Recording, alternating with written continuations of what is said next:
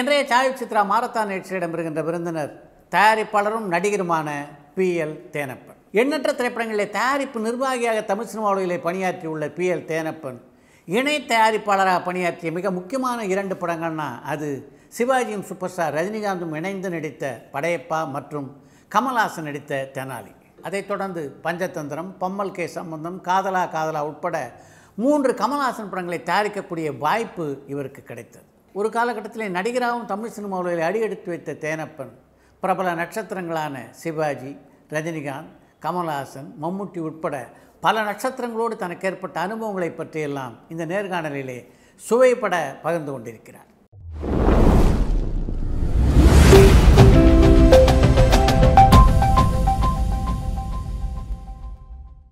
வணக்கம். வணக்கம். சினிமாவுக்கு வரணுன்றது சின்ன வயசுலேயே தேனப்பன் ஆசையாக இல்லை சினிமா உங்களை ஈர்த்து கொண்டதா? இப்போ வந்து சினிமாவுக்கு வந்து எனக்கு வரணும்னு துளி கூட ஆசை கிடையாது. சந்தர்ப்ப சூழ்நிலையில் வந்து சினிமாவுக்கு வந்துட்டேன்னு நினைக்கிறேன். ஆக்சுவலி சினிமாவுக்கு வர வேண்ட காரணங்கிறது பார்த்தீங்கன்னா நான் சின்ன வயசில் ரொம்ப கஷ்டப்பட்டு இந்த லெவலுக்கு வந்திருக்கேன்னா அந்தளவுக்கு கஷ்டப்பட்டேன். இது உதாரணத்துக்கு சொல்லணுன்னா ஆறாவது ஸ்கூலில் படிக்கும்போதே வீட்டில் வந்து ஜப்தி பண்ணி வீடெல்லாம் ரோட்டுக்கு கொண்டு வந்து அந்த அளவு பெரிய லெவலில் கஷ்டப்பட்டு அப்போ நாங்கள் எங்கள் செட்டியார் வீடெல்லாம் சேர்ந்து காரைக்குடியில் இருக்க செட்டியார்லாம் சேர்ந்து அங்கே ஐயூபி பேங்க்லாம் எம்சிடி எம் சிதம்பரம் செட்டியார்னு ஒரு ஃபோட்டோ இருக்குது. அவர் வந்து அங்கே ஒரு ட்ராங்கூர் ரயோன்ஸ்னு ஒரு கம்பெனி ஒன்று ஆரம்பிச்சிருந்தார். அது நூல் ஃபேக்ட்ரி அதனால நம்ம காரைக்குடியில் இருக்க செட்டியார் எல்லாரையும் வேலைக்கு கொண்டே வச்சார் அங்கே. அப்படியே எங்கள் அம்மா அப்பா அங்கே போய் செட்டில் ஆகி அங்கே வந்து பிறந்து நான் வளர்ந்தேன். அதனால் பிறந்து வளர்ந்ததுலேருந்து எல்லாமே மலையாளம் தான் படித்தேன். டென்த் வரைக்கும் படித்து மலையாளம் தான். தமிழ் மீடியம்லாம் படிக்கல. ஃபுல்லாக மலையாளம் தான் படித்தேன். அப்போ என் வீட்டுக்கு பக்கத்து வீடு நடிகர் ஜெயராம். அப்போ ஜெயராம் வந்து அவரோட அப்பா வந்து அதே ஃபேக்ட்ரியில் அக்கௌண்ட்ஸில் இருக்கார். எங்கள் அப்பா எலக்ட்ரிஷனாக இருந்தார். அதுக்கப்புறம் அந்த டைம் வந்து நிறைய சூழ்நிலை காரணத்தினால அந்த ஃபேக்ட்ரி மூட நிலப்பம் வந்ததுனால அப்பா வந்து சென்னைக்கு வந்துட்டார். சென்னைக்கு வந்து ராமநாதன் கொஞ்சம் நம்ம சொந்தக்காரனால அவங்க கம்பெனியில் இருந்து சினிமா தேட்டர் கன்ஃபார்ம் பண்ணுறது அது இதுன்னுட்டு மீடியேட்டர் வேலையெல்லாம் பார்த்துக்கிட்டு. எங்கள் அப்பா. அப்படியே அங்கே பண்ணிக்கிருந்தார் அப்போ நான் வந்து வீட்டில் ரொம்ப பிரச்சனைன்னு சொல்லி இங்கேருந்து பணம் அனுப்ப முடியல என்னால் அப்படின்னு சொல்லி லெட்டர் அனுப்பிட்டார். அப்போ வீடு நிலமை ரொம்ப கஷ்டமாயிருச்சு. வீட்டுக்கு நான் அத்தனைக்கும் ஒரே பையன். அதுக்கப்புறம் வந்து வேலைக்கு போகணுங்கிற ஒரு சூழ்நிலை ஆயிடுச்சு ஒரு நாள் வந்து மத்தியானம் ஸ்கூலில் இருக்கும்போது பக்கத்து வீட்டில் பேபி சேச்சின்னு ஒரு மலையாளி அவங்க வந்து என்னை ஸ்கூலில் வந்து கூட்டின்னு போகிறாங்க கூட்டின்னு போனாங்கன்னா என்னன்னு பார்த்தா மத்தியானம் அந்த இந்த கவர்மெண்ட் ஆஸ்பத்திரியில் வெளியில் படுக்க வச்சுருப்பாங்க கேரிடோரில் அது மாதிரி எங்கள் அம்மா படுக்க வச்சு வாமிட் எடுக்க வச்சுட்டுருக்காங்கன்னு பார்த்தா கிட்டத்தட்ட ஒரு அறுபது எழுபது தூக்க மாத்திரை சாப்பிட்டு சூசைட் அட்டம் பண்ணிட்டாங்க அம்மா. அப்போ நீ வீட்டில் வந்து எந்த வித காசுக்கு ரொம்ப டைட் ஆயிடுச்சு நீ எப்படி வந்தால் பையனுக்கு சாப்பாடு கொடுக்குறது? இப்படிங்கிற லெவலில் ஃபேஸ் பண்ண முடியாதனால எங்கள் அம்மா வந்து சூசைட் அட்டம்ப்ட்டு பண்ணுறக்கு நிலைமையாயிருச்சு அப்போ வந்து இப்போ தான் எனக்கு தோணுச்சு அன்றைக்கி எழுந்திரிச்சா நம்ம காலைல எழுந்து ஷட்டில் விளையாடணும் சாயங்காலம் கிரிக்கெட் விளையாடணும் இந்த ஒரு மூடு மட்டும்தான் இருந்தது இல்லாமல் அப்போ தான் தெரிஞ்சது வீட்டில் இவ்வளோ பிரச்சனை இருக்குது வேலைக்கு போகணும் அப்படிங்கிறதுக்காக போய் எல்லா இடத்துலையும் வேலை கேட்கும்போது யாருமே சாங்க அம்மா என்ன சொன்னாங்க? படிப்பு நிப்பாட்டிடாத அதுக்கு மேலே ஏதாவது வேலை பாரு அப்படின்னாங்க அதுக்காக அஞ்சு மணிக்கு ஸ்கூல் முடிஞ்சிடும் அஞ்சு மணிக்கு மேலே எங்கேயாவது வேலை கேட்கலான்னு சொல்லி எல்லா இடத்துலையும் போய் கேட்பேன் யாருமே வேலை கொடுக்கல. அதுக்கப்புறம் எங்கள் அப்பா கூட நான் அந்த ஒயின் ஷாப்புக்கு எப்போவுமே போய்க்கிருந்தேன். அப்போ ஒயின் ஷாப் ஓனர் வந்து ரொம்ப ஃப்ரெண்ட்னால ஒரு நாள் அவர்கிட்ட போய் கேட்டு பார்ப்போம் அப்படின்னு சொல்லிட்டு மாணிச்சேட்டன்னு பெரும்பாவூரில் அந்த டிரான்ஸ்போர்ட் பஸ் ஸ்டாண்ட் பக்கத்துலேயே பிக்னிக் பார்னு ஒன்று இருந்தது. அது செம்பருத்தி ரெஸ்டாரண்ட்னு அங்கே போய் கேட்டோன்னே மாணிச்சேட்டன்னு சொன்னார். சரி சரி தானப்பா நீ டெய்லி வந்து பார்த்துக்கோ. டெய்லி சாயங்காலம் ஒரு அஞ்சு மணிக்கு நீ வந்தேன்னா நைட்டு ஒரு பதினோரு மணி வரைக்கும் எல்லா டேபிள்லாம் தொடச்சி கிளாஸ் எல்லாம் கழுவி எல்லாம் வச்சுட்டு போனால் உனக்கு டெய்லி அஞ்சு ரூபா கொடுத்துருவாங்க. நீ என்னன்னைக்கு வர அன்றைக்கி வாங்கிக்கோ அப்படின்னாரு. சரி ஓகே சார்னு சொல்லிட்டு அங்கே அப்படி வேலைக்கு போக ஆரம்பித்தது தான் என் லைஃப்பில் ஃபஸ்ட் டைம் ஜாபுக்கு போக ஆரம்பிச்சது. அப்படி வேலைக்கு போக ஆரம்பித்து எட்டு ஆறு ஏழு எட்டு ஒம்பது வரைக்கும் அப்படி போனேன். பத்தாவது படிக்கும்போது கொஞ்சம் கா ஸ்கூல்லலாம் கொஞ்சம் ஏன்னா அப்போ வந்து இப்போ பெரும்பாவூர் வந்து ரொம்ப பெரிய ஊர் ஆயிடுச்சு. அன்றைக்கி வந்து வெறும் ஒரு பத்து தெரு தான் இருக்கும் அந்த ஊர். இப்போ ரொம்ப பெரிய டவுன் ஆயிடுச்சு. இப்போ இந்த பெரும்பாவூர் ஆண்டனின்னு மோகன்லாலோட ப்ரொடியூசர் இருக்கார். அவர்லாம் என் வீட்டு பக்கத்தில் தான் இருக்கார். இப்போ அது இப்போ ஊரே ரொம்ப பெரிய ஊராச்சு. அப்போ ரொம்ப சின்ன ஒரு நாலு தெருவில் தான் இருக்குது ஊர். அப்போ அப்போ கொஞ்சம் கூச்சமாக இருந்தனால இந்த வேலையை விட்டுட்டு வீடியோ கேசட் டோர் டெலிவரி எடுத்து பண்ணுவோம் அப்படின்னு சொல்லி வீடியோ கேசட் டோர் டெலிவரி ஒரு வீட்டுக்காக சைக்கிளில் வச்சு டெய்லி ஒரு ஐம்பது நூறு கேசட்டு சைக்கிளில் ஃப்ரெண்டில் வச்சுக்கிட்டு மூணாயிரம் ரூபாய்க்கு எடுத்துகிட்டு போவேன். அஞ்சு ரூபா அவங்களுக்கு கொடுப்பேன். ஒன்றரை ரூபா ஒரு நாளைக்கு ஒரு பத்து கேசட் விற்றா ஒரு பத்து ரூபா பதினஞ்சு ரூபா கிடைக்குங்க லெவலில் போய்க்கு இருந்தது அப்புறம் பத்தாவது முடித்த உடனே தான் இங்கே எங்கள் அம்மாவோட அண்ணன் வந்து பேங்க் மேஜரால் ஏஜிஎம்மாக இருந்தார். இதில் ரத்தன் பேர். இங்கே சென்னையில். அவர் என்ன சொன்னார்? சரி தானே போனால் சென்னைக்கு வரட்டு. நான் வேணால் பியூனோவில் வாங்கி கொடுத்துறேன் பேங்க் மேஜரால். அப்படின்னு சொல்லி தான் சென்னைக்கு வந்தேன். அப்போ என்ன இதுன்னா இப்போ பத்தாவது வந்து பாஸ் ஆகலைன்னா தான் இந்த வேலை கிடைக்கும். எது? பியூன் வேலை. அப்போ நான் வந்து எஸ்எல்சி எக்ஸாம் எழுதிட்டு இங்கே வரேன் சென்னைக்கு. ரிசல்ட்டுக்கு வெயிட்டிங்க்கு ரிசல்ட் வெயிட்டிங்கில் வந்தோடனே நமக்கு என்ன என்னோட கான்ஃபிடென்ட் நான் சுத்தமாக படிக்க மாட்டேன். கன்ஃபார்மாக தோற்றுருவேன் நமக்கு வந்தோடனே வேலை கிடச்சிரும். அந்த நம்பிக்கையில் எக்ஸாம் எழுதிட்டு வந்துடுறேன். ரிசல்ட் எப்படி ரெண்டரை மூணு மாதம் கழிச்சுன்னு வரும்? அதுக்குள்ளே மா வந்து மாமாட்ட கேட்டால் மாமா வந்து ஒவ்வொரு பிரான்ச்சாக சொல்லுவார். T Nagar branch Parrys branch west மாப்பிள இப்படி ஒவ்வொரு பேங்க் மேஜர் அப்போ அங்கங்கே இருந்து இப்போல்லாம் ஐசிஐசியாக மாறிடுச்சு அப்போ அந்த branch போவாங்க. ஏஜிஎம் சொன்னால அவங்க என்ன பண்ணுவாங்க? டெய்லி சாயங்காலம் போகும்போது பதிமூணு ரூபா ஏதோ ஒரு வயிச்சர் போட்டு கொடுப்பாங்க. அதை வாங்கிட்டு நான் பாட்டுக்கு இப்படி ஒரு ஆறு மாதம் நீ வேலை பாரு. உடனே எப்பயும் நான் கன்ஃபார்ம் பண்ணிடுவாங்க அப்படின்னு சொல்லி தான் ஸ்டார்ட் பண்ணேன். அப்போ வந்து இந்த மயிலாப்பூரில் நம்ம சாரதா நிவாஸ்னு நீலகிரிஸுக்கு பின்னாடி ஒரு ஹோட்டல் இருந்தது. அப்போ இந்த டிஸ்ட்ரிபியூட்டர் எக்ஸிபியூட்டர்லாம் அங்கே தான் தங்குவாங்க. அப்போ அந்த ஹோட்டலில் தான் இருந்தேன் அப்போ அங்கே ஒரு ஆனந்தன் ஒரு மேனேஜர் ஒருத்தர் இருந்தார். அப்போ ஒரு வழியாக இப்போ இது எஸ்எல்சி ரிசல்ட் வந்துருச்சு. ரிசல்ட் வந்தோடனே பார்த்தா இரநூத்தி பத்து மார்க்கு இரநூத்தி பன்னெண்டு மார்க் வாங்கி ஜெயிச்சிட்டேன் பாஸ் பாஸு என்னால் நம்பவே முடியல. இப்போ என்னடா இது? இப்போ நம்ம தோற்றுருவோம்னு நினச்சோம். இரநூத்தி பத்து மார்க்கு இரநூத்தி பன்னெண்டு மார்க் வாங்கி வின் பண்ணிட்டோமே. இப்போ என்ன போகுதுன்னு தெரியலேன்னு சொல்லி மாமாட்ட போய் கேட்டோன்னே மாமா சொன்னார் யூனி நிறைய பிரச்சனைலாம் இருக்குது அதனால் ஒன்றும் பண்ண முடியாது. அதனால் நீ வேறு ஏதோ ஜாப் பார்த்துக்கோ நான் சேர்க்க முடியாது அப்படின்னு சொல்லிட்டாரு. சொன்னோன்னே இருக்கிற வேலையும் போச்சுன்னு சொல்லிட்டு அப்புறம் சாரா யூனிவர்சிட்டியில் தங்கியிருந்தேன். அப்போ இவர் நம்ம ஆனந்தன்கிட்ட வந்து இப்படி மேட்டர்லாம் சொன்னேன். சொன்னோன்னே ஆனந்தன் என்ன சொன்னார்? சரி ஓகே தானேப்பா. நீ எப்படி எனக்கு கேரளாவுக்கும் போகிறதுக்கு இல்லை. இப்போ இங்கேயே ஏதாவது பொழப்பு ஓட்டலாம் அப்படிங்கிற லெவலில் ஆனந்தன்கிட்ட கேட்டோன்னே ஆனந்தன் என்ன சொன்னார்? இங்கே டிஸ்ட்ரிபியூட் எக்ஸிபியூட்டில் வந்து தங்குறாங்க. இவங்களுக்கு வந்து ட்ரெயின் டிக்கெட் எடுத்து ஏற்றி விடு. ஏற்றி விட்டோம் ஒரு டிக்கெட்டுக்கு வந்து அஞ்சு ரூபா சர்வீஸ் சார்ஜ் கொடுப்பாங்க. அப்போ நீ அது கரெக்டாக பண்ணேன்னா உனக்கு ஓகே ஆயிரும் அப்படின்னு சொல்லிட்டு சரி இது நல்ல ஜாபாக இருக்கே. காலைல ஏர்லி மார்னிங் போய் க்யூவில் நின்ட்டோன்னா ஃபஸ்ட்டு நம்ம போய் டிக்கெட்டை வாங்கி இவங்களை கரெக்டாக ஏற்றி விட்டலாம் அப்படிங்கிற நம்பிக்கையில் எல்லாம் பண்ணேன் எல்லாம் கரெக்டாக ஸ்மூத்தாக போய்க்கிருந்தோம் அப்போ பின்னாடி தான் ராமநாடன் ஆஃபீஸ் இருந்தது. அப்போ ராமநாடன் வந்து அந்த பூவை இளம் பூவேன்னு ஒரு படம் எடுத்துக்கிருந்தாங்க அஹ் சிறுமுக ரவி ஆ, சுரேஷ் நதியா நடித்த படம். சிறுமுக ரவி டைரக்டர் அந்த படத்துக்கு வந்து டிக்கெட் எடுக்கிறதுக்கு எனக்கு சான்ஸ் கொடுங்க. நான் அப்படி எல்லாருக்கும் பண்ணிட்டு இருக்கேன் டிஸ்ட்ரிபியூட் எக்ஸிபியூட்லாம் பண்ணுறேன் சரின்னு சொல்லிட்டு அவரும் எனக்கு சொந்தக்காரனால சரி கொடுத்துருங்க என்ன பா பார்ப்போம்னா அவங்களெல்லாம் கரெக்டாக ஏற்றி விட்டேன் எல்லாம் கரெக்டாக பண்ணோன்னே ரொம்ப பிடிச்சி போய் அதுக்கு அடுத்த படம் தென்பட்டு சீமையில் விஜயகாந்த் நடிக்கிற படம். அந்த படத்துக்கு வந்து கோலப்பன் டைரக்டர் அந்த படத்துக்கும் கரெக்டாக பண்ணோன்னே கேப்டன் வரைக்கும் யாரோ ஒரு பையன் நல்லா துருதுருப்புன்னு இருக்கானே எந்த வேலை கேட்டாலும் பண்ணுறான் டீ எடுத்துகிட்டு வரான் டீ எடுத்துகிட்டு வரான் ஸ்டூல் எடுத்து வீணா வைக்கிறான் எல்லா வேலையும் பார்க்குறான் ஆனால் ட்ராவல்ஸ் ஏஜென்ட்டு எல்லாம் கரெக்டாக பண்ணுறானே அப்படின்னு தெரிஞ்ச கேப்டன் வரைக்கும் என் பேர் ரீச் ஆயிடுச்சு அப்போ ஒரு வழியாக அங்கே ராமநாதன் ஆஃபீஸ் நம்ம ரிலேஷனும் அதுவும் இருக்கிறனால சரி நம்பிக்கையான பையனாக இருக்கான். பணம் என்ன கொடுத்தாலும் கரெக்டாக கணக்கு கொண்டு வந்து கொடுத்துட்றான். அவனுக்கு தேவையான மட்டும்தான் எடுத்துக்கிறான். அப்படிங்கிற ஒரு பேர் வந்தோடனே அதுக்கடுத்து மனைவி ஒரு மந்திரி சகாதேவன் மகாதேவன் கரகாட்டக்காரன் இதெல்லாம் வந்து கேஷியராக ஒர்க் பண்ணுறேன் ஃபுல் பொறுப்பு பணத்தை எங்கிட்டே கொடுத்து என்னை வந்து கேஷியராக்குறாங்க அப்படி அந்த படம்லாம் ஒர்க் பண்ணின்னு இருக்கும்போது தான் துரையண்ணன் படம் வந்து துரையண்ணன் தான் இப்போ ராமராஜனுக்கு மேனேஜராக இருந்தார். அப்போ எங்கூர் மாப்பிள்ளைன்னு ஒரு படம் வந்து இங்கே ஒர்க் முடிஞ்சு கரகாட்டக்கரை முடிஞ்சோடனே எங்கூர் மாப்பிள்ளைங்கிற படத்துக்கு நீ போய் ஒர்க் பண்ண. இதே மாதிரி கேஷியரு ட்ராவல்ஸ் ஏஜென்ட் ரெண்டு சேர்த்து பண்ண அப்படின்னு சொல்லி அங்கே சேர்த்து விட்டார். அங்கே போன பிறகு தான் அந்த படத்துக்கு கேமராமேன் நிவாஸ்.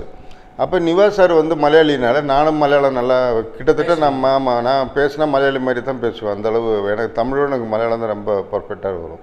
அதனால் மலையாளினால அவரும் என் மேலே ரொம்ப பிரியப்பட்டு தினப்பா அடுத்து எனக்கு ராமராஜன் டேட் கொடுத்துருக்காரு. அந்த படத்தில் நான் உன்னை ப்ரொடக்ஷன் மேனேஜர் ஆக்கிடுறேன். அப்படின்னு சொல்லிட்டு அப்போ கராட்டக்காரன் ஷூட்டிங் நடக்கும்போது தான் இந்த மேனேஜ் யூனியன் வந்து அப்போ ரொம்ப பிரச்சனை பண்ணுவார். கோபின்னு ஒருத்தர் வந்து ஒரு வேட்டி கட்டினு எப்போ பார்த்தாலும் வந்து தகராறு பண்ணிக்கினே இருப்பார். அப்போ இவரை கண்டாலே இந்த கற்ப ஸ்டுடியோவில் தான் பாதி நாள் ஷூட்டிங் நடக்கும் கரகாட்டக்காரன் இல்லாட்டி அந்த இதில் அருணாச்சல் ஸ்டுடியோவில் அங்கே தான் எடுத்துக்கு இருக்கும்போது இந்த ஆள் சாயங்காலம் நான் பேட்டா கூத்து இருக்கும்போதே வந்து வேணும்னு நான் கார்டு எடுக்கலன்னு சொல்லி தரா அப்படிங்கினே இருப்பார். அப்புறம் ஒரு வழி அப்போ வந்து இரநூத்தி நாற்பது ரூபா கார்டு அப்போ அப்புறம் ஒரு நாள் துறைன்னு சொல்லி அக்கௌண்ட்டில் நூறுரூவா அட்வான்ஸாக கட்டிட்டு பேலன்ஸ் நூற்றி நாற்பது ரூபா வந்து ஒரு ஆறு மாதத்தில் கொடுப்பாருன்னு சொல்லி மேனேஜ் யூனியன் கார்டு அப்போயே எடுத்துட்டேன். அப்போல்லாம் ப்ரொடக்ஷன் மேனேஜருக்கு என்ன சம்பளம்? அப்போ வந்து ஆயிரத்தி இரநூறுவா இருக்கும்னு நினைக்கிறேன் ஒரு படத்துக்கு. ஒரு படத்துக்கு. படத்துக்கு மேக்ஸிமம் இப்போ கொஞ்சம் பெரிய மேனேஜராக இருந்தேன்னா ஒரு மூவாயிரம் மூவாயிரத்தி மூவாயிரம் ரூபாக்குள்ளே இருக்கும். இப்போ எனக்கெல்லாம் வந்து ஆயிரத்தி இரநூறு எழுநூத்தம்பது ரூபா தான் கொடுத்தாங்க ஒரு படத்துக்கு இப்போ அன்றைக்கானது பெரிய அமௌண்ட்டு அன்றைக்கி இருக்கிற சுச்சுவேஷன் அன்றைக்கி என்ன டீ வந்து நாற்பது காசு தான் ஏதோ இருந்திருக்கும். அந்த லெவலில் இருக்கும்போது தான் இருந்தது. அதனால அப்படி மெம்பர் ஆகிட்டீங்க மெம்பர் ஆகிட்டேன் அதனால இப்போ அதுக்கப்புறம் நம்ம வந்து இப்போ அடுத்த ஸ்டெப்பு ப்ரொடக்ஷன் மேனேஜர் ஆகணும் அப்படிங்கிறதுல இருக்கும்போது கரெக்டாக கேமராமேன் நிவாஸ் வந்து எனக்கு ராமராஜன் டேட் கொடுத்துருக்காரு. இப்படி ராஜா ராஜான்னு ஒரு படம் பண்ணுறோம் அது வந்து ஈ ராமதாஸ் டைரக்டர் அப்படின்னு சொல்லிட்டு சரி ஓகேன்னு சொல்லிட்டு நான் அங்கே போய் ஜாயின் பண்ணுறேன் போய் ஜாயின் பண்ண உடனே அங்கே பார்த்தா கேஎஸ் ரவிக்குமார் அசிஸ்டன்ட் டைரக்டர் அப்படி நானும் கேஎஸ் ரவிக்குமாரும் ரொம்ப க்ளோஸ் அண்ணன் மாதிரி பழகுறோம். பைக்கில் போனால் ரெண்டு பேரும் ஒன்றா தான் போகிறது வரதுன்னு சொல்லி அந்த படம் ஒர்க் பண்ணுறோம் அந்த படம் ஒர்க் பண்ணி முத முதல்ல தயாரிப்பு நிர்வாகம் பிஎல் தேனப்பண்ணு வருது. அதான் முதல் முதல்ல முத முதல்ல டைட்டில். கார்டு வருது.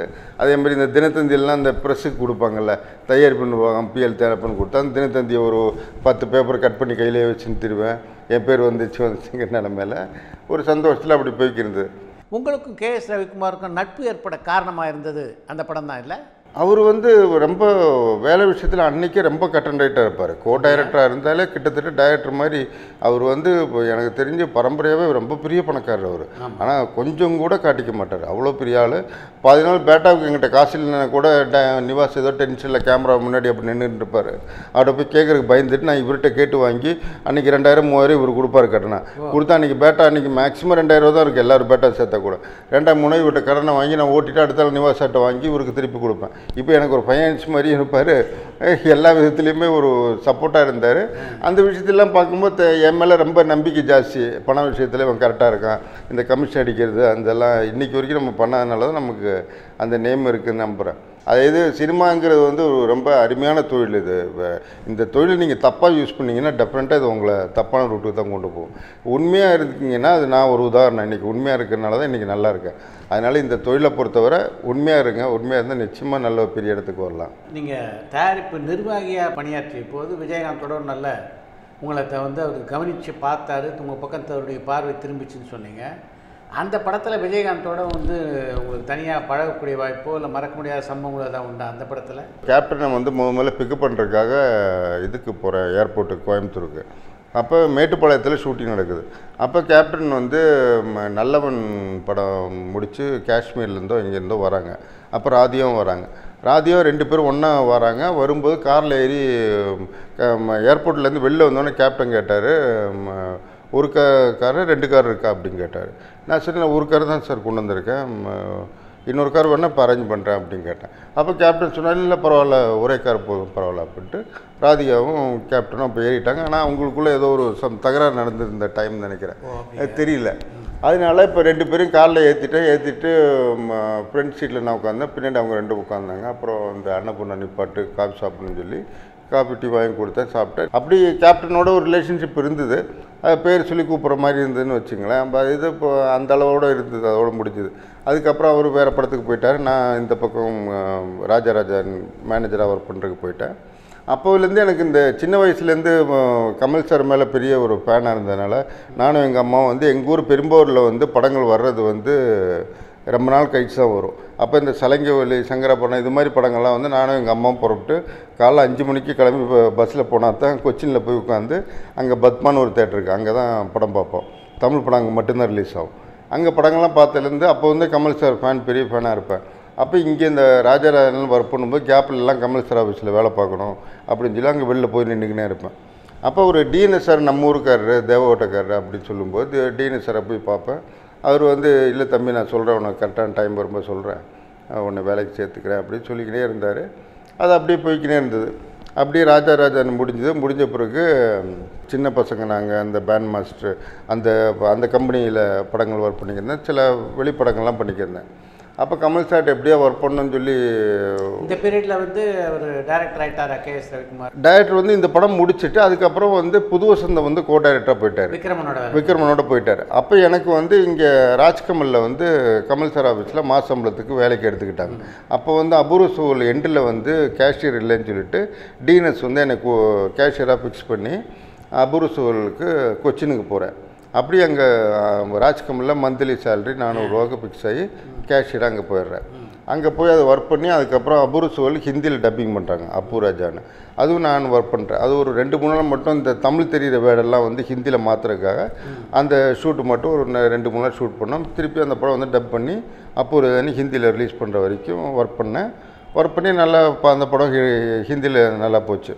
இல்லை உங்களுடைய கனவு கதாநாயகனான கமல்ஹாசனை எப்போ முதல் முதல்ல சந்திச்சிங்க? முத முதல்ல சந்திச்சேன்னு பார்த்தீங்கன்னா இப்போ ஏதோ கொஞ்சம் க்ளோஸாக பழ பழகினேன்னு பார்த்தா குணா ஷூட்டிங்கில் தான். அது வரைக்கும் தேனப்பன்னு ஒருத்தன் வேலை பார்க்குறாங்கிறது இல்லாமல் நம்ம வந்து அவர் பக்கத்தில் கூட போக முடியாது. அவர் வர்ற பார்த்தாலே ஏதோ ஒரு நெருப்பு வர்ற மாதிரி தான் இருக்கும். அதனால் என்ன நம்ம எங்கேயோ அண்ணாந்து பார்த்த ஒரு கமல் சாரை டக்குன்னு காலிலேருந்து இறங்கி நம்ம ஆஃபீஸுக்குள்ளே தான் வரேன் நான் அவர் ஆஃபீஸ் ஸ்டாஃபு ஆனால் அவர் எங்கிட்ட பேசுகிறதோ நான் போய் அவர்கிட்ட பேசுகிறான சூழ்நிலை வரல. ஆனால் அவருக்கு வந்து இந்த மலையாளத்தில் பேசினா அவருக்கு ஒரு பெரிய ஒரு சென்டிமெண்ட் இருக்குது அவர் கமல் சாரை பொறுத்தவரை. அது நான் மலையாளம் நல்லா பேசுவேன்ல. அப்போ குணா ஷூட்டிங்கில் தான் குணாக்கு எப்படி போனேன்னா அதுக்கப்புறம் வந்து இங்கே ராஜ்கமலில் வந்து மந்த்லி சேலரி ஒர்க் பண்ணிவிட்டு அப்போ குணாவுக்கு வந்து டைரக்டர் வந்து ராஜீவ்குமார் போட்டிருந்தாங்க. ராஜீவ்குமார் டெய்லி ட்ரிவாண்டத்தில் அப்போ இந்த சாணக்கியன் பண்ண டைரக்டர் அவர் தான் முதல்ல குணாவுக்கு டைரக்டர் சந்தான பாரதிக்கு முன்னாடி? ஆமாம் சந்திரன் பாரதிக்கு முன்னாடி. அப்போ ராஜீவ்குமார் டெய்லி ஏர்போர்ட்டில் போய் டிவானத்தில் இருந்து வருவார். அவரை போய் பிக்கப் பண்ணுவேன். கொண்டு வந்து ஒரு உட்லன்ஸ் ரூம் போட்டு கொடுத்துட்டு அவரை கூட்டின்னு வந்து கமல் சார் டிஸ்கஷன் பண்ணுவார். ஒரு நாலஞ்சு நாள் ஒரு வாரம் இருப்பார். அதை டிஸ்கஷன் முடிஞ்சு திருப்பி அவர் ஏர்போர்ட்டில் கொண்டு போயிடுறது இவர் கொண்டு போயிடுறது கூட்டின்னு வர்றது இது மட்டும்தான் என்னோட வேலை. இப்படியே போய்க்கினே இருக்குது இந்த குணாங்கிற படம் ஆரம்பிக்கவே இல்லை. அப்படி தான் இருக்கும்போது ஒரு நாள் வந்து ஒரு மத்தியானம் ஒரு பன்னெண்டு ஒரு மணி இருக்கும் ராஜ்கமலுக்கு ஆப்போசிட் ஒரு டீ கடை இருக்குது அந்த டீ கடையில் டீ சாப்பிட்டுக்கு ரவிக்குமார் பைக்கில் வந்தார். வந்து என்ன தினப்பா இங்கே டீ சாப்பிட்டு வா ரெண்டு பேர் டீ சாப்பிடலாம் ரெண்டு பேர் டீ சாப்பிட்டுக்கிட்டே சொன்னார். என்ன இப்படி சௌத்ரி சார் வந்து சூப்பர் குட்னு ஒரு படம் கம்பெனி சௌத்ரி சார் வந்து என்னை டைரக்டர் ஆக்க போகிறாரு புரியாத புதிர்னு இந்த கன்னடத்தில் தர்கான்னு அந்த படத்தை வந்து ரீமேக் பண்ண போகிறோம் அதனால் நீ தான் வந்து ஒர்க் பண்ணணும் மேனேஜரா அப்படின்னாரு. நான் சொன்னேன் இங்கே மாசம்பளத்துக்கு ஒர்க் பண்ணுறேன் அவர் விடுவாரா கமல் சார் ஆஃபீஸில் விடுவாரான்னு தெரில நான் என்னோடய கனவே கமல் சார்கிட்ட ஒர்க் பண்ணணும்னு சொல்லி தான் வந்தேன். அவங்க இப்போ குணான்னு ஒரு படம் ஆரம்பிக்க சொல்லி ராஜீவ்குமார் வந்து வந்து போயின்னு இருக்காரு இன்னும் ஒன்றும் ஆரம்பிக்கிற மாதிரி தெரிலண்ணே அப்படின்னு. சரி நீ கேட்டு சொல்லு. நீ சண்டே வந்து சூப்பர் குட் அட்ரஸ் எழுதி கொடுத்தாரு. எழுதி கொடுத்து சண்டேவா நீ வந்து சௌத்ரி சாரை இன்ட்ரடியூஸ் பண்ணி விட்றேன் அப்படின்னாரு. அதுக்கப்புறம் சண்டே நான் போனேன். போனோடனே சௌத்ரி சார்கிட்ட வந்து சொன்னார் என்னை எவ்வளோ நம்புறீங்களோ அதோட இரநூறு பர்சன்ட் தேனை பண்ணிங்க நம்பலாம் அப்படின்னு சொல்லி சௌத்ரி சார்கிட்ட சொன்னார். அன்னையிலேருந்து இன்றைக்கி வரைக்கும் சௌத்ரி சாருக்கு என் மேலே அந்த நம்பிக்கை தான். இது வரைக்கும் நானும் அந்த தவறு நடந்ததும் இல்லை. சௌத்ரி சார் என் மேலே அந்த நம்பிக்கை இன்றைக்கும் வச்சுருக்காரு. நானும் அது மாதிரி நடந்துக்கிட்டேன்.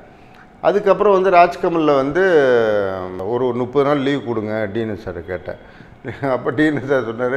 இது சார் இது என்ன சார் இது என்ன இப்போ கம்பெனி அது முப்பது நாள் லீவு ஆமாம் கவர்மெண்ட் ஆஃபீஸர் முப்பது நாள் லீவெல்லாம் கொடுக்க முடியாது. போகிறாங்க அப்படியே போயிருங்க சார் அப்படின்ட்டாரு. அப்போ திருப்பி இருந்து யோசிச்சு யோசிச்சு பார்த்தேன் என்னடா பண்ணுறது உங்கள் ஷூட்டிங்கும் போக மாட்டேன்டா டெய்லி நானூறு அதில் மாத சம்பளம் வாங்குற வேறு. ஆனால் இப்போ வேலையே இல்லாமல் இருக்கிறது முடியல. சரி ரெண்டில் ஒன்று கடல் மேலே பாரத்தை போட்டு நேராக போய் டீனு சார்கிட்ட வேலை வேணாம் சார் அப்படின்னு சொல்லிட்டு நேராக கே. ரவிக்குமாரோட போய் புரியாத புதிர் சேரன் பாண்டியன். புரியாத புதிர் வந்து இருபத்தி எட்டு நாளில் முடித்தோம் டே நைட்டு அந்த படம் முடிஞ்சோடனே அந்த படத்தில் கோ டைரக்டர் அசிஸ்டன்ட் டைரக்டர் இவன் சேரன். அதுக்கப்புறம் அந்த குரூப்பில் ஒன்றும் பெரிய டைரக்டராக பெருசாக வரல அதில் நீங்கள் கமல்ஹாசன் ஆஃபீஸ் விட்டு வர்ற வரைக்கும் இந்த குணா படம் ஆரம்பிக்கவே இல்லை ஆரம்பிக்கவே இல்லை. அதுக்கப்புறம் அதுக்கப்புறம் நான் வந்து இங்கே புரியாத புதூர் இருபத்தெட்டு நாள் ஷூட்டிங் முடிச்சு படம் போஸ்ட் ப்ரொடக்ஷன் ஒர்க் முடிச்சு படத்தை ரிலீஸ் பண்ணி முடிஞ்சு சேரன் பாண்டியன் ஒரு படம் டிஸ்கஷன் ஆரம்பிச்சு சேரன் பாண்டியன் படத்தையும் முடிச்சு சேரன் பாண்டியன் ரிலீஸுக்கு ஒரு ரெண்டு வாரம் முன்னாடி தான் எனக்கு ராஜ்கமல்லேருந்து டிரைவர் வந்து கூப்பிட்றான். டீனஸ் உங்களை அர்ஜென்ட்டாக கூட்டின்னு வர சொன்னாங்க ராத்திரி அப்படின்னாரு. சரி என்னடா நல்ல சான்ஸ் ஆச்சு இங்கே படம் முடிஞ்சு போச்சு. நீ இப்போ இந்த அடுத்த வாரம் சேரன் பாண்டியன் ரிலீஸு ஏய் நம்ம வேலை முடிஞ்சிச்சு. இப்போ அதனால் சென்சார் ஆயிடுச்சு அப்படின்னு சொல்லிட்டு நான் போனேன். போனோடனே டீனு சார் சொன்னார் சார் நாளைக்கு காலைல கிளம்புறேன் சார் கொடைக்கானல். போனீங்கன்னா ஐம்பது நாள் அறுபது நாள் கழிச்சு சார் வரணும் அப்படின்னாரு. நான் யோசித்தேன் போய் சவுதி சார்ட்டையும் ரவிக்குமார்ட்டையும் சொன்னால் நிச்சயமாக விட மாட்டாங்க. சொல்லாமல் கொள்ளாமல் அடுத்த நாள் காலைல கிளம்பி கொடைக்கானல் போயிட்டேன். போயிட்டீங்க? போய் ஒர்க் பண்ணிட்டேன். போய் பண்ணி அறுபது நாள் முடிச்சுட்டு ஐம்பத்தி மூணு நாளோ ஏதோ கொடைக்கானலில்.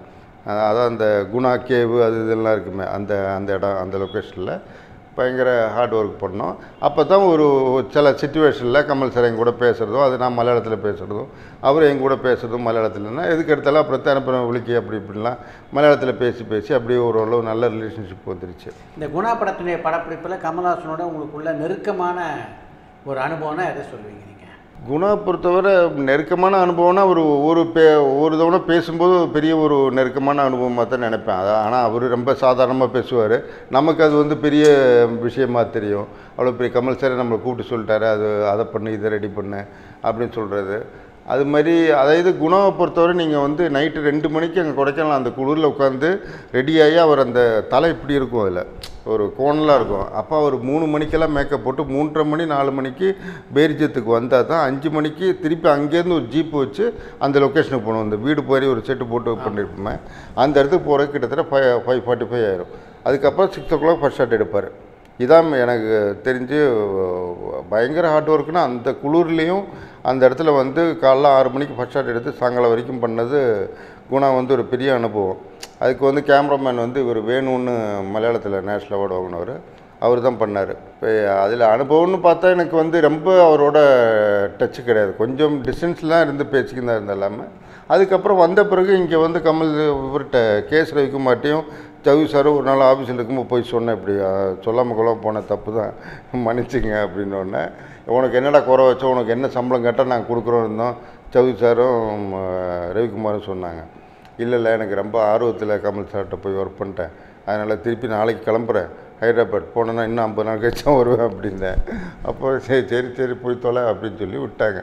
அதுக்கப்புறம் நான் திருப்பி ஒரு ஐம்பது நாள் போய் ஹைதராபாத்தில் போய் ஒர்க் பண்ணிட்டு படத்தை முடிச்சுட்டு வந்துட்டோம். வந்து குணா முடிச்சுட்டு வந்து இங்கே வந்து ஊர் மரியாதை அப்புறம் புத்தம்புது பயணம் இங்கே சவு இவர்கிட்ட ஒர்க் பண்ணிக்கினே இருக்கேன். கே. எஸ் ரவிக்குமார் படங்கள் லைனாக சூப்பர் குடில் போய்க்கினே இருக்குது இது நடுவில் ஃப்ரீயாக இருக்கும் போதெல்லாம் சௌதரி சார் என்ன பண்ணுவார்? ஏன்னா ஆஃபீஸில் ஒரு நம்பிக்கையான பையன் நான் தான் அப்படின்னு சொல்லிட்டு பெரும்புலி நடந்தாலும் வேறு வேறு ஏதோ டயட் படங்கள் நடந்தாலும் தேனப்பட்ட தான் பணத்தை கொடுத்து அனுப்புவார். இப்போ என் மேலே அந்த நம்பிக்கைனால இப்போ மைசூரில் பெரும்புலி ஷூட்டிங் நடக்குது. தேனப்ப நீ பணம் எடுத்துன்னு போ போய் இருந்து அங்கே எல்லாம் பார்த்துக்கிட்டு அங்கேயே இருந்துட்டு ஷெடியூலை முடித்து பேக் பண்ணி எடுத்துகிட்டு வான்னு சொல்லி அனுப்புவார் என்ன. அந்த அளவு சௌதரி சார் ஒரு நம்பிக்கையான ஆளாக இருந்தேன். அப்படி அந்த படங்கள்லாம் போய்க்கிருந்தது அப்புறம் ஒரு நாள் இது தேவர்மன் ஒர்க் பண்ணுறதுக்காக கமல் சார் ஆஃபீஸ்லேருந்து கூப்பிட்டாங்க. அப்படி தேவர்மன் படத்துக்கு பதினேழாயிரத்தி ஐநூறுரூவா எக்ரிமெண்ட் போட்டு என்னை அந்த படத்துக்கு மேனேஜராக கன்ஃபார்ம் பண்ணுறாங்க அப்போ அந்த படத்தில் வந்து வடிவேலுக்கு வந்து நான் சம்பளம் பேசுகிறேன் ஆறு மாதத்துக்கு எக்ரிமெண்ட்டு பதினஞ்சாயிரம் ரூபா பேசி எக்ரிமெண்ட் வாங்குறேன் வ- வடிவேல்கிட்ட. ஆறு மாதம் அனுமதி இல்லாமல் எங்கேயுமே போகக்கூடாது. எங்கேயும் போகக்கூடாது. எந்த எடுத்து படத்தில் நடிக்கப்படாதுன்னு சொல்லி பதினஞ்சாயிரம் ரூபாய்க்கு ஆறு மாதத்தில் எக்ரிமெண்ட் வாங்குறேன். வடிவேல்கிட்ட. அப்படி வடிவேல் அங்கே போய் பிதாவரமன் ஷூட்டிங்கில் போய் அதுவும் ஏடிசியில் ஒரு சின்ன சிங்கிள் ரூமில் தங்கியிருப்பார். அப்போ நடுவில் மஞ்சள் காமலை வந்தது இப்போ ரொம்ப கஷ்டப்பட்டார் இப்போ வடிவேல். அப்போ நம்ம ஹாஸ்பிட்டல்லாம் கூட்டின்னு போயிட்டு மஞ்சள் காமலைக்கு அந்த இதெல்லாம் பண்ணுவோம் இல்லையா? வேப்பிலெல்லாம் கட்டி அதெல்லாம் பண்ணி நம்ம அப்போ ஷெட்யூல்லாம் கொஞ்சம் தள்ளி வச்சு. அப்போ அந்த டைம் வந்து எல்லாம் பேஸ் பண்ணி இப்போ அது வடிவேல் இன்னைக்கு இந்த அளவுக்கு பெரிய அளவுனா அவரோட ஹார்ட் ஒர்க்கு தான் தான் சொல்லணும் மாதிரி. அப்போ அந்த படம் வந்து ஒர்க் பண்ணிக்கிருந்தோம் தேவர்மன். நீங்கள் பல நடிகர்களோட பணியாற்றிருக்கீங்க. இதில் யாரோட பணியாற்றியது உங்களுக்கு ரொம்ப திருப்தியாக இருந்தது? அதாவது என்னை பொறுத்தவரை எனக்கு வேலை தர்றது வந்து வேலை சொல்கிறது வந்து டைரக்டரு சம்பளம் கொடுக்குறது ப்ரொடியூசர் இவங்க ரெண்டு பேருக்கு தான் நான் வந்து வளைஞ்சு கொடுப்பேன் இல்லாமல் நான் என்ன சொல்ல வரேன்னா இப்போ இந்த ஹீரோ இவங்களுக்கெல்லாம் வந்து ரொம்பலாம் அப்படி குனிஞ்சு போய் நின்று அவங்கள்ட்ட போய் பேசிக்கிட்டு வளைஞ்சிக்கிட்டுலாம் நிற்க மாட்டேன். டைம் சொன்ன டைம் உங்கள் வேலை நடிக்கிறது என் வேலை மேனேஜர் வேலை. நீங்கள் சம்பளம் பேசிருக்கு சம்பளம் வாங்கி தர வேண்டியது என் கடமை. நீங்கள் நடிக்க வேண்டியது உங்கள் கடமை. அந்த லெவலில் தான் நான் பார்த்துப்பேன் இல்லாமல் ரொம்ப போய் ரகுவரன் ஆகட்டும் இவங்கள ஆகட்டும் யார்ட்டையும் ரொம்ப அந்த அட்டாச்மெண்ட்டே எங்கள் யார்ட்டையுமே வச்சுக்க மாட்டேன். நீங்கள் வந்து ஒரு தயாரிப்பு நிர்வாகியாக ஒரு ஸ்ட்ரிக்ட் ஆஃபீஸராக இருந்திருக்கீங்க. உங்களுடைய பார்வையில் அப்போ நடித்த நாயகர்கள் யார் யார்? உங்களுக்கு வந்து இவங்க கரெக்டாக இருக்காங்க அப்படின்னு தோணுச்சு.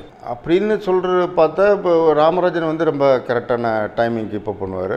ஐ திங்க் சரத்குமாரும் ஆல்மோஸ்ட் டைம் கீப் அப் பண்ணுவார். ரகுவரனை பொறுத்தவரை தெரியுமே அது. தெரிஞ்சு தான் நம்ம வந்து காலை விடுற மாதிரி இப்போ டைரக்டர் பாலா வச்சு படம் எடுத்தால் என்ன எந்த அளவுக்கு போகுங்கிற மாதிரி. அது மாதிரி நம்ம தெரிஞ்சு தான் ரகுவரனை பொறுத்தவரை பெரிய ஆனால் வந்த ஒரே டேக்கு தான். இப்போ நடிகர் கார்த்திகை வச்சு பிஸ்தான்னு ஒரு படம் பெருமன் நடராஜன் பண்ணார். அந்த படத்தை கார்த்திக் வந்து வெளியில் அப்படி இப்படி எல்லாம் சொன்னாங்க. ஆனால் எங்களுக்கு எந்த பிரச்சனையும் கிடையாது. நாங்கள் ஒரு படம் பண்ணோம் கரெக்டாக சொன்ன டேட்டில் பெருமன் நடராஜன் என்னைக்கு ஆனர் பண்ண சொன்னோமோ அன்றைக்கி ஆனர் பண்ணிட்டு படத்தை முடிச்சு கொடுத்துட்டோம். அதாவது கார்த்திக் எங்களுக்கு எந்த பிரச்சனையும் இல்லை. ஆனால் வெளியில் அப்படி சொல்லுவாங்க.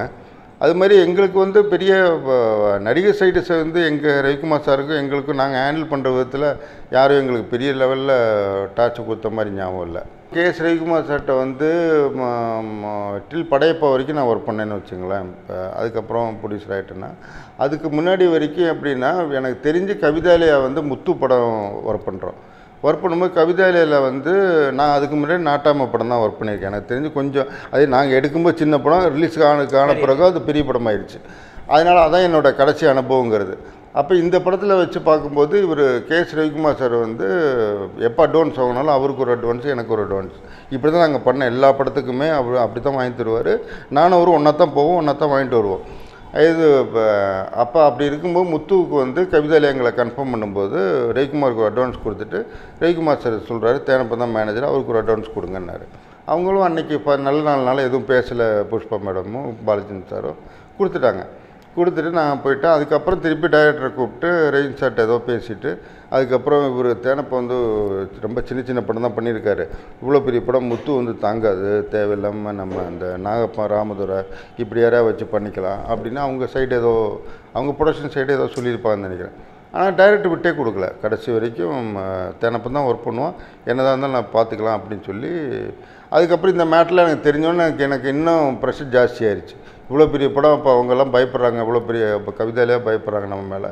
நம்ம இது பண்ணி ப்ரூவ் பண்ணி காட்டுன்னு சொல்லி டே நைட்டு தூங்குறதே கிடையாது. டுவெண்ட்டி ஃபோர் ஹவர்ஸு கவிதையில் ஆஃபீஸ்லேயே படுத்திருப்பேன் அந்த ரிசப்ஷன்லேயே தூங்குவேன் ரிசப்ஷன்லேயே எந்திரிப்பேன் ரிசப்ஷன்லேருந்து எல்லாருக்கும் ப்ரோக்ராம் சொல்லுது இப்படியே தான் அந்த படம் ஒர்க் பண்ணேன். ஆனால் ஒரு சின்ன ஒரு ஒரு சின்ன கம்ப்ளைண்ட் கூட இருக்காது. படம் ரிலீஸ் ஆகி ஒரு நாலு நாள் கழிச்சு படம் சூப்பர் டூப்பர் ஹிட் ஆயிடுச்சு. அதுக்கப்புறம் கே பாலாஜன் சார் என்னை ஒரு நாள் கூப்பிட்டாரு நாலு நாள் கழிச்சு. கூப்பிட்டு என் கையில் ஒரு ஒரு லட்ச ரூபா படம் கொடுத்தாரு. கொடுத்துட்டு எனக்கு படம் பேசினதே எண்பதாயிரம். அதுவே எனக்கு எக்ஸ்ட்ரா நாற்பதாயிரம் கொடுத்து ஒன்று இருபது சம்பளம் கொடுத்துட்டாங்க. பேசினது எண்பதாயிரம் போக ஒன்று இருபது கொடுத்துட்டாங்க. அது போக திருப்பியும் பாலாஜி சார் ஒரு லட்ச ரூபா கொடுத்தாரு எனக்கு. எதுக்குன்னு கேட்டோன்னா பாலாஜி சார் ஒரே வார்த்தை சொன்னார் நான் இது வரைக்கும் இந்த கம்பெனியில் வந்து நாற்பது நாற்பத்தி அஞ்சு படமும் ஏதோ எடுத்திருக்கேன்.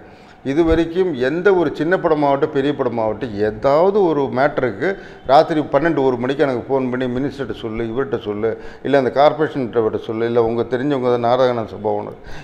சொல்லுன்னு சொல்லி ஏதோ ஒரு ரெக்கமெண்டேஷனுக்கு யாராவது எனக்கு ஃபோன் பண்ணாமல் இருந்ததே இல்லை. ஆனால் முத்துங்கிற இவ்வளோ பெரிய படம் நான் படத்தை பார்த்து இவ்வளோ பெரிய படத்தை வந்து ஒரு நாள் கூட நீ இந்த எந்தவித ரெக்கமெண்டேஷனுக்கும் எனக்கு கேட்காம இந்த படத்தை முடிச்சு கொடுத்த. ஒரே காரணத்துக்கு உனக்கு ஒரு லட்ச ரூபா பணம் கொடுக்குறேன்னு சொல்லி எனக்கு கொடுத்தாரு ஒரு லட்ச ரூபா. இன்னைக்கு ஒரு லட்ச ரூபாங்கிறது நீ கிட்டத்தட்ட பத்து லட்ச ரூபாக்கு அதுக்கு மேலேயே இருபது லட்ச ரூபாய்க்கு சமம் அன்றைக்கி அந்தளவு அந்த அளவு அன்னைக்கு ஒரு லட்ச ரூபா கொடுத்தாரு. அது தெரிஞ்சோ தெரியலையோ தெரியல. அடுத்த நாள் கரெக்டாக ரஜினி சாரும் கூப்பிட்டாரு. ரஜினி சாரும் கூப்பிட்டு அதே மாதிரி இந்த அருணாச்சல கெஸ்ட் ஹவுஸுக்கு வா ஈவினிங் ஒரு அஞ்சு மணிக்கு அப்படின்னாரு. சரின்னு சொல்லிட்டு ஈவினிங் அஞ்சு அப்போ எனக்கு பரம்பரை ஷூட்டிங் வாசன ஹவுஸ் நடந்துட்டு எங்களுக்கு அடுத்த படம் ஆரம்பிச்சிருச்சு அடுத்து. அது கேபி மினிச்சு பாலு ப்ரொடியூசர் அப்புறம் இப்போ வாசன் ஹவுஸ்லேருந்து அஞ்சு மணிக்கு டிவி ஷூட்டில் வந்து இவர்கிட்ட ரஜினி சாரை போய் பார்த்தேன். பார்த்தோன்னா அவரும் ஒரு கவர் கொடுத்தாரு. இப்போ என்ன சார் நான் நான் இப்போ இப்படிலாம் நடிகர்லாம் பணம்லாம் வாங்க மாட்டேன் சார் இது வரைக்கும் லைஃப்பில் வாங்கினதே இல்லை அதெல்லாம். அப்படின்னு. என்ன நடிகராக பார்க்குறீங்களா அப்படி இப்படின்ட்டாரு. நான் வந்து இதில் ஒரு பார்ட்னர் தானே இப்போ முத்து படத்தில் ஏதோ சிக்ஸ்டி ஃபார்ட்டி ஏதோ அவங்களுக்குள்ள ஏதோ டைம்ஸ் நான் பார்ட்னர் நானும் ஒரு ப்ரொடியூசர் தான். நீ ஒன்றும் அதை பற்றிலாம் கவலைப்படாது. வச்சுக்கொண்டு கம்பல் பண்ணி ஒரு கவர் கொடுத்தேன். அப்புறம் அந்த கவரை வந்து வெளில வந்து பிரித்து பார்த்தா அதுலேயும் ஒரு லட்ச ரூபா ரஜினி சாரும் கொடுத்துருந்தாரு. அது எது உண்மையாக ஒர்க் பண்ணோன்னா அதில் எந்தவித மாற்று கருத்தும் இருக்காதுங்கிற மாதிரி அந்த படம் பெரிய ஹிட் ஆயிடுச்சு நான் எனக்கு தெரிஞ்ச கத்துக்குட்டிகள் ரெண்டு மூணு அசிஸ்டண்ட்டை வச்சு தான் அந்த படமே ஒர்க் பண்ணேன். கூட்டம் நிறைய அந்த படத்தில். இப்போ இதில் மேல்கோட்டையில் எடுக்கும்போது இப்போ முத்து படத்தில் வந்து டெய்லி ஐநூறு பேர் அறநூறு பேர்னு கூட்டம் இருக்கும். அப்போ இந்த ஐநூறு பேர் அறநூறு பேர் கரெக்டாக கூட்டின்னு வந்திருக்காங்களா இல்லையாங்கிறது எனக்கு ஒரு பெரிய டவுட்டு ஏன்னா ஒரு ஆளுக்கு வந்து அன்றைக்கி வந்து நம்ம எண்பது ரூபா ப்ளஸ்ஸு சாப்பாடு இப்போ மத்தியான சாப்பாடு காலைல டிஃபன் கொடுப்போம். லாரியில் ஏற்றின்னு வருவோம். அப்போ இந்த லாரி காசு இந்த ஆளுங்கள்லாம் ஒரு அறநூறு பேர் இன்றைக்கி சொல்கிறோன்னா அறநூறு பேர் கரெக்டாக வந்திருக்கான்னு நம்ம எப்படி கண்டுபிடிக்கிறது? நான் என்ன பண்ணுவேன்? ஈவினிங் ஆச்சுன்னா ஒரு ஒரு ந- வாய்க்கா மாதிரி பெரிய இது இருக்கும் இல்லையா? வாய்க்கால இந்த பக்கம் அறநூறு பேர் நிப்பாட்டிடுவேன். நீ கூட்டு வந்த அறநூறு பேர் இந்த பக்கம் நிப்பாட்ட சொல்லிட்டு அசிஸ்டன்ட் டைரக்டரை எனக்கு ஹெல்ப்புக்கு வச்சுக்கிட்டு ஒவ்வொருத்தரையாக திறந்து விடுனுவேன் ஏன்னா இந்த வாக்கியை தாண்டி இவன் வர்றதுக்குள்ளே நான் எண்ணி முடிச்சிடுவேன். ஏன்னா நம்ம அறநூறு பேர் பேசி நமக்கு ஞாபகம் இருக்காது? அதனால் ஒவ்வொருத்தரையும் இந்த பக்கம் விட்டு விட்டு எண்ணி அனுப்புவேன். இப்படி எண்ணி அனுப்புறதுல எப்படி பார்த்தாலும் குறைஞ்ச நூறுலேருந்து நூற்றி நாற்பது பேர் அவன் நம்மளை ஏமாற்றிருப்பான் அப்போ இன்டு எண்பது ரூபா இல்லை நூற்றி இருபது ரூபா ஒரு ஆளுக்கு நூற்றி முப்பது ரூபா வருதுன்னு வச்சுங்களேன் சாப்பாடு இந்த லாரி எல்லாம் சேர்த்தா. அப்போ அது வந்து ப்ரொடியூசருக்கு பெரிய லாபம். இது ரெயின் சாருக்கு தெரிஞ்சிருக்கும். இது மாதிரி நிறைய மேட்ரு அந்த ப்ரொடக்ஷன் சைடாகட்டும் எங்கே ஒரு சில்லறத்தனமாக எங்கே நடந்தாலும் ஈஸியாக கண்டுபிடிச்சிருவேன். நம்ம அடிமட்டத்துலேருந்து வந்ததுனால டக்குன்னு இப்போ எங்கே பிரச்சனை இருந்தாலும் ப்ரொடக்ஷனை பொறுத்தவரை அந்த க கையில் வச்சுருப்பேன் க்ளீனாக அது மாதிரி இந்த இப்போ காலைல எழுந்திரிச்சா என்ன ஒரு நாளைக்கு திடீர்னு எல்லா ஜூனியர் அடிச்சும் கூப்பிட்டு கையில் சீல் குத்தி விடுவேன். சாயங்காலத்துக்கு அந்த சீல் அழியாமையே வச்சுட்டு இருப்பாங்க. அது இந்த லோக்கல் மைசூர் ஜூனியர் ஆர்டிஸ்ட் தானே. அவங்களுக்கு ஏதோ ஒரு பெரிய சாயங்காலம் காட்டினா தான் அந்த எண்பது ரூபா கொடுப்பாங்க. அப்படி ஒரு நாளைக்கு சீல் குத்துவேன் ஒரு நாளைக்கு வந்து இங்கே குத்தி விடுவேன் ஒரு நாள் இப்படி மாற்றி மாற்றி குத்துவேன். இல்லாட்டி இவங்க சீல் எடுத்துகிட்டு வந்து இப்போ இவங்களே குத்திடுவான்ட்டு சீலையும் மாற்றிக்கினே இருப்பேன். இப்படிலாம் பண்ணலாம் ரஜினி சாருக்கு பயங்கர காமெடியாக இருக்கும். இதெல்லாம் பார்த்து எப்படி பிடிச்சிரு பணம் சேவ் பண்ணுறான் அப்படிங்கிறதுல. இது மாதிரி நிறைய ப்ரொடக்ஷனில் ஆகட்டு ஜூனியர் இப்போ லோக்கலில் ஷூட்டிங் நடந்தாலே ஏவிஎம்லேயே ஃப்ளோருக்கு வெளியில் உட்காந்துருப்பேன் அந்த ஃப்ளோருக்கு வெளியில் அந்த ஒரு ஆள் உட்காந்துருப்பான்ல முந்தியெல்லாம் உள்ளே யார் போகிறோன்னு கேட்க. அவனை தள்ளி விட்டு சேர் போட்டு நான் தான் உட்காந்துருப்பேன் ஜூனியர்ஸ் கரெக்டாக எட்டு ஐம்பத்தஞ்சுக்கு உள்ளே போகிறவனுக்கு தான் பேட்டை மிச்சம் உள்ளனா அப்படியே வீட்டுக்கு அனுப்பிடுவேன். இன்றைக்கி ஒரு நூறு பேர் ஒரு கல்யாண சீன் எடுக்கிறோம் ஏவிஎம்குள்ளே அப்படின்னா அப்படியே உட்கார வச்சு அங்கேயே வச்சு அனுப்பிடுவேன். அதனால் ஜூனியர் டிஸ்மோக்கு கொண்டு பயப்படுவாங்க. தேனப்ப மேனேஜர்னால் கரெக்டாக எட்டு எட்டரைக்கெல்லாம் டிஃபன் சாப்பிட்டு உள்ளே போயிடணுங்கிறதுல. அது மாதிரி நிறைய சில்லறை சில்லறை மேட்டர்களில் அப்படி ஈர்த்திருப்பாருன்னு நினைக்கிறேன். அதனால் அப்பப்போ கூப்பிட்டு நக்கல் பண்ணி கிண்டல் பண்ணின்னு இருப்பார்.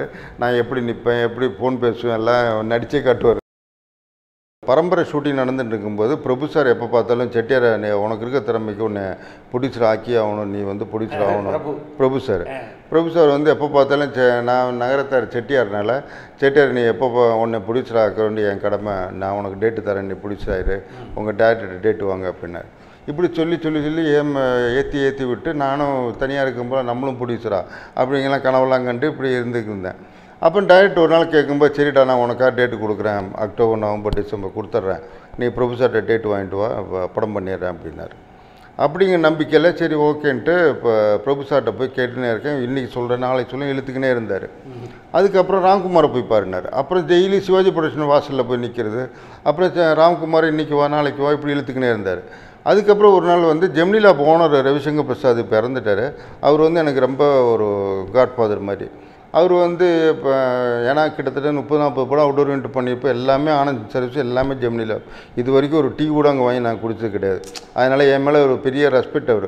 அவருக்கும் சரி தேனப்ப நான் ப்ரொடியூசர் நான் ஃபினான்ஸ் பண்ணுறேன் அப்படின்னு அவரே சொல்லிட்டார். ஆனால் நானே வரேன் ராம்குமார் கூட உனக்கு எல்லா ஃபினான்ஸும் நானே பார்த்துக்கிறேன் தானப்பா. உன்னை பிடிச்சா கொண்டு எனக்கும் ஒரு கடமை இருக்குது இவ்வளோ வருஷம் நீ சின்சியராக இருந்ததுக்கு அப்படின்னு சொல்லிட்டு அவரும் பாவம் ஒன்றுக்கு மூணு தவணை ராம்குமாரை வந்து பார்த்தாரு. இல்லை தேனப்புறம் பண்ணணும். ஆனால் பேக்ரவுண்ட் எப்படி இருக்குன்னு தெரியல. அதான் நான் கேரண்டி இருக்கேன்னு சொல்கிறேன்னு அப்படியே நீங்கள் பயப்படுறீங்க. என் பேனர் ஜெமினி பிக்சர்ஸ் சொன்னாலும் போட்டுங்க.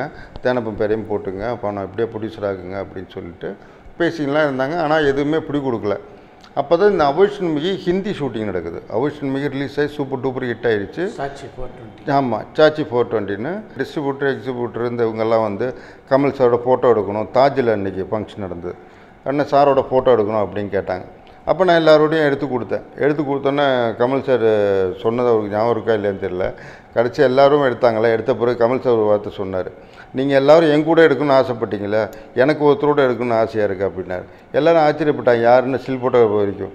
அப்போ உடனே எனக்கு தேனப்பணம் எடுக்கணும்னு சொல்லிட்டு என்னை கூப்பிட்டு வச்சு என்னை கட்டி பிடிச்சி ஒரு ஃபோட்டோ எடுத்து அதான் எங்கள் ஆஃபீஸில் இன்றைக்கி மாட்டியிருப்பேன். அது மாதிரி சாரையம் மேலே அந்தளவு ஒரு கான்ஃபிடண்ட்டாக இருந்துட்டு அப்போ வந்து சொன்னார் அப்போ சாச்சி ஃபோர் டுவெண்ட்டி ஷூட்டிங் நடந்துட்டு இருக்கு அப்போ அன்றைக்கி கெஸ்ட்டாக பரேஷ் ராவல் ஜானி வாக்கர் தபு ஐஷா ஜுல்கா எல்லாருமே அன்றைக்கி அந்த தாஜ் ஹோட்டலில் தங்கியிருக்காங்க. அங்கே தான் இந்த சில்லு ஜூப்ளி பார்ட்டி நடக்குது. அதனால் இப்போ கமல் சார் அன்றைக்கி ராத்திரி ஒரு எட்டாவது நாள் ஷூட்டிங் நடக்குது. அப்போ அதுக்கு டைரக்டர் அப்போ வேறு டைரக்டர் ஒரு அட்வர்டைஸ்மெண்ட் டைரக்டர் தான் அதில் முதல்ல ஃபிக்ஸ் பண்ணியிருந்தது.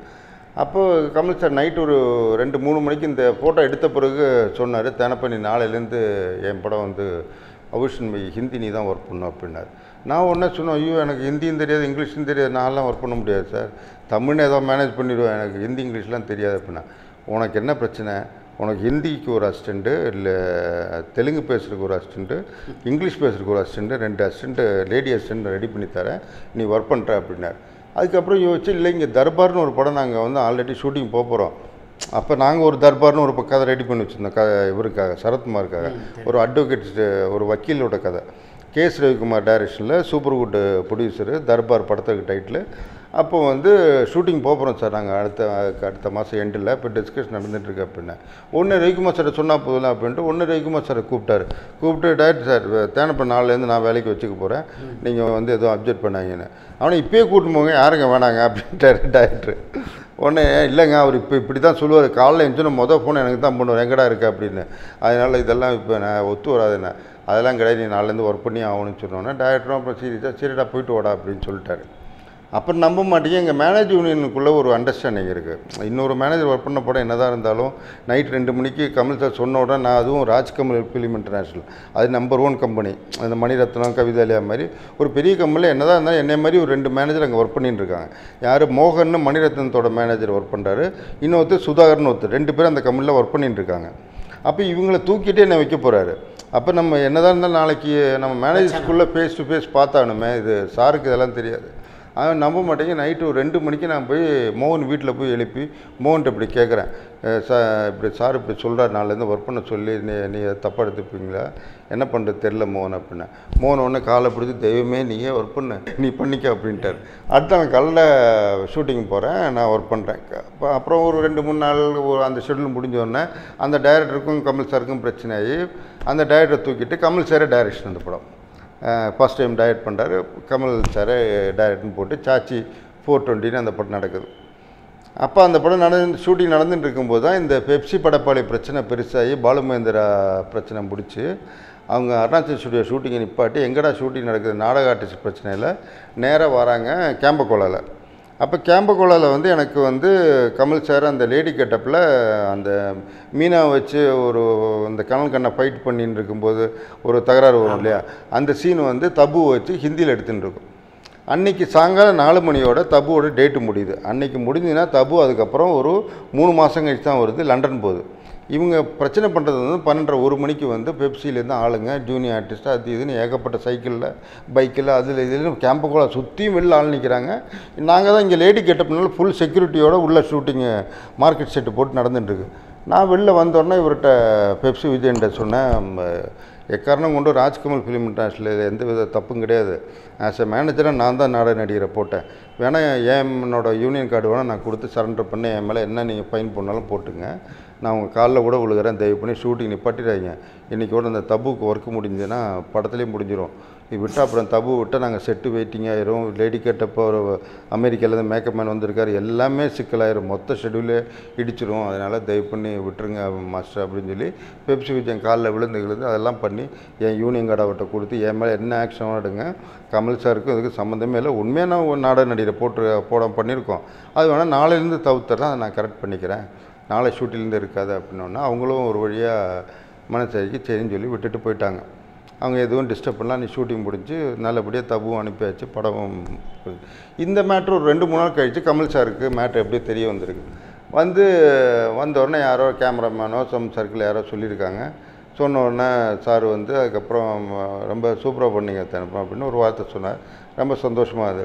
சரி அதுக்கப்புறம் மத்தியானம் ஒரு மூணு நாலு மணிக்கு சார் அப்போல்லாம் அந்த கேரவனுக்கு பதிலாக நாங்கள் வந்து ஒரு நாளுக்கு நாலு ரூம் ஒன்று ரெடி பண்ணி அதை வந்து எங்கே போனாலும் ஒரு ரெண்டு கார் பண்ணிட்டு ஒரு அசிஸ்டண்ட்டை வச்சு டக்குன்னு லாக் பண்ணி விட்டு பின்னாடி ஏசி அந்த இந்த ஏசி வச்சு விண்டோ ஏசி வச்சு போட்டு விட்டு அதுக்கு தனியாக ஜென்ரேட்டர் போட்டு கேரவன் மாதிரி யூஸ் பண்ணிக்கிருப்போம்.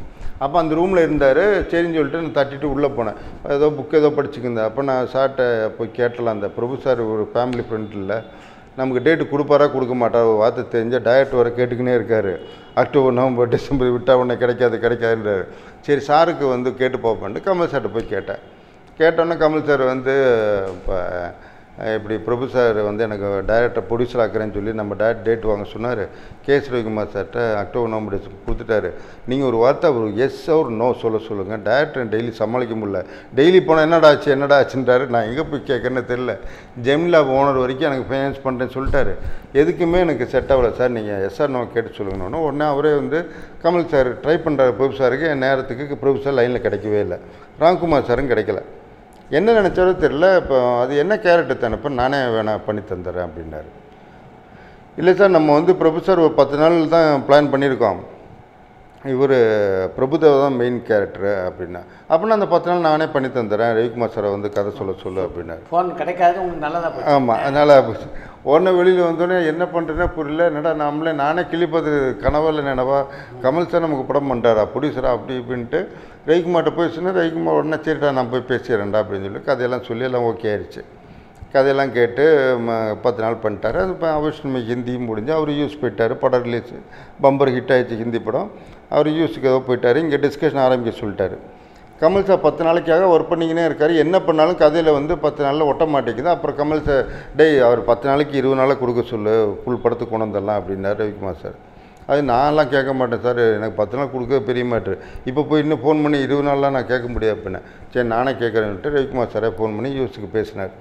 பேசினோடனே கமல் சார்ட்ட சொன்னார் என்னதான் இருந்தாலும் அபோஷன்மைக்கு அப்புறம் நம்ம ரெண்டு பேரும் சேர்ந்து பண்ணுற படம். அப்படி தான் ஜனங்களுக்கு தெரியும்.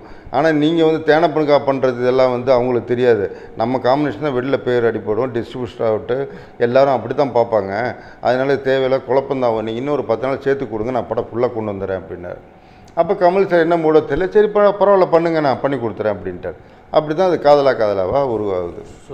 அதுக்கப்புறம் இந்த படையப்பா பெப் பெப்சி பிரச்சனையில் வந்து டயட்டர்ஸ் எல்லாரும் சேர்ந்து ரவிக்குமார் சாரை பண்ணப்படான்னு சொல்லி அதை ட்ராப் ஆகி அதுக்கப்புறம் நைட்டு நைட்டாக சிங்கித சீனியர் சாரை பண்ண போட்டு நாங்கள் பெப்சி சார்பாக நான் ஒருத்தன் மட்டும் ப்ரொடியூசரு நான் வந்து ப்ரொடியூஸ் பண்ணி அந்த படம் காலா காலாங்கிறத ப்ரொடியூஸ் பண்ணுறேன் கமல் சார் பிரபுதேவாங்கிறது வந்து ஒரு பெரிய மிக மிராக்கிள் காம்பினேஷன் அது. என்னதான் இருந்தாலும் டான்ஸில் வந்து கமல் சார் வந்து கொடி கட்டி பறக்கிறாருங்கிறது அந்த காலத்துலேருந்தே தெரியும். அந்த இன்னைக்கு நியூ இயருக்கு சாங்னா அது சகலகலா வல்லவன் சாங் தாங்கிற மாதிரி. அது மாதிரி அதே மாதிரி பிரபுதேவா அன்னைக்கு ஒரு இந்தியா மைக்கேல் ஜாக்சனுங்கிற லெவலில் அன்னைக்கு அந்த மின்சார கனவெல்லாம் சூப்பர் டூப்பர் ஹிட்டு பிரபுதேவா வந்து தமிழ் தெலுங்கு ஹிந்தி வரைக்கும் காதலும் எல்லாம் பயங்கர ரீச் ஆயிட்டாரு. அதனால் பிரபுதேவாவும் கமல் சாரும் ஒன்றா சேர்றங்கிறது ஒரு பெரிய ஒரு எக்ஸ்பெக்டேஷன் க்ரியேட் பண்ணுது. அப்போ பண்ணும்போது எனக்கு வந்து இப்போ நம்ப மாட்டேங்க அந்த படத்துக்கு கமல் சாரை வச்சு படம் எடுத்து இண்டஸ்ட்ரியில் ஒரு நூறுரூவா கூட நெகட்டிவ் ஃபைனான்ஸ் வாங்காத ஒரே படம் காதல கால தான் நைட்டு ஃபினான்ஸே வாங்கலை அந்த படத்துக்கு. எல்லா படமுமே ஏரியா விற்றுட்டேன் மதுரை வந்து த- ஒரு டிஸ்ட்ரிபியூட்டரு இப்போ கோயம்புத்தூர் வந்து திருப்பூர் சுப்ரமணியம் இப்படி எல்லாருமே போட்டு எல்லாருமே ஷெட்யூல் பேமெண்ட் போட்டு ஷெட்யூல் அஞ்சாந்தேதி அஞ்சாந்தேதி அஞ்சாந்தேதி க்ளீனாக எனக்கு பணம் அனுப்பிச்சாங்க. அந்த பணத்தை வச்சு க்ளீனாக படம் எடுத்துட்டேன். அதனால் எனக்கு எந்த வித பிரச்சனையும் இல்லை. என்ன ஒரே பிரச்சனை இப்போ பெப்சி படப்பாளி ஒரு பிரச்சனை போயின்னு இருக்கு இது வந்து நமக்கு தெரிஞ்ச டைரக்டர்ஸ் ரவிக்குமார்லேருந்து எல்லாம் அங்கே இருக்காங்க. இதான் ஒன்றும் இல்லாமல் இல்லாமல் பணத்துக்கு எனக்கு எந்த இதுவும் இல்லை. அதுவும் இல்லாமல் கமல் சார் என்ன சொன்னார் ஒரே வார்த்தை உனக்கு வந்து மொத படம் நீ பண்ணுறதுனால உனக்கு வந்து ஏதோ இப்போ ஃபினான்ஷியல் பிரச்சனைலாம் வரும். அதனால் ராஜ்கமல் ஃபிலிம் இன்டர்நேஷ்னல் வழங்கும். உன்னோட கம்பெனி பேர் என்னவோ நீ வச்சுக்கோ அப்படின்னு சொல்லி தான் ஆரம்பித்தேன் அப்போ எங்கள் அம்மா பேர் சரஸ்வதினால சரஸ்வதி ஃபிலிம்ஸ்னு சொல்லி ஆரம்பித்து காலா காலாங்கிற படம் ஆரம்பிச்சு. காதலா காதலா படத்துடைய தயாரிப்பின் போது பிரச்சனைகள் அப்படின்னு எதையாவது சந்திக்க வேண்டிய சூழ்நிலை தேனப்பனுக்கு ஏற்பட்டதா? எனக்கு இப்போ ஃபினான்ஷியலாக எந்த வித பிரச்சனையும் ஃபேஸ் பண்ணல. இப்போ என்ன நம்ம டைரக்டர் ரவிக்குமார் சார் பண்ணலைங்கிற ஒரு வருத்தம் இல்லாமல் வேறு எதுவும் நான் பெருசாக ஃபேஸ் பண்ணல. என்ன கொஞ்சம் பெப்சி பயங்கர சப்போர்ட் இருக்கறனால யாருமே ஒரு ஸ்டுடியோக்குள்ளே வந்து கலாட்டாவோ அதெல்லாம் எதுவுமே நடக்கலை. பர்ஃபெக்டாக ஷூட்டிங்கை பொறுத்தவரை நல்லா நடந்தது. ஏரியா பொறுத்தவரை டிஸ்ட்ரிபியூட்டர் எல்லாரும் வாங்கிட்டாங்க. நல்ல படமும் நல்லபடியாக ரிலீஸ் ஆயிடுச்சு. படம் ரிலீஸ் ஆன பிறகு பெரிய ப்ராஃபிட் கிடச்சிது. பெரிய ப்ராஃபிட் அடுத்த நாள் படம் ரிலீஸுக்கு அடுத்த நாள் காலையில் இப்போ எடுத்துக்கிட்டு அவர் வீட்டில் போய் மொத்த பணத்தையும் எடுத்துன்னு போய் கொண்டு போய் கொடுத்தேன் சார். சார் வீட்டில் மொத்தமாக கேஷ் இவ்வளோ இருக்குது இவ்வளோ பேங்க்கில் அக்கௌண்ட்டில் இருக்குது நீங்கள் எடுத்துங்க சார் அப்படின்னேன் இல்லை இல்லை எனக்கு கொடுக்கொண்ட சம்பளம் நீ கொடுத்துட்ட. இது அவர் வந்து கேரளாவும் கர்நாடகாவும் ஓவர்சீஸும் தான் சம்பளமும் வாங்கிக்கினாரு. அதை நான் எடுத்துக்கிட்டேன். அதனால் எனக்கு சந்தோஷம். நீ சம்பாதிச்சு உனக்குள்ளது தான் நீ அதை நீ சொந்தமாக வச்சுக்கிட்டு உன் ஃபேமிலியை பார்த்துக்கோ அப்படின்னு சொல்லி மொத்தத்தை எங்கிட்ட திருப்பி கொடுத்துட்டாரு. அவருக்கு வேண்டது மட்டும் அந்த ஏரியா தான் எடுத்துக்கினார் வேறு எந்த நூறுரூவா கூட கேஷாக வாங்கிக்கல அவர். அப்படியே அது பண்ணி அந்த படம் பெரிய லெவலில் எனக்கு ப்ராஃபிட் ஆகி பெரிய லெவலில் பேங்க் பேலன்ஸ் எல்லாம் வச்சுக்கிட்டு இருக்கேன். அப்போ தான் வந்து அடுத்த படம் எடுத்தால் மாட்டிப்போமோ அப்படிங்கிற பயத்திலேயே படம் எடுக்காமல் சும்மா சுற்றிக்கினே இருந்தேன். அப்போ தான் இந்த படையப்பாவுக்கு வந்து ரவிக்குமார் சார் பேசி சொல்லிவிட்டு ரவிக்குமார் சொல்லி இப்போ டைர இவர் ரஜினி சார் சொல்லி என்னை ஒர்க் பண்ண சொல்லி கூப்பிட்டாங்க. சரி இது நல்லா இருக்கே இது பிரச்சனையே இல்லை. பேங்க் பேலன்ஸ் அப்படியே இருக்கும். நம்ம பாட்டுக்கு சும்மா ஒரு மேனேஜர் மாதிரி ஒர்க் பண்ணுறது தானே? அப்படின்னு சொல்லி அப்போ ரஜினி சார் வந்து கோ ப்ரொடியூசராக நீ ஒர்க் பண்ண தரப்பணும் அப்படின்னா. சரின்னு சொல்லிட்டு அவர் ரஜினி சார் ப்ரொடியூசர் நான் கோ ப்ரொடியூசர் அப்படின்னு சொல்லி அந்த படம் ஒர்க் பண்ணுறேன் அப்படி படையப்பா ஒர்க் பண்ணி டெய்லி காலைல டிஸ்கஷன் போகிறது டெய்லி இப்போ டிஸ்கஷனுக்கு போயிட்டு உட்காந்துருப்போம் கதையை பற்றி பேசுகிறதுக்கு நான் ரவிக்குமார் சார் கோ டைரக்டரு நாங்கள் நாலு பேரும் போவோம். டெய்லி காலைல போயிட்டு சார் வீட்டில் உட்காந்து ரமேஷ் கண்ணா இல்லையா? ரமேஷ் கண்ணா தங்கவேலு. ரெண்டு பேரும் வந்தாங்க. ரெண்டு பேரும் வருவோம். நாங்கள் எல்லோரும் போயிட்டு டெய்லி காலைல இன்சார் வீட்டில் போய் டிஸ்கஸ் அவங்க வீட்லேயே காப்பி எல்லாம் அவங்க வீட்டில் போட்டு கொடுப்பேன் மத்தியானம் லஞ்சு சாரோட டைனிங் டேபிள் தான் உட்காந்து எல்லோரும் சாப்பிடுவோம். அங்கே எல்லாம் வெயிட் இருந்தாங்க அவங்க வீட்டில் வெயிட் இருந்து சாப்பாடெல்லாம் சாப்பிட்டு டெய்லி அப்படியே ஒரு ஆறு மாதம் டிஸ்கஷன் போச்சு. ஒரு நாள் வந்து அதாவது நெருக்கத்துக்கு வந்துச்சு இப்போ ரம்யா கிருஷ்ணா சௌந்தர்யா லமீனா. இப்படி நிறைய ஆர்டிஸ்ட்லாம் பேச ஆரம்பிக்கிற டைமில் வந்து ஒரு நாள் வந்து சீக்கிரமாக நான் போயிட்டேன். அப்போ கீழே அந்த அவர் ஆரம்பம் வந்து அஹ், தேனப்ப மட்டும்தான் வந்திருக்கேன் நான் டயட் வரல அப்படின்னா அவர் தேனப்ப சார் மேலே வர சொல்லுங்கள் அப்படின்னா சரின்னு சொல்லிட்டு மேலே போனேன்.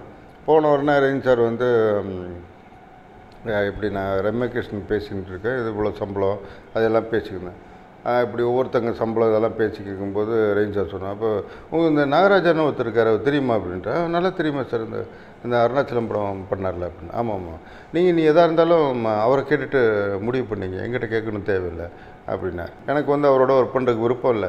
நீங்கள் வேணால் அவரை வச்சு படம் பண்ணீங்க. இப்போ ரவிக்குமார் சார் வருவார். சொல்லிவிட்டு நான் கிளம்புறேன். நான் இதே மாதிரி ஒரு அனுபவம் எனக்கு ஏற்கனவே நடந்தது. பிரிமின் நடராஜன் பிஸ்தான்னு ஒரு படம் எடுத்தார். ஆமாம் எடுத்துட்டு இதே மாதிரி தான் டிஸ்கஷனு கார்த்திக் எல்லாம் ஃபிக்ஸ் ஆச்சு நக்மாலாம் ஃபிக்ஸ் ஆச்சு. அதுக்கப்புறம் ஒரு நாள் லிஸ்ட்லாம் எடுத்துகிட்டு போகிறேன் இவ்வளோ டைரக்டர் கேமராமேனுக்கு இவ்வளோ சம்பளம் இது ஷெட்யூல் போட்டு இந்த டேட்டில் படத்தை முடிப்போம் மாதம் மாதம் இவ்வளோ கொடுக்கணும். இந்த மணிவண்ணன் இவங்க ஆர்டிஸ்ட் எல்லாருக்கும் போட்டு ஷெட்யூல் போட்டு கொண்டு கொடுத்தேன். கொடுத்தோன்னே பெருமன் நடராஜன் பார்த்துக்கிட்டு அப்படியே ஏத்தாப்புல ராமதர் உட்காந்தார் நான் இது லிஸ்ட்டை பார்த்துட்டு இப்போ நீங்கள் எதை பாருங்க எதுக்கு எடுத்தாலும் எங்கிட்ட கேட்கணும் தேவையில்லை. இப்போ நீங்கள் சொன்ன மாதிரி பெருமன் நடராஜன் கிட்ட ஏற்கனவே சொன்னார். ராம்துரை கேட்டு எதை வேணால் நீங்கள் கன்ஃபார்ம் பண்ணீங்க அப்படின்னு சொன்னார். அப்படியே நான் சொன்னேன் நீங்கள் அந்த ராம்துரை வச்சே படம் பண்ணீங்க. எனக்கு எந்த வித பிரச்சனையும் கிடையாது. எனக்கு வேலையே வேணாம். உங்கள்கிட்ட வாங்கின அட்வான்ஸ் நான் செலவு பண்ணிட்டேன். நான் எப்போ எனக்கு பணம் வருவா நீ திருப்பி கொடுத்துறேன்னு சொல்லிட்டு பெருமெண்டர்ன்ட்டு பிஸ்தா படம் வேலை வேணாம்னு சொல்லிட்டு போனாள் நேரம் ரவிக்குமார் சார் பக்கத்து ரூமில் இருந்தால் திறந்துட்டு சார் இந்த கம்பெனி நான் எனக்கு ஒத்து வராது. நீங்கள் ஒர்க் பண்ணீங்கன்னு சொல்லிட்டு வேலை வேணாம்னு சொல்லிட்டு போயிட்டேன். அப்புறம் ரவிக்குமார் சார் ரெண்டு வாரம் என்னை மாற்றி மாற்றி கூப்பிட்டு கூப்பிட்டு அப்புறம் பெருமெண்டர் கேரண்டி கொடுத்து யாரும் தலையிட மாட்டேன் நீ மட்டும் தான் ஒர்க் பண்ணணும் அப்படின்னு சொல்லி தான் நான் திருப்பி பிஸ்தா ஒர்க் பண்ணேன். அதே மாதிரி இப்போ ஓ நீங்களும் சொல்கிறீங்க எனக்கு அதை பற்றி எந்த பிரச்சனையும் இல்லை. ஏன்னா இப்போ அவருக்குன்னு தெரிஞ்ச ஒரு ஆளை வைப்பார். எனக்குன்னு ஒரு தெரிஞ்ச ஆளை வைப்பு இதெல்லாம் ப்ரொடக்ஷன் தான் காஸ்ட் ஜாஸ்தி ஆகும் இது எங்கள் ரெண்டு பேரும் ஈகோ வந்து பட ப்ரொடியூசருக்கு லாஸ் ஆகும். அதுக்கு நீ உங்கள் நீங்கள் அவரை தான் நம்புறீங்கன்னா அவரை வச்சு படம் பண்ணீங்க. எனக்கு தேவையில்லை அப்படின்னு சொல்லிட்டு நாங்கள் ஐயோ நீ என்ன உடனே கோச்சிங்க அப்படி இன்னும் பிடிச்சி உட்கார வச்சு அது வந்து படையப்பா ரிலீஸ் ஆகி அதுக்கப்புறம் ஆறு மாதம் வரைக்கும் அதை சொல்லி நக்கல் அடிச்சுட்டு இருப்பார். அதே கடைசி வரைக்கும் நான் தான் ஒர்க் பண்ணணும்னு வச்சுங்க நமக்கு அன்னைக்கே அந்த ஒரு கொஞ்சம் கொழுப்பு ஜாஸ்தின்னு வச்சுங்களேன் அது அதாவது எனக்கு மடியில் கணம் இல்லை. இப்போ என்னை பொறுத்த பெருமை நடன சார்ட்டு நான் என்ன சொன்னேன்? சார் நீங்கள் வந்து படத்துக்கு ப்ரொடியூசரும் இந்த ஃபேனுக்கே நீ நாங்கள் போன படத்துக்கு வந்து எழுபத்தஞ்சி ரூபா வாடகை கொடுத்தோம். நீ ஏன் நூறுரூவா கொடுக்குறேன் என்கிட்ட கேட்பீங்க. இது கேட்குறது உங்களுக்கு ரைட்ஸ் இருக்குது உங்கள் ஆஃபீஸ்க்கு வெளியே இருக்கிற ஸ்டாஃப் அந்த இப்போ உட்காந்துருக்க அம்மாவோ இல்லை ராமதுரையோ இருக்கிற யாராவது கேட்டாங்கன்னா அன்றைக்கி ராத்திரி வேலையை விட்டு போயிடுவேன். எனக்கு பல வேலை இருக்குது அந்த ஃபேனில் ஃபேனு வந்து எழுபத்தஞ்சு ரூபாக்கு நூறுரூவா கொடுக்கணும் அவனை வச்சு நாலு வேலை நான் பார்ப்பேன். அது எனக்கு தான் தெரியும். என்னோடய ப்ரொடக்ஷன் நாங்கள் இந்த டேட்டில் படத்தை முடிக்கணும். எங்களுக்கு என்ன தேவைப்படுங்கிற ஆளை வச்சு தான் நான் ஒர்க் பண்ணுவேன். எனக்கு இதில் வந்து உங்களுக்கு எனி டவுட்டு நான் இருபத்தஞ்சு ரூபா கமிஷன் அடிச்சிட்டேன். அப்படின்னு உங்களுக்கு ப்ரூவ் பண்ணால் செ செருப்பு கழட்டி அடிக்க நான் வாங்கிக்கிறேன். நான் வாங்கினதானே அதை பற்றி என்ன எனக்கு அதை பற்றி பயப்புன்னா வந்து பண்ணுறது இல்லை எனக்கு. எனக்கு அது பிடிக்காது. நான் படம் பண்ணால் நான் இப்படி தான் பண்ணுவேன். இல்லாட்டி நம்மள அது இப்போ ராமதுரை பெரிய மேனேஜராகட்டு நாகராஜா பெரிய ஆளாகட்டும் எனக்கு அதை பற்றி தேவையில்லை. நான் ஒர்க் பண்ணால் இப்படி தான் பண்ணுவேன். என்னோடய பாலிசி தான். இப்படி மேனேஜராக இருக்கும்போதே ஒரு ஒரு கொஞ்சம் கொழுப்பு ஜாஸ்தியாக தான் ஒர்க் பண்ணுவேன். அப்படி தான் படையப்பவும் பண்ணேன். பண்ணி எனக்கு வந்து நல்ல நேம் இருந்தது. படைய பர்டிஸுக்கு அப்புறம் ஒரு ரெண்டு மூணு நாள் கழித்து கூப்பிட்டாரு இருந்துச்சார் சார் கூப்பிட்டு அதுக்கு முன்னாடி ஒரு மேட்ரு நடந்தது. படம் ரிலீஸுக்கு ஒரு ரெண்டு மூணு வாரத்துக்கு முன்னாடி ரேஞ்சர் கூப்பிட்டா எங்கே இருக்கீங்கன்னாரு? இப்போ இந்த பாண்டிபுஜர் வழியாக வந்துட்டுருக்கேன் இப்போ வாங்க இப்போ நீ வரும்போது இந்த படத்தில் வேலை பார்த்தவங்க டெக்னீஷியனோட சம்பள லிஸ்ட்டு நடிகர் நடிகை லிஸ்ட்டெல்லாம் எடுத்துகிட்டு வாங்க. என்ன சம்பளம் கொடுத்துருக்கோம் அப்படிங்கிறத எடுத்துகிட்டு வாங்க அப்படின்னாரு. நான் சொன்னேன் எல்லாமே எனக்கு மைண்டில் இருக்குது சார் ஒன்றும் நான் எழுதியெல்லாம் வைக்கிறது இல்லை அப்படின்னா சரி வாங்க வாங்க நான் போனேன். போன உடனே ஒரு பேப்பரு பேடு பேடெல்லாம் எடுத்துக்கிட்டு மொட்டை மாடியில் ஒரு சேர்லாம் போட்டு வெயிட்டிங் எனக்காக ஒரு ரேஞ்ச் சார் அப்போ நான் போன உடனே சரி ஓகேன்ட்டு பேடு பேப்பர்லாம் கொடுத்து எழுதுறேன்.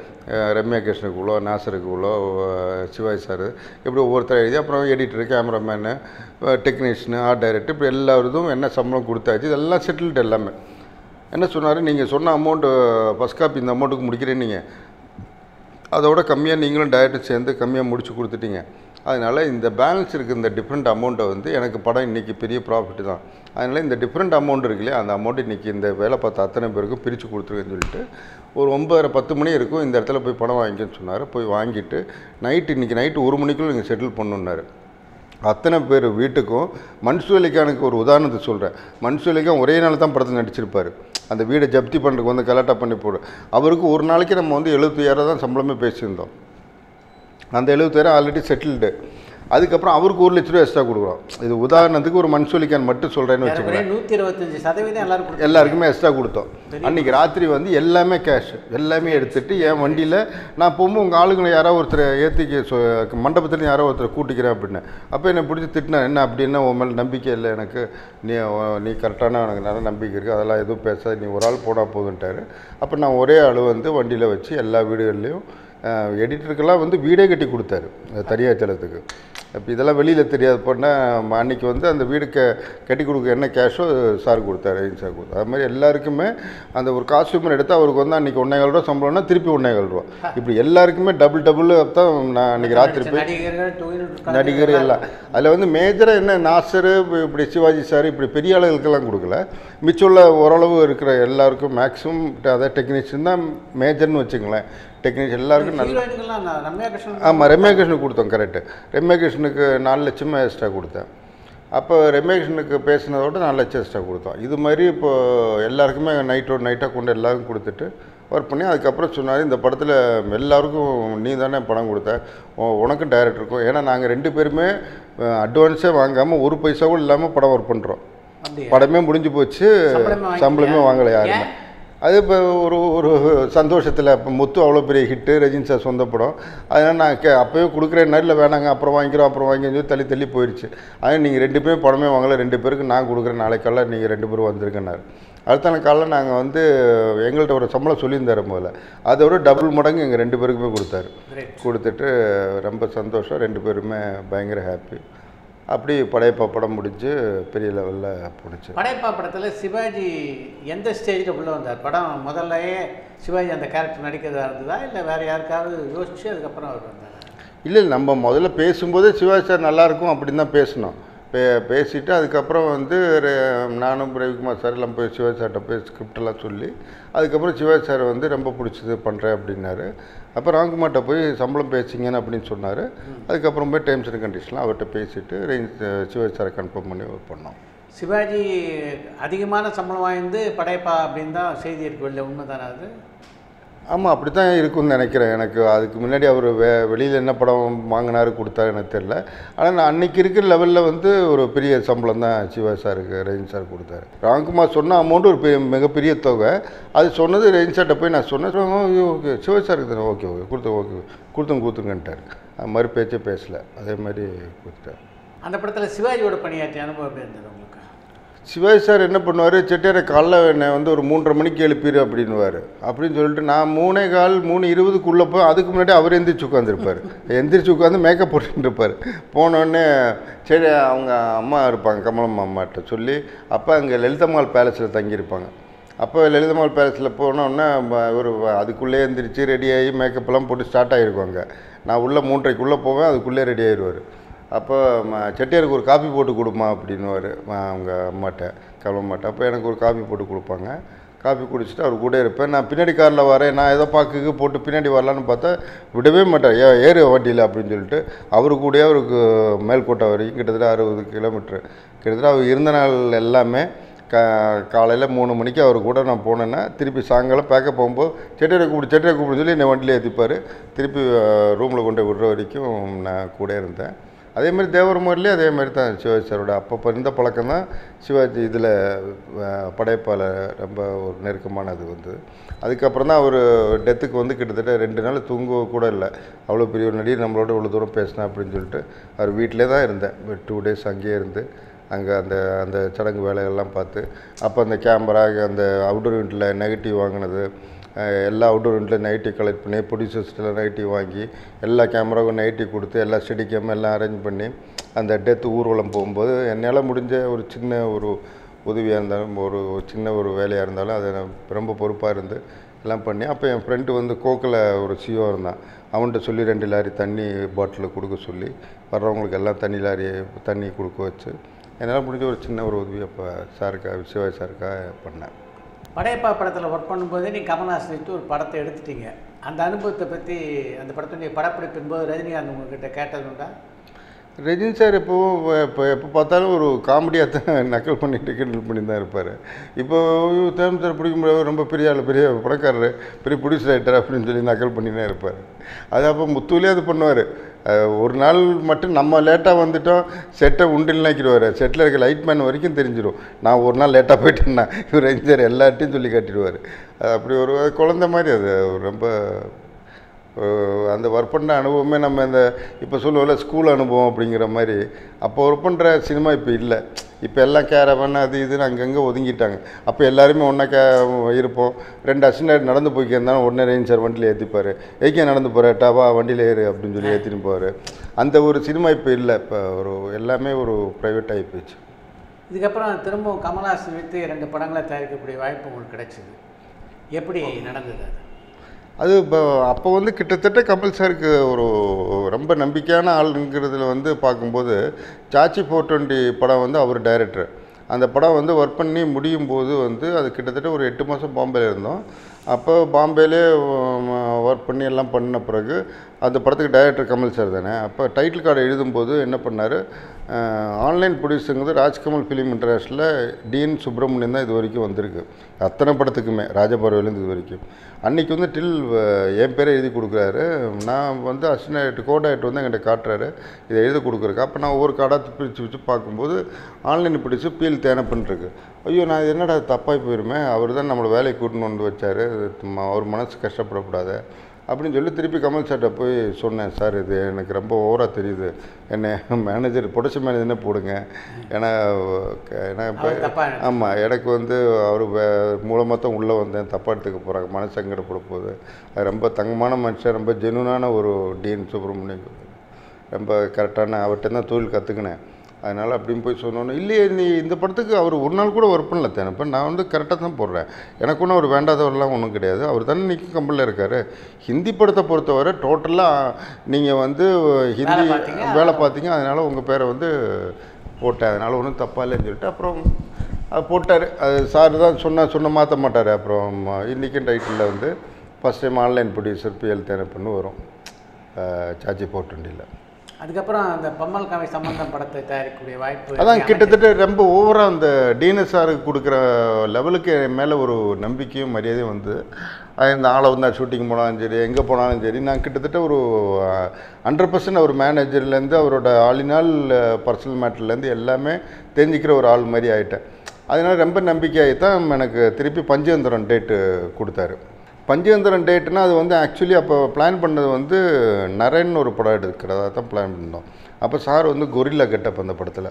அப்போ அந்த ஒரிஜினல் கொரில்லா பார்க்குறக்கு அங்கேருந்து யூஎஸ்லாம் போயிட்டு வந்தார். போயிட்டு அங்கேருந்து எங்கிட்ட ஃபோன் பண்ணார். கொரில்லா நல்லா பேசுது தானேப்பா அப்படின்னாரு அந்த ப- அப்போ கொரில்லா படம் வந்தது இல்லையா? அந்த கொரில்லாம் போய் பார்த்துட்டு அதுக்கப்புறம் வந்து அந்த பட்ஜெட்லாம் போட்டு பார்த்தா அப்போ ஆளவந்தான் ஷூட்டிங் நடந்துகிட்ருக்கு அப்போ கொரில்லா வந்து அங்கேருந்து இங்கே வந்து மேக்கப் போகிற அந்த அமெரிக்கன் மேக்கப் மேனோட செலவே ஒன்றே முக்கால் கோடி. திருப்பி அந்த ஒரு கொரில்லா கொரில்லா வந்து இந்தியாவை கூட்டின்னு வந்து நடிக்க வைக்கணும்னா அதுக்கு வந்து தாஜ்லேயோ த கன்னிமரையில் தங்க வைக்க முடியாத? அதுக்கு தனியாக ஒரு கேரவான் மாதிரி வீடு மாதிரி ரெடி பண்ணணும்.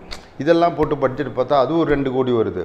அதுக்கப்புறம் அப்போ மே மேனகா காந்தி இவங்க வந்து இந்தியாவுக்கு அனிமலை கொண்டு வரப்படாதுன்னு அப்படின்னு சொல்லிட்டாங்க.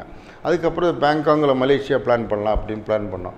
அப்போ அந்த படத்தில் வந்து ஒரு அமிதாப் பச்சனும் ஐஸ்வர்யா எல்லாம் போய் கதை சொல்லி எல்லாம் கன்ஃபார்ம் பண்ணி ஏஆர் ரஹ்மான் மியூசிக்கு போட்டு. என் ஆஃபீஸில் வந்து ஏஆர் ரஹ்மானும் ரவிக்குமார் சாரும் கமல் சாரும் வந்து பூஜைலாம் போட்டு குமுதத்தில் ரேப்பர் கூட வந்தது அந்த டைம் நரன் படம் பேர்லாம் போட்டு வந்தது. அதுக்கப்புறம் இந்த ஆளவன் தான் பெருசாக போகலைன்னொன்னே நான் வந்து சுதாரிச்சுட்டு ஒரு நாள் சார்கிட்ட வந்து இப்படி சொன்னேன். பட்ஜெட்டு நம்ம அளவந்தானோட இது அதோட நாலு மடங்கு ஜாஸ்தியாகுது. இது வந்து எங்கேயோ போய் இடிச்சுன்னா குழப்பமாயிருமே சார் அப்படி இப்படின்னோடனே அதான் கமல் சாருங்கிறது. வெளியில் வந்து பல ப்ரொடியூசர் வந்து கமல் சார் படம் எடுத்து ரோட்டுக்கு கொண்டு அப்படின்னா அவங்களுக்கு வந்து அது கரெக்டாக பண்ண தெரியலன்னு தான் நான் சொல்லுவேன். கரெக்டாக கதை கேட்க தெரியல அப்படின்னு தான் நான் சொல்லுவேன் இல்லாமல் டெஃபரெண்ட்டாக கமல் சாரை பொறுத்தவரை நீங்கள் ஓப்பனாக போய் இதான் நடக்கும் இதான் ப்ராக்டிக்கல் அப்படின்னு சொன்னால் டூ ஹண்ட்ரட் பர்சன்ட் ஏற்றுப்பார் உடனே சொன்னோடனே சொன்னோன்னே இம்மீடியட்டாக சொன்ன கதை தான் பஞ்சதந்திரம் என்கிட்ட சொல்லி அந்த பஞ்சதந்திரம் கதையை ஓகே பண்ணி ஏ ஆர் மாற்றிட்டு திருப்பி தேவாவை போட்டு என்ன ஃப்ளெக்சிபிள் பண்ணுமோ ஹீரோயின் கூட ஒரு நியூ ஃபேஸ் போடுன்னு தான் சொல்லுவார். ஒரு காலம் நீங்கள் நம்பர் ஒன் ஹீரோயினை போடுன்னு சொல்ல மாட்டார். செட்லேயே ஒரு ரெண்டு பேரும் எக்ஸ்ட்ரா இருந்தாங்கன்னா அது எதுக்கு வேஸ்ட்டாக இருக்காங்க அனுப்புன்னு தான் எவ்வளோ கம்மியான ஆளுகளை வச்சு எவ்வளோ கம்மியாக படம் எடுக்கணும் அப்படிங்கிறது தான் சொல்லுவார். இப்போ இந்த ஆளவந்தன் டைமில் கூட இவர் தானுஷ் நிறைய அவரை பற்றி சொல்லுவார்னும் போது நான் கூட நினைப்பேன். இப்போ ஆளவந்தான் படங்கிறது வந்து முதல்ல சொல்லும்போது அந்த கதையில் வந்து ஒரு சேரியில் எடுக்கிற மாதிரி கதையாக தான் இருந்தது. அதுக்கப்புறம் அந்த படம் வந்து கம் இவர் தானு சார் தான் வந்து நான் என்ன சாதாரண ப்ரொடியூசராக நான் வந்து இப்போ ஏஎம் ரத்தனத்தோட நாலு ஏஎம் ரத்னம் எனக்கு இந்தியன் மாதிரி நாலு இந்தியன் படம் வேணும் அப்படின்னு சொல்லி தான் அவர் தான் அந்த கதையை மாற்ற சொல்லி ஆளவந்தானை வந்து அப்போ டபுள் ஆக்ஷன் பண்ணுவோம். பொண்ணு ஆஸ்திரேலியாந்து கேமரா வரணும் இது வரணும் அது வரணும் அப்படின்னு சொல்லி படத்தை பெரிய லெவலில் மாற்றுறாங்க ஆளவந்தானுங்க கதை. ஏன்னா அவர் தானுஷை வந்து ரொம்ப பிரம்மாண்டமாக பண்ணணும் பெருசாக பண்ணணும் பெருசாக பண்ணணும் அப்படின்னு சொன்னனால தான் இது வந்து ஆளவந்தாங்கிற படம் வந்து ரொம்ப பெரிய லெவலுக்கு போகுது.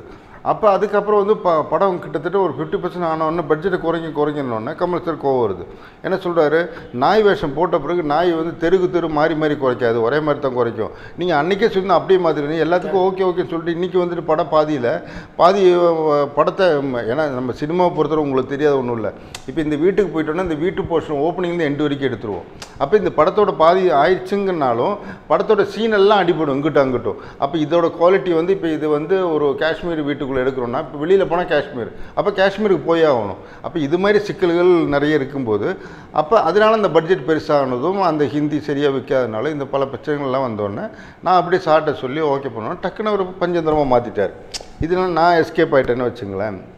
அதே இது சொன்னால் புரிஞ்சுப்பார் அவர் கமல் சாரை பொறுத்தவரை. கமல்ஹாசன்கிட்ட உள்ள தனித்தன்மை அப்படின்னா நீங்கள் எதை சொல்வீங்க மொத்தத்தில் சொன்னால் பெரிய ஹார்ட் ஒர்க்கர் அதில் எந்த வித மாற்றமும் இல்லை. இப்போ ஒரு தெனாலின்னு ஒரு படம் எடுத்தால் டுவெண்ட்டி ஃபோர் ஹவர்ஸ் அந்த இலங்கை தமிழ் படத்தில் கேரக்டர்னால அந்த இலங்கை தமிழ்காரனோட பேசின்னு இருப்பார். அவன் அந்த இலங்கையில் இருக்கிற அத்தனை வீடியோ கேசட்டும் அத்தனை ஆடியோ கேசட்டும் அத்தனை அந்த இலங்கை சம்மந்தப்பட்ட அந்த பேச்சு சம்மந்தப்பட்ட மேட்ரு ஏன்னா அந்த கேரக்டர் தானே அவர் பண்ணுறாரு அந்த அங்கே உள்ள லோக்கல் ட்ராமா இப்போ இங்கே லியோனி மாதிரி அங்கே இருக்கிற ஆள் இதெல்லாம் வாங்கி கலெக்ட் பண்ணி டுவெண்ட்டி ஃபோர் ஹவர்ஸ் அதை தான் பார்த்துட்டு இருப்பார். அதே மைண்டில் தான் இருப்பார். இப்போ அபோஷன் மீ பண்ணோன்னா எனக்கு தெரிஞ்ச மயிலாப்பூர்லேருந்து ஒரு ஏழு எட்டு மாமி டெய்லி கூட்டின்னு வந்துருவாரு ஆஃபீஸுக்கு காலைல பார்த்தா ஒரு ஏழு எட்டு பத்து மாமிங்க உட்காந்துருக்கும். இந்த மாமிங்க வந்து கேஷுவலாக பேசின்னு இருக்க சொல்லுவார். இவரும் கேஷுவலாக உட்காந்து பேசிட்டு இருப்பாங்க அப்போ கீழே உட்காறது பூஜை பண்ணுறது எப்படி இதெல்லாமே அவர் கூட இருந்து பார்த்துக்கிட்டு அந்த மாமி கூடயே இருந்து எந்திரிக்கிறது உட்கார்றது எல்லாத்தையும் வாட்ச் பண்ணி அந்த அவோஷன்மிங்கிறது அந்த ஒரு மாமி எப்படி இருப்பாங்கிறதுல அந்த எண்டு வரைக்குங்கிற எனக்கு தெரிஞ்சு ஒரு மூணு நாலு மாதம் ஒரு பத்து இருபது மாமி கூடயே இருந்தார் அப்படியே. அந்த கேரக்டருக்காக. அதே மாதிரி தெனாலியில் வந்து அதே மாதிரி தான். இப்போ ஒரு பஞ்சேந்திரம் எடுத்துக்கிட்டால் அந்த ஒரு ஒரு அஞ்சு பசங்க சேர்ந்து லூட்டி அடிக்கிற ஒரு பொ பொண்ணை தான். ஆனால் அது ஒரு ஆபாசமாக தெரியாது. ஆனால் அது ஒரு லைனாக சொல்லுமோ அப்படி தெரியும். ஆனால் படமாக பார்க்கும்போது உங்களுக்கு வந்து அந்த அந்த த்ரெட் என்னன்னு தெரியாது. அது கே. ஸ்ரீகுமார் சார் அழகாக அதை ஸ்க்ரீன் ப்ளே பண்ணியிருப்பார். அது மாதிரி இப்போ அந்த கேரக்டர் கேரக்டராகவே இருப்பார் அந்த கடைசி வரைக்கும் அதில். மேனேஜர் ஒரு பண்ண சரத்குமார் வச்சு நிறைய பண்ணேன். இப்போ நாட்டாம ஊர் மரியாதை இப்போ அப்படி நிறைய பேண்ட் மாஸ்டர் ஐ திங்க் நிறைய படம் பண்ணோம். சேரன் பாண்டியன். இப்போ ப்ரொடியூஸ் பண்ணதுங்கிறது ஒரே படம் திவான் ஒரு படம் பண்ணேன். இப்போ சரத்குமார் கிரனை வச்சு அந்த மாயி படத்தோட டைரக்டர் சூரிய பிரகாஷ் பண்ணார். சரத்குமாரை பொறுத்தவரை என்னை பொறுத்தவரை அன்னைக்கு வந்து நடந்த சுச்சுவேஷனில் அன்னைக்கு நான் போய் சம்பளம் பேசும்போது அதுக்கு முன்னாடி மேனேஜராக இருக்கும்போது தேனை பண்ணால் இப்போ உனக்காக என்ன வேணால் பண்ணுவோம் அது பண்ணுவோம் இது பண்ணுவோம்லாம் சொல்லிக்கிருந்தார். ஆனால் படங்கிறது வந்து அன்றைக்கி நான் கமிட் பண்ணும்போது அவருக்கு பெருசாக படங்கள்லாம் பெருசாக இல்லை. அந்த டைம் வந்து நான் போய் கமிட் பண்ணும்போது என்ன சொன்னார்? சூப்பர் குட்டில் இந்த சம்பளம் கொடுத்தாங்க. அதே கொடு அப்படின்னு சொன்னார். அதேமாதிரி நானும் கொடுத்தேன் கமிட் பண்ணேன்.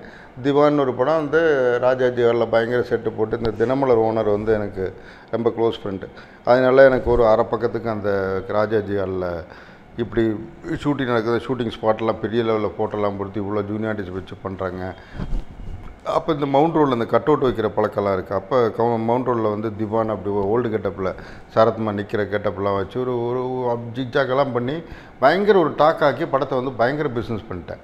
பண்ணி தமிழ்நாடு மொத்தமாக விற்று ஒரு பெரிய லெவலுக்கு வந்துட்டேன். அதுக்கு முன்னாடி வரைக்கும் சரத்குமாருக்கு லைனாக மூணாவது ரூபாய் அட்டர் ஃப்ளாப்பு யாருமே படம் எடுக்கல. அந்த டைம் தான் போய் புக் பண்ணுறேன் அவர் கேட்ட சம்பளம் கொடுக்குறேன். எல்லாம் பண்ணிட்டேன்.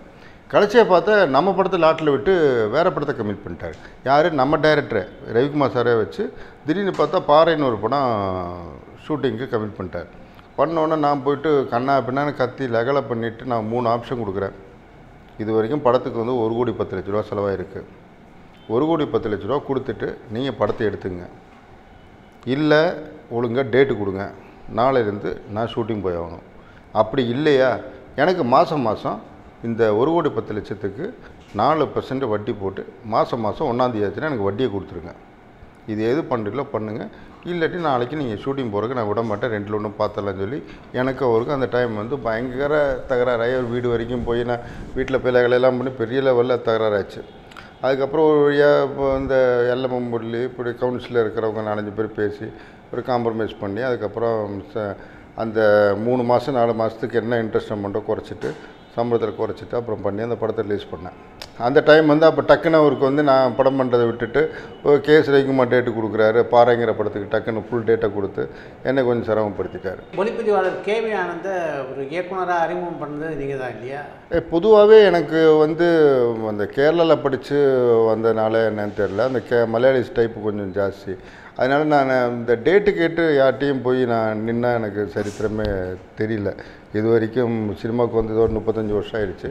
இது வரைக்கும் யார்கிட்டையும் போய் டேட்டு கேட்டு அவங்க வீட்டாண்ட போய் நிற்கிறதோ கேரவனில் நிற்கிறதோ இங்கே எல்லாம் இது வரைக்கும் பழக்கமே இல்லை. அதனால் எனக்கு தேடி வர்ற ப்ராஜெக்ட் தான் நான் பண்ணுவேன். இல்லாமல் யாருக்குமே நம்ம போய் கேட்கல. அதே மாதிரி கேவியானந்தை பொறுத்தவரை நான் கேள்விப்பட்டது வந்து ஏஎம் ரத்னம் வந்து ஒரு எட்டு மாதம் டிஸ்கஷன் உட்கார வச்சார்.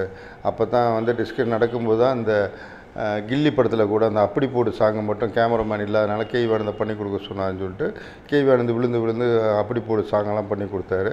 அந்த அளவுக்கு ஏன்னா அடுத்த படம் நம்மளுக்கு டேரக்டராக போகிறாருன்னு சொல்லி அந்த சாங்கெல்லாம் ஒர்க் பண்ணி கொடுத்தாரு கேவி ஆனந்த். அதுக்கப்புறம் வந்து ஜெமினி லேப் ஓனர் வந்து ஒரு ஒன்றரை வருஷம் ரூம் போட்டு கொடுத்து இதே கணாகண்டனுக்கு ரூம் போட்டு கொடுத்து கதை ரெடி பண்ணி அவங்களும் ப படம் பண்ணலன்னு சொல்லி கையை விட்டாங்க. இப்படி கேவி ஆனந்துக்கு வந்து நிறைய படம் கேமராமேனாக ரொம்ப பெரிய கேமராமேன் அவருக்கு வந்து ஏகப்பட்ட சான்ஸ் வந்துருக்கு எல்லாத்தையும் விட்டுட்டு இந்த படத்தை எப்படியா டைரக்ட் பண்ணி ஆகணும். இவர் பிருத்திவிராஜை வந்து தமிழில் இன்ட்ரடியூஸ் பண்ணோம் பிருத்திவிராஜை கதை சொல்லி பிருத்திவிராஜ் எனி டைம் என்ன மலையாள படம் இருந்தாலும் கேன்சல் பண்ணிட்டு தமிழில் நடிக்கிறேன் அதில் வில்லன் கேரக்டர் பண்ணியிருப்பார் பிருத்திவிராஜ் அதுக்கு ஸ்ரீகாந்த் கோபியோ நடிக்கிறாங்க அப்படின்ட்டு. சரி ஓகேன்ட்டு இது பண்ணலான்னு க ரெடியாக இருக்கார் ப்ரொடியூசர் கிடைக்கல. அப்போ இவர் யாரோ ஒருத்தர் மூலமாக என்கிட்ட வந்து இப்படி கேவி ஆனந்த கதை சொல்லணும்னு சொல்கிறாரு விருப்பம் இருந்தால் கேட்குறீங்களா அப்படின்னா. சரி ஓகே ரெசன்ஸு வர சொல்லுங்கள் அப்படின்னு சொல்லிட்டு ரெசிடென்சியில் உட்காந்து கதை கேட்டேன். கதை கேட்டது பிடிச்சி பிடிச்ச உடனே டேட்லாம் எப்போன்னு கேட்டேன்.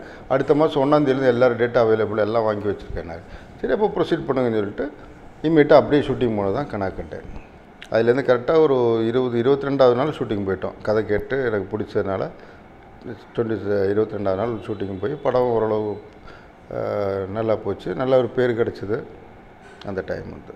நீங்கள் தயாரித்த படங்களில் வந்து உங்களுக்கு மன நிறைவைத்த அந்த படம்னா எந்தெந்த படங்களை சொல்லுவீங்க?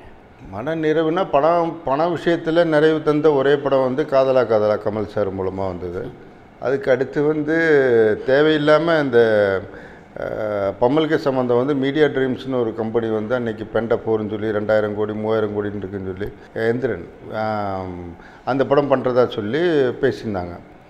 அதுக்கப்புறம் வந்து அந்த படம் பண்ணல சூழ்நிலையில் குழப்பமாகி தான் ஒரு சின்ன படமாக அவங்களுக்கு பண்ணி கொடுக்குறான்னு சொல்லி பம்மல்கே சம்மந்தம் பண்ணி அவங்களுக்குள்ளே பத்தாவது நாளே பிரச்சனை ஆகி படம் ட்ராப் பண்ணிடலாம். கமல் சார் என்ன சொன்னார்? அவங்க என்ன பணம் கொடுத்தாங்களோ செட்டில் பண்ணிட்டு படத்தை ட்ராப் பண்ணிடலான்னாரு.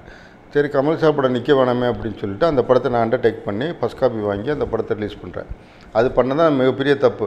அது பண்ணனால வந்து கிட அது ஆனால் அந்த படத்தை பொறுத்தவரை பம்மல்கி சம்மந்தத்தை பொறுத்தவரை பன்னெண்டரை பதிமூணு கோடி பிரிண்ட் பப்ளிசிட்டி பதினாலு கோடி ஒரு பதினாறு கோடிக்கோ பதினேழு கோடிக்கோ பிஸ்னஸ் பண்ணிட்டேன். ஆனால் தப்பிச்சிட்டேன். ஆனால் அதுக்கு அடுத்து வந்த பஞ்சேந்திரம் வந்து மாட்டிக்கிடுச்சு அது பெருசாக பிஸ்னஸ் பண்ண முடியாமல் போயிடுச்சு. எல்லாம் டூர் தமிழ்நாடு ஓன் லிஸ்ட் பண்ணி நிறைய லாஸ் ஆயிடுச்சு பஞ்சதந்திரம் நல்ல படம் தானே ஏன் அந்த அளவுக்கு வெற்றிகரமாக ஓடலை. அது அன்னைக்கு இருக்க ஜனங்க வந்து இந்த அளவு ஃபாஸ்ட்டு கிடையாது. இன்னைக்கு வந்து பஞ்சேந்திரம் யாரை பார்த்தாலும் ஒரு ஐஏஎஸ் ஆஃபீஸர் ஆகட்டும் இல்லை ஒரு பெரிய யாரும் இல்லை ஒரு சாதாரண மனுஷனாகட்டும் என்னைக்கு பார்த்தாலும் பஞ்சேந்திரம் இன்னைக்கு வந்து ரொம்ப சூப்பர் படம்ன்றாங்க. ஆனால் அன்னைக்கு அது அந்த அளவு பெருசாக போகல. வியாபார ரீதியா. வியாபார ரீதியாகவும் அதே இது காமெடி ரொம்ப ஸ்பீடாக வந்துக்கினே இருக்கும்.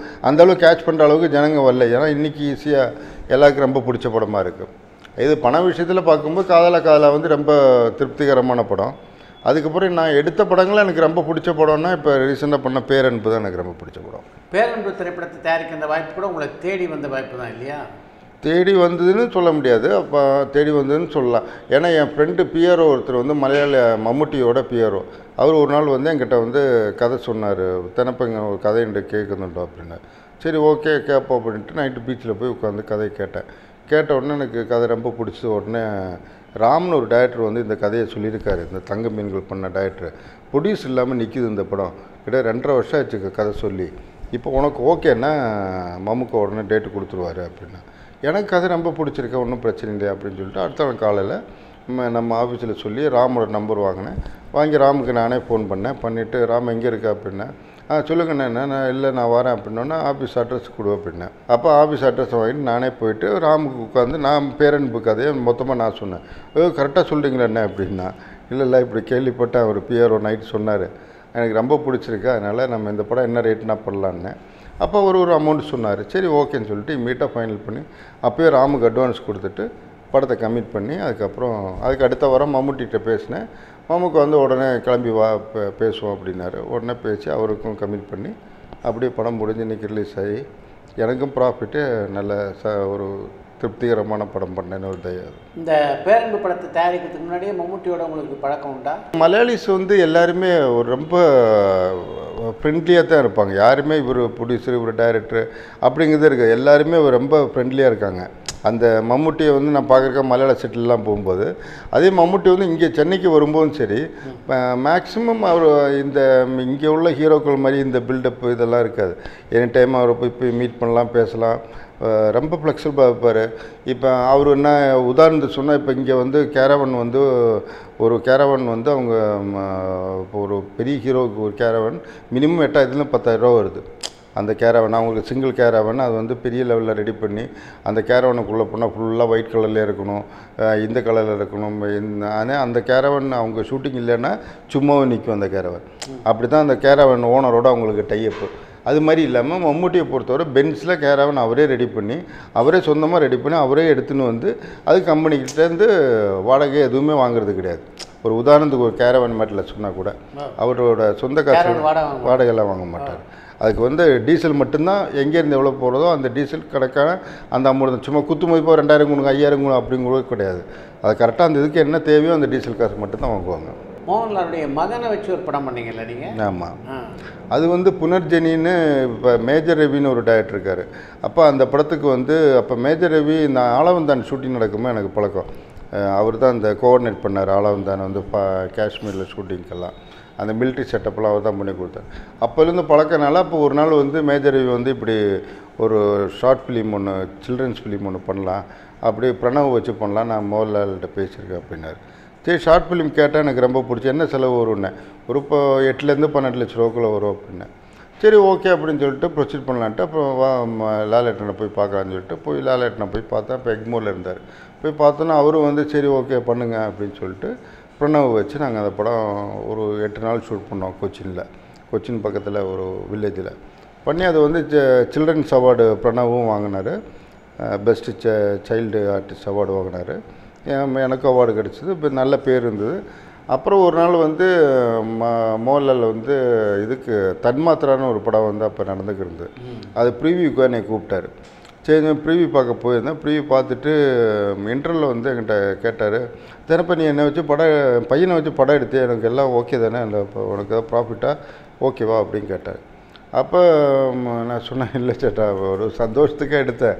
ஒரு சில்ட்ரன்ஸ் ஃபிலிம் எடுக்கணும் எடுத்தேன். ஒன்றும் பணம்லாம் வரல சேட்டா. ஏன் சேட்டலைட் வைக்கலையா? அப்படின்னாரு. ரெண்டு மூணு ஒன்று கேட்டேன் இந்த சூர்யா டிவி ஏஷியநெட்லாம் கேட்டேன். ஒன்றும் கரெக்டாக ரெஸ்பான்ஸ் பண்ணலன்னாரு. ஏன்னா அவர் ஏற்கனவே அவர் என்கிட்ட ஒரு ஒன்று சொன்னார் ஏஷியநெட்டில் போய் பேசு படத்தை வாங்கிப்பாங்க அப்படின்னு. உடனே என்ன நினச்சான்னு தெரியல. உடனே ஃபோன் எடுத்து பிடிச்சி ஏறு ஏறுன்னு ஏறிட்டார் அந்த சேனலில் ஏறின உடனே அடுத்த நாள் காலையில் ஏழு மணிக்கு என் வீட்டில் செக்கோட நிற்கிறார் அவர். நீங்கள் முதல்ல லாலேட்டனுக்கு ஃபோன் பண்ணி செக் வந்துருச்சுன்னு மட்டும் சொல்லுங்கள் இல்லை எக்ரிமெண்ட்டில் எக்ரிமெண்ட்டில் எதுவும் வேணாங்க நீங்கள் முதல்ல இப்போ பணம் வந்துருச்சுன்னு சொல்லுங்கள் அப்படின்னோடனே அது இது எவ்வளோ சின்சியராக பாருங்க. நம்ம பையனை வச்சு படம் எடுத்தவங்க கூட லாஸ் ஆகிடப்படாதுங்கிற அந்த ஒரு இது வந்து மோகன்லால் வந்து ரொம்ப பெரிய விஷயம். அது அடுத்த நாளே எனக்கு செக் கொண்டு வந்து கொடுத்து க்ளீனாக செட்டில் பண்ணி எனக்கு எந்த ஒரு லாஸும் கிடையாது. போட்ட காசும் வந்துருச்சு. நம்ம சந்தோஷத்துக்கு ஒரு படம் எடுத்தேன். அதே அவரும் முத படம் பண்ணார் சைல்ட்லேயே சில்ட்ரன்ஸ் அவார்டு வாங்கினார் பிரணவ் மோகன்லால். சிம்பு வச்சு படம் பண்ணணும் அப்படின்னு எங்கே தேனப்பனுக்கு எண்ணம் பிறந்தது?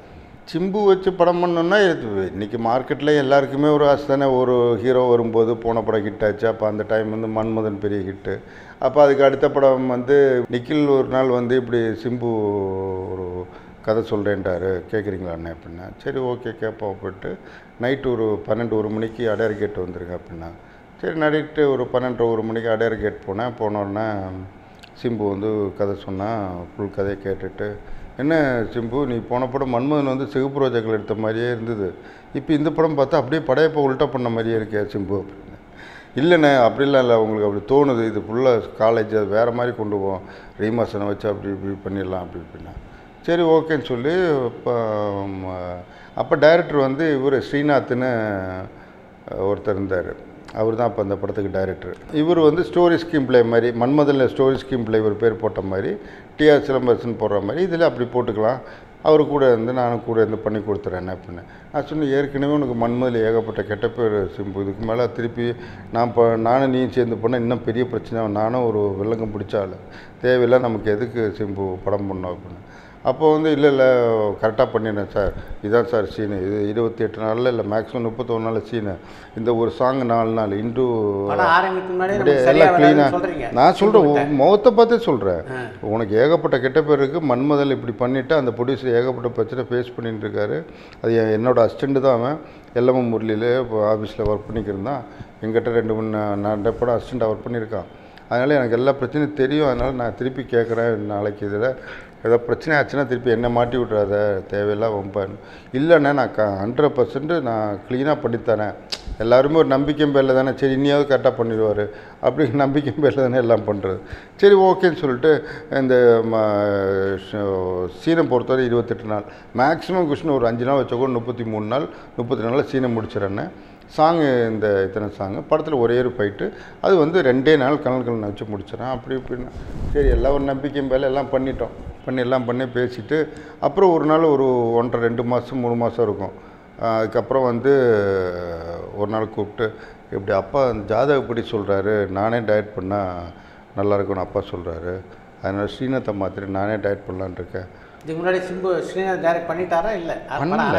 டிஸ்கஷன் தான் நடந்துட்டு இருக்கு அப்போ ஒரு நாள் கூப்பிட்டு டு- ரெண்டு மாதத்துக்கு அப்புறம் ஒரு நாள் கூப்பிட்டு இப்படி அப்பா வந்து ஜாதகம் என் ஜாதகப்படி எனக்கு நல்ல டைமாக இருக்குது அதனால் என்னைய வந்து டயட் பண்ண சொல்கிறாரு அதனால் நானே டயட் பண்ணுறேன் என்ன. நீயே டாக்டர்னா என்னையா வருது நீ போய் ஏற்கனவே நீ ஹீரோவோ நிறைய பிரச்சனைன்னு ஒன்று சொல்கிறாங்க இப்போ நீ டயட்டராக இருந்தேன்னா ஒரு ஷாட்டு கூட வைக்க முடியாது நீ இல்லாத நேரத்தில். மண்மதிலையாவது ஒரு ஏஜ முருகன் ஒருத்தர் இருந்தார். நீ இல்லாத நேரத்தில் வேறு ஏதாவது ஷாட் எடுத்துகிட்டு இருப்பார். இப்போ நீ டயட்டாக பிரச்சனை வருமே சிம்புன்னு. அண்ணே சத்தியமாக நான் வந்து உங்களுக்கு சொன்னபடி சொன்ன கா அன்றைக்கி என்ன டேட்டில் சொன்னனோ அதே டேட்டில் முடிச்சு காட்டுறேன். இது எனக்கு சேலஞ்சு நான் பண்ணி காட்டுவேன் எனக்கு லைஃப் இல்லை. முத முதல்ல என்னை டேரக்டரை நீங்கள் வர இன்ட்ரடியூஸ் பண்ணுறீங்க எனக்கு லைஃப் உள்ளது கன்ஃபார்மாக நான் வந்து கரெக்டாக பண்ணி காட்டுறேனே அப்படின்னா. சரி ஓகே ஒரு நம்பிக்கை மேலே நானும் ஓகேன்னு சொல்லி பூஜையெல்லாம் போட்டாச்சு. கிராண்டாக அந்த ஓப்பனிங் சாங் ஏகப்பட்ட க்ரௌடை வச்சு ஒரு சாங் வரும். இந்த பஸ் மேலே அது இதெல்லாம் வச்சு. அந்த சாங்கை காதல் சந்தியாவும் சிம்பு வச்சு நடக்கிற அது எடுக்கும்போது சொல்லிட்டது என் பட்ஜெட் எங்கேயோ எகிரி போகுது. குழப்பமாகுதுண்ணா. இல்லை இல்லைண்ணா. என்ன கரெக்டாக பண்ணிடுறேன் அப்படி இப்படின்னா. அப்படியே பண்ணி பண்ணி பார்த்தா கடைசியாக வந்து ஆனால் என்னென்னா படத்துக்கு வந்து இப்போ அந்த ஓப்பனிங் ஒரு போஸ்ட் ஓட்டணும் தெரியுமா? அந்த லிப்பு கடிச்சு நயன்தாரா கூட இருக்கிற அந்த ஒரு ஸ்டில்லை போட்டு படத்துக்கு பயங்கரமான எக்ஸ்பெக்டேஷன் ஆயிடுச்சு எல்லா ஏரியாவுமே ஓப்பனிங்கே வித்துருச்சு. எது பட பூஜை அன்னைக்கே இப்போ பூஜையிலேருந்து ஒரு மூணு வாரத்துக்குள்ளே எல்லா ஏரியாவுமே கமிட் ஆயிடுச்சு நயன்தாரா அந்த படத்தில் சிம்பு சாய்ஸா உங்கள் சாய்ஸா? நயன்தாரா ஆக்சுவலி வந்து இப்போ சிம்பு சொல்லலை. ஆக்சுவலி நயன்தாரா வந்து நான் வந்து பிரியசக்கின்னு இதுக்கு முன்னாடி கேஸ் அதிகமான வச்சு ஒரு படம் பண்ணேன். அந்த படத்தில் வந்து நயன்தாராவை தான் கன்ஃபார்ம் பண்ணியிருந்தோம். அப்போ வந்து நயன்தாராவுக்கு மூணாவது படமாக கமிட் பண்ணியிருந்தேன். அப்போ ஆறு லட்ச ரூபா சம்பளத்துக்கு நயன்தாரா கமிட் பண்ணி ரெண்டு ரூபா அட்வான்ஸ் கொடுத்து வச்சுருந்தேன். அப்போ அதனால வந்து அப்போ அந்த பிஎஸ்ஐக்கு டேட் ஒத்து இல்லையா சம் பிரச்சனை இருந்தனால பிஎஸ்ஐக்கு பண்ணலை. அப்போ அந்த ரெண்டு ரூபா மிச்சம் பண்ணுறக்கா நான் என்ன பண்ணேன் நயன்தாராவை ஹீரோயினாக போடு போடுன்னு சிம்புட்டு சொல்லிக்கினே இருந்தேன். சிம்பு வந்து இல்லை செட் ஆகாது என்ன செட் ஆகாது என்ன? அப்படின்னா அதுக்கப்புறம் ஒரு வழியாக ரெண்டு பேரும் செட் ஆகி திருப்பி அந்த ஸ்டில்லு வந்து பெரிய பப்ளிசிட்டி ஆகி அந்த லெஃப்ட் லிப்பு கிஸ் ஸ்டில்லு வந்து பயங்கர ஃபேமஸ் ஆயிடுச்சு ஆனவுடனே பயங்கர எக்ஸ்பெக்டேஷன் ஆகி படம் எல்லா ஏரியாவும் வித்துருச்சு. நயன்தரா இருக்குது பெரிய ப்ளஸ்ஸும் ஆகி போச்சு படத்துக்கு பெரிய இதுவும் ஆயிடுச்சு அதனால திருப்பி கண்டினியூ பண்ண ஆரம்பிச்சிட்டோம். அப்படி படம் வந்து எடுத்து நம்மளை பொறுத்தவரை அந்த படத்தை வந்து அவர் சொன்ன மாதிரி அந்த ஆறு மாதத்துக்குள்ளே அந்த முப்பத்தி மூணு நாளில் சீனு முப்ப அந்த சாங் சொன்ன டேட்லேயும் ஃபைட்டு சொன்ன டேட்லேயும் எடுத்திருந்தா டெஃபினட்டாக எனக்கு ஒரு மூணு கோடி ரூபா ப்ராஃபிட் படம். அந்த படம் வந்து ஆறு மாதத்துக்கு பதிலாக ரெண்டரை வருஷம் மூணு வருஷம் ஆனனால தான் நான் மூணு கோடி ரூபா கடனாளி ஆகிட்டேன் இதில் தான் நம்ம ஃபேஸ் பண்ண பிரச்சனைகள்லாம் ஃபேஸ் பண்ணேன். அந்த படத்தினுடைய முடிவில் சிம்போட ப பல பிரச்சனை உங்களுக்கு வந்தது இல்லையா அதில்? இப்போ ஆமாம் பிரச்சனைன்னு பார்த்தீங்கன்னா இப்போ படம் தீபாவளிக்கு ரிலீஸு அப்போ வரலாறு ரிலீஸு ரெண்டுமே நம்ம வந்து ரிலீஸ் டேட்டை கன்ஃபார்ம் பண்ணி வல்லவனுக்கு வந்து பயங்கரமான எக்ஸ்பெக்டேஷன் ரிலீஸுக்கு அப்போ வந்து டெபிசிட் எனக்கு இப்படி ரெண்டு சில்லற டெபிசிட் இருக்குது அப்போ நான் சிம்பிட்ட சொன்னேன் ஏன்னா ஒரு சம்பளத்துக்கு வந்து ப்ளஸ் சிட்டி ப்ளஸ் தெலுங்கில் ஃபிஃப்டி பர்சன்ட் அப்போ நான் வந்து சிட்டி வந்து அவங்க தேட்டர் போட்டிருந்தாங்க. சிட்டி இவங்க சிம்பு சினி ஆர்ட்ஸில் அப்போ நான் என்ன பண்ணேன் ம- சிம்புட்ட சொல்லியிருந்தேன் இந்த சிட்டியை மட்டும் எனக்கு திருப்பி கொடுத்தா நான் என் பிரச்சனையை சால்வ் பண்ணிடுவேன். எந்த பிரச்சனையும் வராது. இப்போ எனக்கு இவ்வளோ நாள் நீ எத்தனையோ நாள் ஷூட்டிங் வந்து ஷூட்டிங் ஸ்பாட்டுக்கு வந்துட்டு ஷூட்டிங் எடுக்காமல் கேன்சல் பண்ண இதெல்லாம் வந்து ஏகப்பட்ட லாஸ் ஆகிடுச்சு எனக்கு. அதனால் அதுக்கு பதிலாக வந்து நீ சிட்டி மட்டும் எனக்கு கொடுத்து அண்ணே இப்போ சத்தியமாக என் படம் டைரக்டர் நான் அந்த படத்துக்கு டைரக்டராக இன்ட்ரடியூஸ் பண்ணியிருக்கீங்க லைஃப் லாங் நான் உங்களை மறக்க மாட்டேன். சத்தியமாக நான் வந்து சிட்டியை உங்களுக்கு கொடுத்துறேன். அப்பா அம்மா நல்ல மூடில் இருக்கும் நான் சொல்லி ஒத்துக்க வச்சிடுறேன். உங்களை சிட்டி தரேன். அப்போ நான் சிட்டியை வச்சு பிரிட்ஜ் பண்ணி பணம் வாங்கிக்கிறேன் அப்படின்னு. நல்லா வாங்கிக்கிறேன் பார்த்துக்கலாம் அப்படின்ட்டேன். அப்படின்னு சொல்லி தான் நான் சிட்டியை பிரிட்ஜ் பண்ணி ஒரு இடத்துல பணம் வாங்கிட்டு ரிலீஸ் தரலாம் நான் அவருக்கு செட்டில் பண்ணி ஆகணும் இல்லையா? அது நான் சொல்லும்போது இவங்க வந்து ஒத்துக்கவே இல்லை. உடனே அவர் என்ன பண்ணிட்டாரு? கோர்ட்டில் போய் ஸ்டே வாங்கிட்டார் எக்ஸப்ட் சிட்டி என்டர் வேர்ல்டு ரிலீஸ்னு சொல்லி அந்த ஃபைனான்ஸு கேஸ் போட்டு ஸ்டே வாங்கிட்டார் உடனே இவங்க கவுன்சிலுக்கு போய் ராம்நாராயண்கிட்ட போய் கம்ப்ளைண்ட் பண்ணி ரிலீஸுக்கு ஒரு நாலஞ்சு நாள் முன்னாடி. இப்படி படத்தை வந்து ரிலீஸ் பண்ண விடுமா? நான் இப்போ டே நைட்டு சிம்பு வந்து டயட் பண்ணி படம் இந்த அளவு எக்ஸ்பெக்டேஷன் ஆகி மதுரை இவ்வளோ விற்றுருக்கான் கோயம்புத்தூர் இவ்வளோ விற்றுருக்கான் இவ்வளோ பெரிய ரேட்டுக்கு விற்றுருக்காரு இந்த படத்தில் இவ்வளோ ப்ராஃபிட் அவருக்கு அவர் வேணும்னு ஏமாத்துறாரு. அதனால் எங்கள் சம்பளத்தை வாங்கி கொடுங்கன்னு சொல்லி அவங்க கம்ப்ளைண்ட் கொடுத்துருக்காங்க. கொடுத்தோன்னே அவர் ராமநாதன் எனக்கு சொந்தக்காரர். ஒரு பதினோரு மணி இருக்கும். பதினோரு மணிக்கு இருக்கும்போது என்னை கூப்பிட்டு இப்படி இதில் பீச்சில் இருந்தால் அப்போ வந்து அர்ஜென்ட்டாக வார்த்தை என்ன பண்ணேன் என்ன சார் மணி பதினொன்றாச்சு இப்போ எது கூப்பிட்றீங்க அப்படின்னு. இல்லை நீ ஒரு அஞ்சு நிமிஷம் வாயா உன் படம் ரிலீஸ் பேசணும். எல்லோரும் வந்திருக்காங்க. எடிட்டர் மோகன் இவங்க அன்பலை ப்ரொப்பார் எல்லாம் வந்திருக்காங்க.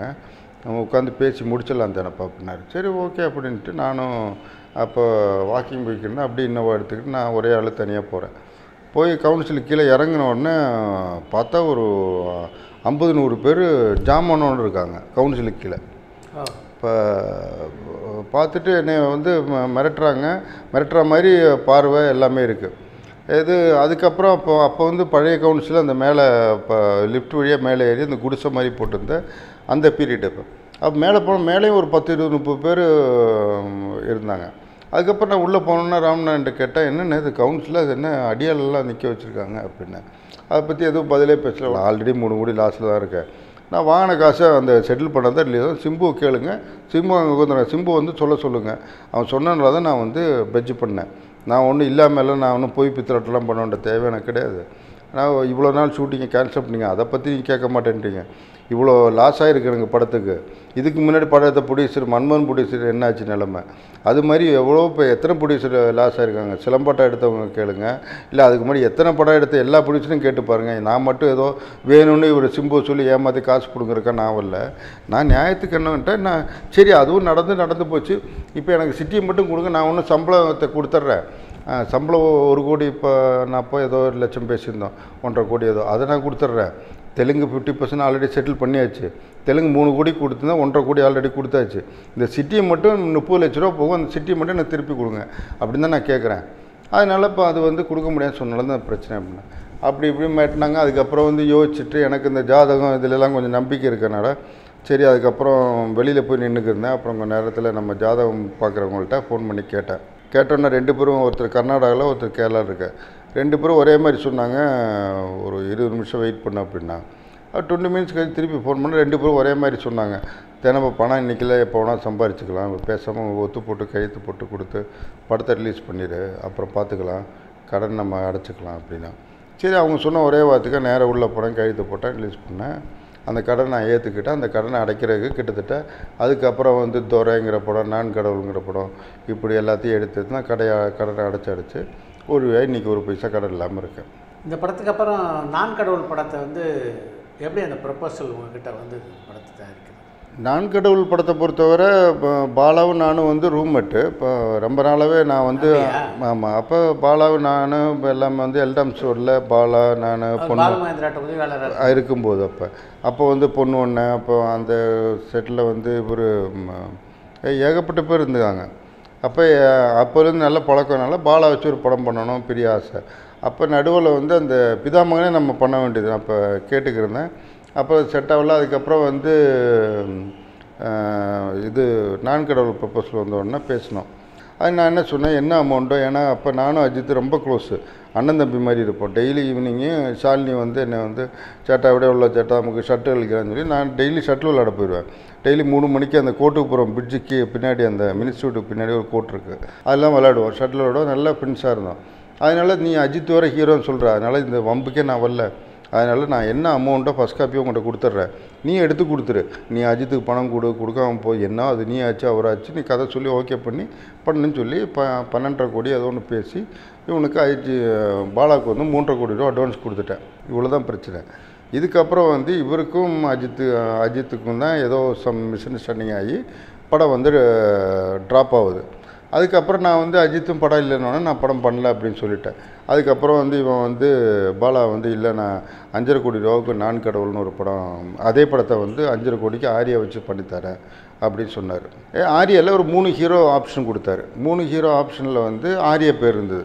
ஏன்னா இந்த ஆரியாவோட அப்பா வந்து எப்போவும் மலையாளத்தில் பேசிட்டு கே அங்கே பீச்சில் எனக்கு அந்த தினமும் உண்டு அந்த குரூப்போட நல்ல பழக்கம். என் பையனுக்கு ஏதாவது சான்ஸ் இருந்தால் கொடுங்க கொடுங்க அப்பப்போ கேட்டுக்கிறேன் அப்போ இந்த மூணு பேரில் வந்து இப்போ ஆரியா வந்து எனக்கு தெரிஞ்ச ஒரு மோமா இருந்தால் அவங்க அப்பா வர கேட்டுக்கினே இருந்தாலும் சரி ஆரியா வச்சே பண்ணிக்கலாம். அந்த அஞ்சரை கோடி ரூபாவுக்கு நீ ஆரியா வச்சு பண்ணி கொடு. அப்படி பன்னெண்டரை வந்து ஏழு ரூபா கம்மியாகி அப்படியே அஞ்சரைக்கு வந்துருச்சு அது நான் கடவுள் அப்படி பண்ணி ஆரியா வச்சு ஸ்டார்ட் பண்ணி நான் கடவுள் ஷூட்டிங்கு இதில் போகுது. எங்கள் காசியில். காசியில். ஷூட்டிங் அஹ், கிட்டத்தட்ட எங்கிட்ட சொன்னால் இருபத்தோரு நாளில் அந்த காசி போஷணம் முடிக்கிறேன்னு சொல்லி தான் பாலா அங்கேருந்து கிளம்புனது. இருபத்தோராவது நாள் கரெக்டாக ஆரியா எனக்கு ஃபோன் பண்ணி தானப்பா இன்றைக்கி தான் ஃபஸ்ட் ஷாட்டு சேட்டா? அப்படின்றான். இருபத்தோரு அதுக்கப்புறம் என்னடா இது? ஷாட்டே அன்றைக்கி தானே இவனுக்கு படம். அவனை வச்சு எடுக்கவே இல்லை. அவனை வச்சு எடுக்கல. ஆரியா வச்சு எடுக்கல. இருபத்தோராம் நாளோ இருபத்தி ரெண்டாவது நாளோ பா ஆரியா எனக்கு ஃபோன் பண்ணி சேட்டா இன்றைக்கே ஃபஸ்ட் ஷாட்டு அப்படின்னா. சரி ஓகே நீ திருப்பி மாட்டான்டா அப்படின்ட்டு பணம் புரட்டவே முடியல. ஆல்ரெடி வல்லவனில் ஏகப்பட்ட கடனில் இருக்கேன். அதுக்கப்புறம் பிரச்சனை மேலே பிரச்சனை. ஓ தெரிஞ்சவங்க வந்தவங்க போனவங்கள்ட்ட எல்லாம் ஒரு லட்சம் ரெண்டு லட்சம் டெய்லி வாங்கி வாங்கி சாயங்காலம் கரெக்டாக நாலு மணி பேங்க் டைம் முடியுதுக்கு முன்னாடி ஐசிசியில் போடுவேன். அங்கே பணத்தை எடுத்து பேட்டா செட்டில் பண்ணுவான். இப்படியே ஐம்பத்தி மூணு நாள் முடிச்சாச்சு. இது கவுன்சிலுக்கு ஒரு கம்ப்ளைண்ட் எடுத்துன்னு போனால் என்னோடய கம்ப்ளைண்ட் என்ன? அஞ்சரை கோடி ரூபாவுக்கு படத்தை முதல்ல பன்னெண்டு கோடிக்கு வந்து இருந்து அஜித் வெளில போய் மூன்றரை கோடி அட்வான்ஸ் கொடுத்து நான் லாக் ஆகி நிற்கிறேன் நான் அதுக்கப்போ அதுக்கு அப்போயோ ஒரு வருஷம் தாண்டி இந்த வட்டியெல்லாம் என் தலைக்கு மேலே ஏறி அதை எங்கேயோ போயிடுச்சு இதெல்லாம் மீறி நான் இந்த அமௌண்ட்டை கொடுத்து இவன் வந்து ஐம்பத்தஞ்சு நாள் ஷூட் ப இருபத்தோரு நாள் ஷூட்டிங்னு சொல்லி போன படத்தை ஐம்பத்தி அஞ்சு ஒரு நாள் முடித்து திருப்பி வரான். வந்துட்டு நான் என்ன சொல்கிறேன் எனக்கு? கம்ப்ளைண்ட்டுன்னு எனக்கு கொடுத்த அமௌண்ட்டுக்கு படத்தை முடிச்சு கொடுக்க சொல்லி கேரண்டி கொடுக்க சொல்லுங்கள் ஏன்னா இதுக்கு மேலே என்னால் பணம் வாங்க முடியல. நான் இவ்வளோ பணம் கொடுத்துரு எனக்கு இப்போ படத்தை முடிச்சு கொடுக்கணும் அவன். எங்கே கடனை வாங்கி முடிச்சு கொடுக்க சொல்லி திருப்பி திருப்பி பணத்தை கேட்டுருக்க நான் எங்கேருந்து கொடுக்குறது? இனி எனக்கு ஷெட்யூல் பேமெண்ட் ரிலீஸும் போது போஸ்ட் ப்ரொடக்ஷன்லாம் கொடுக்கணுன்னு நம்ம கூட ஒரு ப்ரொடியூசர் வந்து நான் ஏழு கோடிக்கு பண்ணிக்கிறேன் எட்டு கோடிக்கு பண்ணிக்கிறேன்னு ஒருத்தர் இறங்கி வர்றாரு. அப்போ நான் நம்மளை மாட்டி விடுக்கு நமக்கு கூட தான் ஆள் இருக்காங்க. வேணால் வேறு எங்கேயுமே கிடையாது. அப்படி ஒரு ஆள் இல்லாமல் இல்லை தேனபுரம் முடிச்சு கொடு ரெண்டில் ஒன்று பாலா இல்லாட்டி படமே பண்ணப்படாது இண்டஸ்ட்ரியில் அப்படின்னு சொல்லியிருந்தா இன்றைக்கி வந்து அது ஒரு நியாயமாக இருக்கும். ஏற்கனவே நம்ம சிம்பு வச்சு இதே கவுன்சிலில் போய் தான் ஏமாந்தேன் அது அதுக்கப்புறம் திருப்பியும் அதே கவுன்சிலில் வச்சு என்னை திருப்பி ஏமாத்துறாங்க. அப்போ இந்த அஞ்சரை கோடி ரூபா அக்ரிமெண்ட்டுக்கு என்ன வேல்யூ பாலாவும் நான் தான் கையெழுத்து போட்டிருக்கோம். அதுக்கு முடிச்சு கொடுந்தோன்னே கவுன்சிலில் சொல்லணும். பா நீ அங்கேயோ உன்னோட இது பண்ணணும். அதுக்கு இல்லாமல் நம்ம கூட இருக்க ஒரு ப்ரொடியூசரே வந்து நான் ஏழரை கோடிக்கு நான் பண்ணிக்கிறேங்க. அப்படின்னு இவன் பாலாவுக்கு என்ன நக்கல் ஜாஸ்தியாச்சு ஏ நீ என்ன போடா இருந்துச்சு அவர் தான் ஏழரை கோடிக்கு பண்ணுறேன்றாரு அப்படின்னோடனே சரி அப்போ என்ன யோசிச்சு பார்த்தேன். சரி நமக்கு தலைவலி ஒழிஞ்சுது. எனக்கு ஒரு ரூபா ஒன்றே ரூபா ப்ராஃபிட் கொடு நான் மேட்ரு நான் ஒதுங்கிறேன்னு சொல்லிட்டு ஒன்று ஒன்றே காலம் எனக்கு கொடுத்தாங்க. ஆனால் அது இன்றைக்கி தரமாட்டேன் ரிலீஸும் போது தருவேன் நான். நாளால எப்படி வேணால் கொடுங்க ஆள்ட விட்டால் போதுன்னு சொல்லிட்டு ஒன்றே காலம் ரிலீஸும் போது நான் ஐங்கரன் கர்நாடகாவில் வாங்கியிருக்கேன் இவர்கிட்ட வாங்கியிருக்கேன். இது செட்டில் பண்ணிடுங்கன்னு சொல்லிட்டு நான் பாட்டுக்கு ஒதுங்கிட்டேன். அதுக்கப்புறம் அது வந்து அந்த ஏழரைக்கு முடியல. கிடச்ச பன்னெண்டே முக்கால் ஆச்சு அந்த படம் முடியறதுக்கு. ரிலீஸ் ஆகி என்னாச்சு? அதுவும் திருப்பியும் பிரச்சனை தான். என்ன நடந்துங்கிறது பேப்பரில் அழகாக எக்ரிமெண்ட்டில் இருக்குது எக்ரிமெண்ட் காப்பி இப்போ கூட என் ஆஃபீஸ் வந்து எடுத்து காட்ட போகிறேன் இது பாலா கையெழுத்தானே இது என் கையெழுத்தானே அவ்வளோதான் கோட்டை பொறுத்தவரை கேட்பாங்க. இது கையெழுத்து யாருது? இதில் டேர்ம்ஸ் அண்ட் கண்டிஷன் இருக்கா? இந்த டேட்டில் நான் கடவுள் இந்த படம். ஆரிய ஹீரோ. ஹீரோயின் பூஜா? இந்த டேட்டில் முடிச்சு கொடுக்கணும். அது நீ காசியில் எடு இல்லை வண்ணாரப்பேட்டையில் எடு ராயபுரத்தில் எடு எங்களுக்கு தேவையில்லை. இந்த டேட்டில் முடிச்சு கொடுக்குங்க தானே எக்ரிமெண்ட் அதானே நம்ம பேசணும். அஜித்தோட உங்களுக்கு அந்த நெருக்கம் எங்கே எப்படி பிறந்தது? அஜித்தோட நெருக்கங்கிறது பார்த்தீங்கன்னா இப்போ தொடரும்னு ஒரு படம் வந்து ரமேஷ் கண்ணா டைரக்டராக இருந்தபோது அந்த படம் வந்து ஜெமினிலா ப்ரொடியூஸ் பண்ணார். ஜெமினிலா தான் நான் சொன்னேனே ஏற்கனவே ரவிசங்கர் பிரசாதை பொறுத்தவரை. என்னை வந்து சொந்தம் பையன் மாதிரி தான் நம்புவார். அவரோட இவ்வளோ பெரிய செக் புக்கில் மொத்தம் சைன் பண்ணி என்கிட்ட கொடுத்துருவார். எல்லாமே நான் தான் ஃபில்லப் பண்ணுவேன். நான் தான் அமௌண்ட் வரைக்கும் பேசுவேன். அந்த ஹீரோ ஆகட்டும் ஹீரோயின் ஆகட்டும் அதுக்கப்புறம் பெரிய குடும்பம் பண்ணோம். அதே கம்மலில் தொடரும் படம் பண்ணுறோம் அப்போ நான் ஈக்குவல் டு ப்ரொடியூசர் தான் ரவிசங்கர் பிரசாத் வரமாட்டார் ஸ்பாட்டுக்கு ஃபுல் செக் புக்கே எங்கிட்ட சைன் பண்ணி கொடுக்குற அளவுக்கு தான் இருந்தேன். நல்லா அந்த பொலிஸ் லெவல் இருந்தால அப்போ தொடரும் வந்து கிட்டத்தட்ட ஒரு இருபது முப்பது நாள் ஊட்டியில் நடந்தது. அப்புறம் இங்கே சென்னையில் நடந்தது. அப்போல்லாம் வந்து நல்ல ஒரு க்ளோஸாக பழகிக்கிருந்தோம் அப்புறம் இந்த விடிவி கணேஷும் கணேஷ் கூட இன்னொருத்தர் இருந்தான். அவங்க ரெண்டு பேரும் சேர்ந்து எனக்கு ரொம்ப ஃப்ரெண்டு அப்போ அவங்க ஒரு நாள் சொன்னாங்க ஷட்டில் விளையாடுறதுக்கு வா நம்ம இங்கே கூட்டுப்புறத்தில் விளையாடுறோம் அப்படின்னாரு. நானும் அஜித் இவங்கெல்லாம் தான் விளையாடுறோம். அப்போ நீ இவன் வந்து சேர்ந்து விளையாடு. நான் அப்போ டெய்லி வாக்கிங் தான் போயிருந்தேன் சரி ஷட்டில் விளையாட ரொம்ப சின்ன வயசுலேருந்து ரொம்ப ஆசை. சரி அப்போ நல்ல கோட்டு வேறு இருக்குது அப்படின்னு சொல்லி தான் அங்கே போய் பழக ஆரம்பித்து ரொம்ப க்ளோஸாக பழக ஆரம்பித்தோம் அது நான் ஒரு மலையாளம் வேறனால ஷாலினி மலையாளத்தில் பேசுவோம். அதனால் ரொம்ப சிஸ்டம் மாதிரி நல்லா பழகி அப்படியே அஜித் சாரோட நல்லா ரொம்ப க்ளோஸாக இருந்தோம். இது ரொம்ப பெரிய லெவலில் க்ளோஸாக இருந்தோம். அதுக்கப்புறம் எங்கே மிஸ் அண்டர்ஸ்டாண்டிங் ஆச்சுன்னு தெரில இப்போ கமல் சாரோட எவ்வளோ க்ளோஸாக இருந்து கமல் சார் நானும் இப்போ பேசுகிறதில்ல அது எந்த இடத்துல மிஸ் அண்டர்ஸ்டாண்டிங் ஆச்சு? நாலு பேர் ஒன்றுக்கு நாளாக கமல் சாரை போய் சொல்லி கொடுத்து அதை நம்பிட்டார் அவர். அப்படி தான் கமல்ஹாசனோட உங்களுக்கு நான் ரொம்ப? பேசல. ஆனால் என்னைக்கு என் எல்லா பர்த்டேக்கும் நான் போய் அவருக்கு ஒரு மாலை போட்டு வருவேன். அது மட்டும்தான் நான் பண்ணுறேன் ஆனால் இப்போ எங்கேயோ பார்த்தா சிரிப்பார் அதோட சரி. முந்தி மாதிரியெல்லாம் பேச்சுவார்த்தை எதுவும் இல்லை. அதில் சந்திச்சு இதை கிளாரிஃபை பண்ணிக்கூடாது? பண்ணலன்னா இப்போ அந்த பஞ்சந்தர் ரிலீஸ் அன்னைக்கு வந்து நான் அவருக்கு ஒரு அமௌண்ட்டு தொகை பேலன்ஸ் வச்சுட்டேன் சம்பளத்தில் கொடுக்கல. அது இன்றைக்கி வரைக்கும் பேலன்ஸ் நான் கொடுக்கல அது உண்மை தான் அது நான் வந்து அன்னைக்கு இருக்க சுச்சுவேஷன் வந்து உண்மையிலே என்னால் படமே ரிலீஸ் பண்ண முடியல. அந்த பேலன்ஸ் அமௌண்ட் வந்து கொடுத்த அவர் கொடுக்காம இருந்தால் தான் நான் படத்தை ரிலீஸ் பண்ண முடியும். அது ஒரு இன்னைய லெவலில் இப்போ அன்னைய லெவலில் பார்த்தீங்கன்னா இருபது லட்ச ரூபான்னு வச்சுங்களேன் இருபது லட்ச ரூபா நான் இன்றைக்கி வரைக்கும் கொடுக்கல பஞ்சாந்திரத்துக்கு அவர் நடித்த சம்பளத்தில். அந்த இருபது லட்ச ரூபா கொடுக்காம விட்டு அதுக்கப்புறம் படம் ரிலீஸுக்கு அப்புறம் பெருசாக போகலை. எனக்கு வந்து த்ரூட் தமிழ்நாடு ஓன் ரிலீஸ் பண்ணிட்டேன். டெய்லி காலை நம்ப மாட்டீங்க. அஞ்சு மணி ஆறு மணிக்கெலாம் தேட்டருக்காரன் வீட்டில் வந்து கண்ணா பின்னான்னு கெட்ட வார்த்தையில் பேசுகிறான் எனக்கெல்லாம் அதெல்லாம் பழக்கமே இல்லை. ஏன்னா ப்ரொடக்ஷன் மேனேஜராக அப்படி நெஞ்சு நிமித்தி நடந்து பழக்கமானால வீட்டுக்கு வந்து இப்படி கண்ணா பின்னான்னு கெட்ட வார்த்தைலாம் பேச ஆரம்பிச்சோன்னே காலா காலை சம்பாதிச்ச கிட்டத்தட்ட பதிமூணு வீடு சென்னையில் வச்சுருந்தேன். கிட்டத்தட்ட ஒரு ஏழு எட்டு வீடு அப்போயே விற்று எல்லாருக்கும் செட்டில் பண்ணிட்டேன். ஏன்னா நமக்கு இந்த காலைல வந்து வீட்டில் வந்த பாவம் அம்மாவுக்கும் ஒய்ஃபுக்கெல்லாம் சினிமா என்னென்னே தெரியாது. அவங்க முன்னாடி என்னத்துக்கு நீ பின்ன என்ன பெரிய பிடிங்க நீ அப்படி இப்படிலாம் கெட்ட வார்த்தைலாம் பேச ஆரம்பித்தோடனே சங்கடமாக எல்லாத்தையும் டப்பு டப்புன்னு அப்போ வாங்கின புதுசுலேயே ப இந்த மார்க்கெட்டு ரியல் எஸ்டேட் ஏறதுக்கு முன்னாடி டப்பு டப்புன்னு இருக்கிற வீடெல்லாம் விற்று செட்டில் பண்ணிட்டேன். என்ன நம்ம ஒன்றும் இல்லாமல் மெட்ராஸுக்கு ஆஃபீஸ் பையன் வந்தோம். இன்றைக்கி நல்லா தான் இருக்கோம் கடவுள் புண்ணியத்தில். அதனால எல்லாம் செட்டில் பண்ணலான்னு சொல்லி டப்பு டப்புன்னு செட்டில் பண்ணிட்டேன். அப்போ அதுக்கப்புறம் அந்த கமல் சார் கொடுக்கணும் அந்த இருபது ரூபா அப்படியே நின்று போச்சு. அது ஸ்டில் இன்னைக்கு வரைக்குமே நிற்கிது கொடுக்கல. அதனால் அப்படியே பேச்சுவார்த்தையும் இல்லாமல் அதுக்கப்புறம் அவர்கிட்ட வந்து நிறைய பேர் வந்து தேனப்பவங்கள்ட்ட போய் சொல்கிறான் அவன் பன்னெண்டு வீடு வச்சுருக்கான். அப்படி இருக்கான் இப்படி இருக்கான். அவங்கள ஏமாத்துறதுக்காக தான் பண்ணியிருக்கான். அப்படி இப்படின்னாங்க. சரி அது கடவுளுக்கு தெரியும்னு சொல்லி நானும் விட்டுட்டேன் அந்த அஜித்தோட உங்களுக்கு உள்ள பழக்கம் மாதிரி விஜயோட உங்களுக்கு பழக்கம் உண்டா? விஜயோட ரொம்ப நல்ல க்ளோஸாக இருந்தோம். ஆக்சுவலி விஜய் வச்சு படம் பண்ணுறதுக்காக ஒரு பெரிய தொகை அட்வான்ஸ் கொடுத்து சேரன் டைரக்ஷனில் பாரசீக ரோஜான ஒரு ஸ்கிரிப்ட் சொல்லி எல்லாம் ஓகே விஜயும் கதை கேட்டு ரொம்ப பிடிச்சி போய் பெரிய தொகை அட்வான்ஸும் கொடுத்துட்டேன். கொடுத்து விஜய் சாருக்கும் ரொம்ப பிடிச்சிது. ஃபுல் படம் துபாயில் ஷூட்டு ஏன்னா கிளைமேக்ஸுக்கு டெஃபினட்டாக இங்கே முஸ்லீமில் ஒரு பெரிய பிரச்சனை வரும். அது மாதிரி ஒரு கிளைமேக்ஸு சென்சாரில் பிரச்சனை வரும். தெரிஞ்சதே இறங்குறோம். ஆனாலும் பரவாயில்ல ஃபேஸ் பண்ணுவோம். ஆனால் அன்றைக்கி சேரனுக்கு வந்து ஒரு பெரிய ஒரு தனிப்பட்ட ஒரு மரியாதை. என்னதான் இருந்தாலும் சேரன் டைரக்ஷனாக ஒரு பெரிய ஒரு வேல்யூ இருந்தது. அந்த ஒரு நம்பிக்கையில் நம்ம ரெண்டில் ஒன்று பார்த்துடலாம் அப்படின்னால பண்ண எல்லாம் இறங்கிட்டோம். அதுக்கப்புறம் என்ன பண்ணிட்டேன் அந்த சேரை வந்து விஜய் வந்து என்ன பண்ணார் அப்போ இருக்கிற கமிட்மெண்ட்டுக்கு மாதம் வந்து பத்து நாள் பத்து நாள் தான் கொடுக்க முடியும். மூணு படம் கமிட்மெண்ட் இருக்குது அதனால் நீங்கள் பத்து நாள் அவங்க பத்து நாள் இவங்க பத்து நாள் எடுத்துங்க அப்படி இப்படின்னார் என்ன சொல்லலாம் சேரம் கேட்கவே இல்லை. எனக்கு இந்த நாற்பத்தஞ்சு நாள் ஒரே ஷெடியூல் டேட் கொடுத்து தான் படம் எடுப்பேன்னு சொல்லி அப்படியே அந்த படம் நின்று போச்சு. அது அப்படியே ட்ராப் ஆயிடுச்சு. அதுக்கப்புறம் விஜயும் ரொம்ப கம்பல் பண்ணி நான் கொடுத்த அட்வான்ஸை எங்கிட்ட திருப்பி கொடுத்துட்டேன். நான் வாங்க மாட்டேன் என்ன ஆனால் கேட்கவே இல்லை. கம்பல் பண்ணி எஸ்எஸ்சியும் திருப்பி எங்கிட்ட கொடுத்துட்டாங்க. நான் திருப்பி வாங்கிட்டேன் ப்ராடக்ட் ஒன்று சார் ரஜினிகாந்தோட உங்களுக்கு நல்ல நெருக்கமான நட்பு இருக்குது இருந்தாலும் ரஜினிகாந்த் வச்சே நீங்கள் படம் எடுக்கலை. இப்போ இருக்க சூழ்நிலையில் இப்போ ரஜின் ரஜினி சார் ஆகட்டும் கமல் சார் ஆகட்டும் இல்லை விஜய் ஆகட்டும் அஜித் ஆகட்டும் எல்லாரும் எல்லாரோடையும் ரொம்ப க்ளோஸாக இருக்காங்க. யாருமே அப்படியெல்லாம் போய் படம்லாம் எடுத்துட முடியாது. ரஜினி சாரை பொறுத்தவரை இல்லை இன்றைக்கி விஜயோ அஜித்தோ இல்லை இன்றைக்கி இருக்க சூப்பர் ஸ்டாரில் இருக்கிற எல்லாருமே அவங்க தான் டிசைட் பண்ணுவாங்க. டைரக்டர் ஆகட்டும் ப்ரொடியூசர் ஆகட்டும்.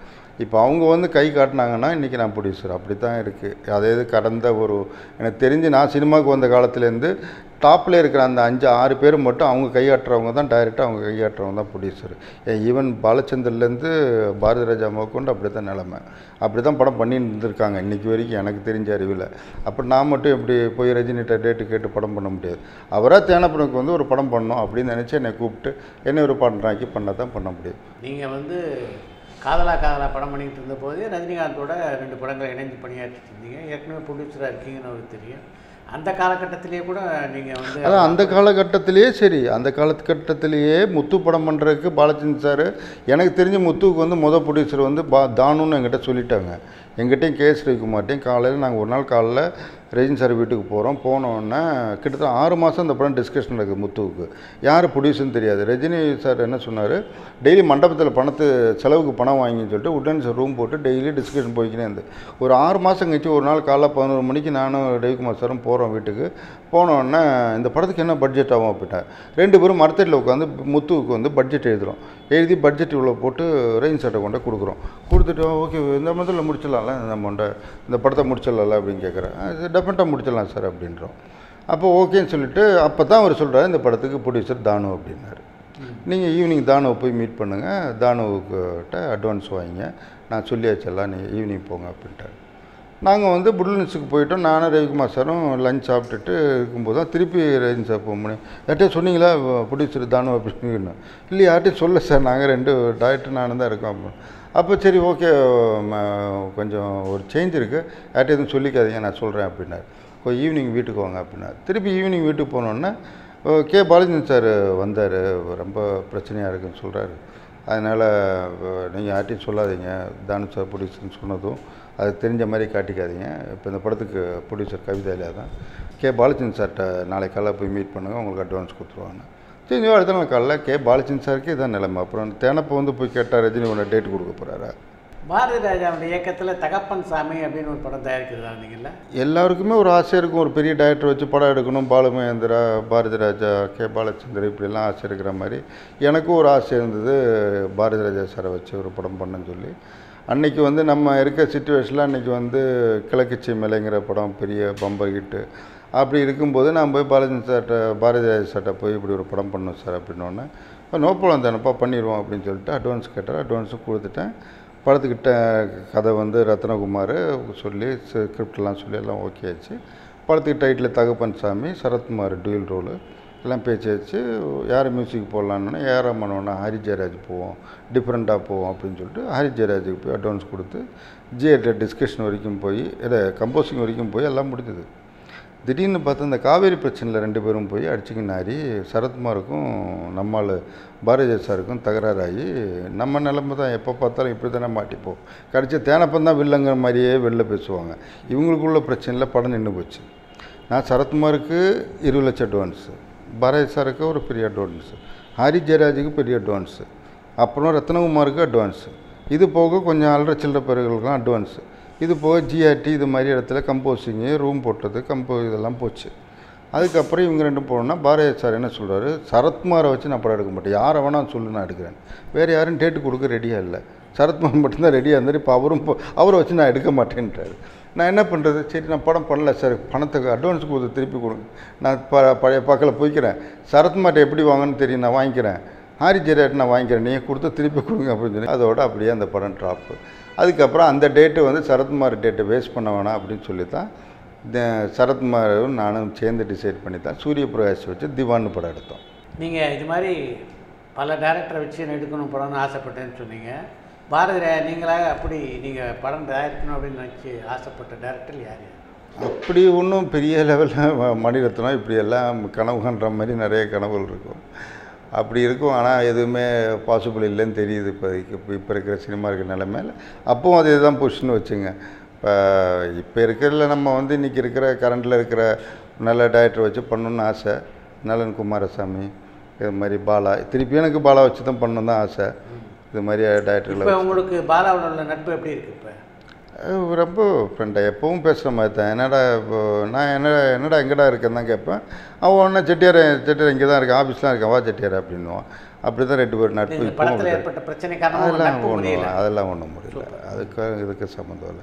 அதுக்கப்புறம் அவனோட கல்யாணத்துக்கு கூட நான் கிட்டத்தட்ட நான் தான் கிட்டத்தட்ட ஒரு வாலண்டியர் மாதிரி நானும் நடிகர் சூர்யாவும் விக்ரமும் வாலண்டியர் மாதிரி வேலை பார்த்தோம். ஏன்னா மதுரையில் கல்யாணத்தை வச்சுட்டா மொத்த க்ரௌடும் உள்ளே வெட்டி ஏறி நாங்கள் மூணு பேரும் மூணு பேரும் கையை இப்படி மூணு பக்கம் பிடிச்சி நின்று தான் நடுவில் அவன் தாலி கட்டுறதுலேருந்து எல்லாமே நாங்கள் எல்லாருமே வாலண்டியர் மாதிரி தான் நானும் சூர்யா விக்ரம் எல்லாருமே வேலை பார்த்தேன் அவன் பாலாக்கெல்லாம் இருந்தோம். அவன் பாலா ஒய்ஃப் என் வீட்டுக்கு வரும் என் ஒய்ஃப் அவங்க வீட்டுக்கு நல்ல ரிலேஷன்ஷிப்பில் தான் இருக்கும்.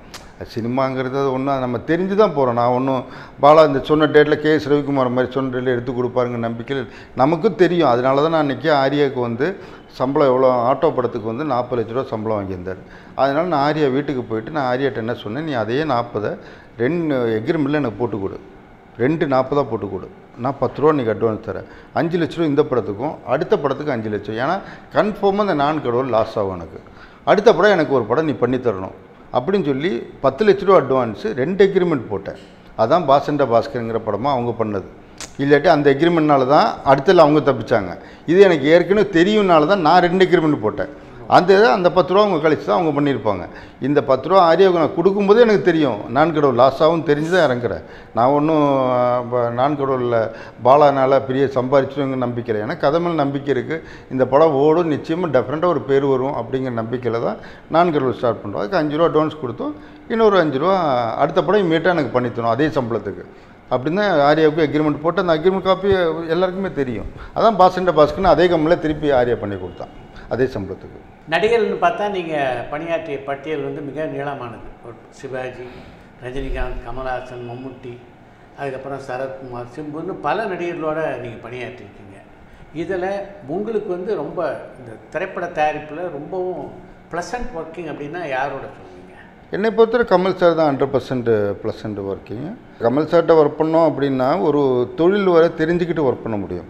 இப்போ ஒரு உதாரணத்துக்கு இப்போது தேவர் மகன் ஒர்க் பண்ணும்போது ஒரு நாள் வந்து அந்த பஞ்சாயத்து சீன் எடுக்கும்போது அந்த கம்பு வேலெல்லாம் வரல. வராதனால அன்றைக்கி வந்து பரதன் பிசி கமல் சார் மூணு பேரும் பேசி ஏதோ டென்ஷன் ஆகி அன்றைக்கி ஷூட்டிங்கை கேன்சல் பண்ணிட்டாங்க. கேன்சல் பண்ண பிறகு திருப்பி கமல் சார் என்னை கூப்பிட்டு சாயங்காலம் ரூமுக்கு வாங்க அப்படின்னாரு. ரூமுக்கு வாங்கினோன்னா ரூமுக்கு போனேன் போனோன்னே இந்த அசிஸ்டண்ட்டாகிட்ட கொடுப்பாங்க.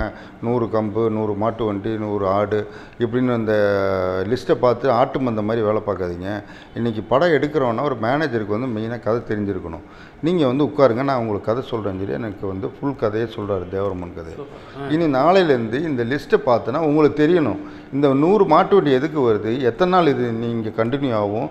ஆடு எத்தனை தேவை? மாடு எத்தனை தேவைன்னு தெரிஞ்சுக்கிட்டு ஒர்க் பண்ணுங்க அப்படின்னு சொல்லி ஃபுல் கதையை சொன்ன ஆரம்பிச்ச சொல்லினார். அப்போ தான் எனக்கு இந்த கதை கேட்குற நாலேஜ் வந்து இன்றைக்கி வரைக்கும் நான் ஒரு பதினாறு படம் எடுத்திருக்கேன்னா எந்த படம் ஒரு ஷோ ஊத்தல் படம் நான் எடுத்தது கிடையாது.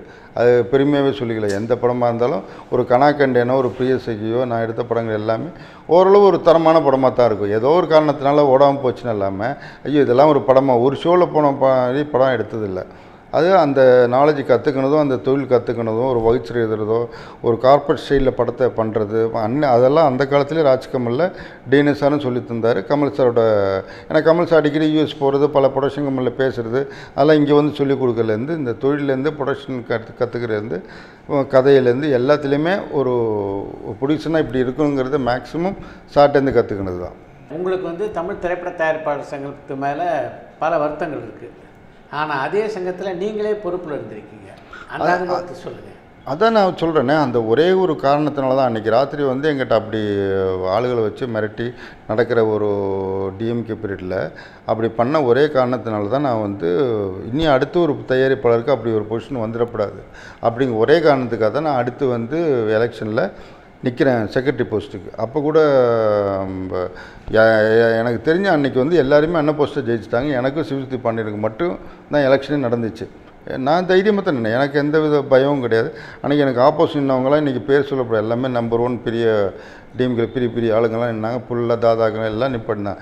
ஆனால் நான் எலெக்ஷன்னா தோப்பனே எனக்கு தெரியும். அவங்க ஒரு ஓட்டுக்கு இருபதாயிரம் அன்றைக்கே கொடுத்தாங்க. இப்போ சிவசக்தி பாண்டியனுக்கு ஜெயிக்க வைக்கிறதுக்காக. பண்ணிட்டு போகிறேன் ஆனால் நான் என் மனசாட்சிக்கு நான் குறையில்லாமல் நான் நின்னேன். அந்த ஓட்டு வாங்கினேன். ஆனால் கடைசி வரைக்கும் ஒரு ஆட்டம் காட்டினேன். அந்த எலெக்ஷன் ரிசல்ட் வர்ற வரைக்கும் அவங்களுக்கு ஒரு டென்ஷனாக தான் இருந்தது. இது ஒன்றும் சின்ன பையன் அப்படின்னு சொல்லி விட்டு கொடுக்கல. அந்த எலெக்ஷன் ஸ்ட்ராங்காக நிற்க வச்சு போல்டாக நின்று தான் காட்டினேன்.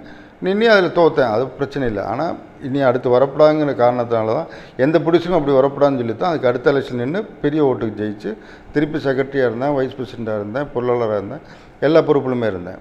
நீங்கள் தயாரிப்பாளர் சங்கத்தில் இருந்தபோது எப்படி இருந்தது உங்களுக்கு அந்த அனுபவம்? நீங்கள் நிர்வாகத்தில் இருந்தபோது. நிர்வாகத்திலிருந்து தான் எந்த போது தான் தெரியுது அது வந்து ஒரு கவர்மெண்ட் சப்போர்ட் இல்லாமல் ஒன்றுமே பண்ண முடியல. அது ரொம்ப வேஸ்ட்டு அந்த போஸ்டில் இருக்கிறது.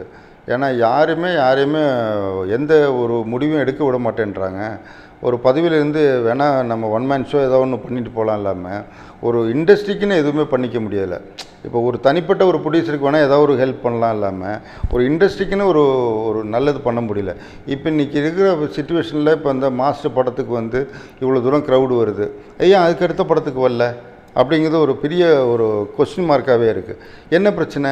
இப்போ வந்து தேட்டரில் வந்து இப்போ ஒரு சத்தியம் குரூப் இருக்கும்போது சத்தியம் தேட்டரில் வந்து பாப்கார்ன் வந்து அறுபது ரூபாய்க்கு விற்றா அந்த மினி பாப்கார்ன் இப்போ அதே பிவிஆர் அண்டர்டேக் பண்ண பிறகு அந்த பாப்கார்ன் வந்து ஸ்டார்டிங்கு நூற்றி ஐம்பது ரூபா ஆயிடுச்சு.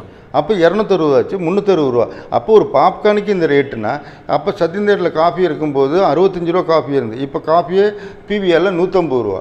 டிக்கெட்டு வாங்குறதுக்கு நூற்றி எண்பது ரூபா இன்வெஸ்ட் பண்ணுறவனே பயப்பட்டுருக்கான் அப்போ இதுக்கப்புறம் வந்து நூற்றி எண்பது ரூபா இப்போ இரநூத்தி இருபது ரூபா ஆச்சு டிக்கெட்டு இந்த இரநூத்தி இருபது ரூபா டிக்கெட்டு ப்ளஸ் ஒரு பாப்கார்னு ஒரு காஃபி ஒரு மி- ஒரு சாதாரண ஒரு குடும்பம் இன்றைக்கி படம் பார்க்கணும் மினிமம் ஆயிரத்தி ஐநூறு ரெண்டாயிரத்தி ரூபா வந்துருக்கு அதே பார்க்கிங் காசையும் குறைக்கல. இப்போ ஆள் வரல ஆள் வரலன்னு சொன்னால் இது தேட்டக்காரங்க சப்போர்ட் பண்ணி ஆகணும்.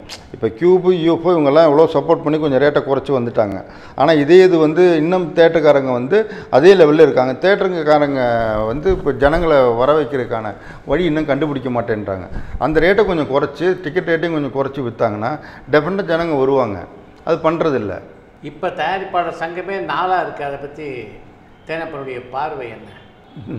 நாளாக இருக்குங்கிறது இல்லை. இருக்கிற இடத்துல யார் ஸ்ட்ராங்காக இருக்கிறாங்கிறது தான் முக்கியம். இப்போ வந்து இதே தமிழ் ஃபிலிம் ப்ரொடியூசர் கவுன்சில் இருக்கிற டைமில் அதுக்கு முன்னாடி வந்து ஃபிலிம் சேம்பர்னு ஒன்று மட்டும்தான் நம்ம நம்பி இருந்தோம். எந்த டைட்டிலுக்காகட்டும் இதுக்காகட்டும் சேம்பர்லேருந்து ஒரு வெங்கடேஷ்னு ஒருத்தன் வந்து அந்த சப்பாரியெல்லாம் போட்டு இந்த. ஆமாம் தசாவதாரத்தில் நாயுடு கேரக்டர் மாதிரியே வந்து போயின்னு இருப்பான் ஒருத்தன். அவனை மாதிரி இந்த சாம்பரை நம்பியே இருந்த காலத்தில் வந்து தமிழுக்கு அப்படின்னு ஒரு சங்கம் வேணும்னு சொல்லி தான் தமிழ் திரைப்பட தயாரிப்பாளர் சங்கம்னு ஒன்று ஆரம்பிக்கப்பட்டது.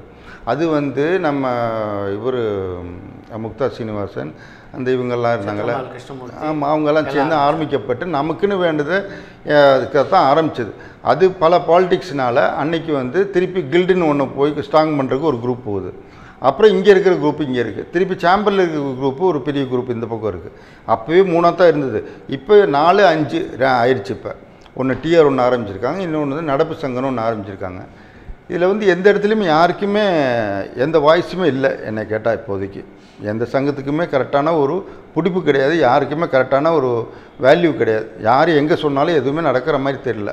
இப்போ தமிழ் திரைப்பட தயாரிப்பு ஆரோக்கியமாக இருக்கா? ஏன்னா தேட்டரை பொறுத்தவரை இன்றைக்கி வந்து ஸ்டார் படத்துக்கு வருங்கிறது உதாரணத்துக்கு மாஸ்டருங்கிற படம் வந்தது. இனி இப்போ அடுத்து வந்து கர்ணனுங்கிற படத்தில் தான் நமக்கு தெரியும்.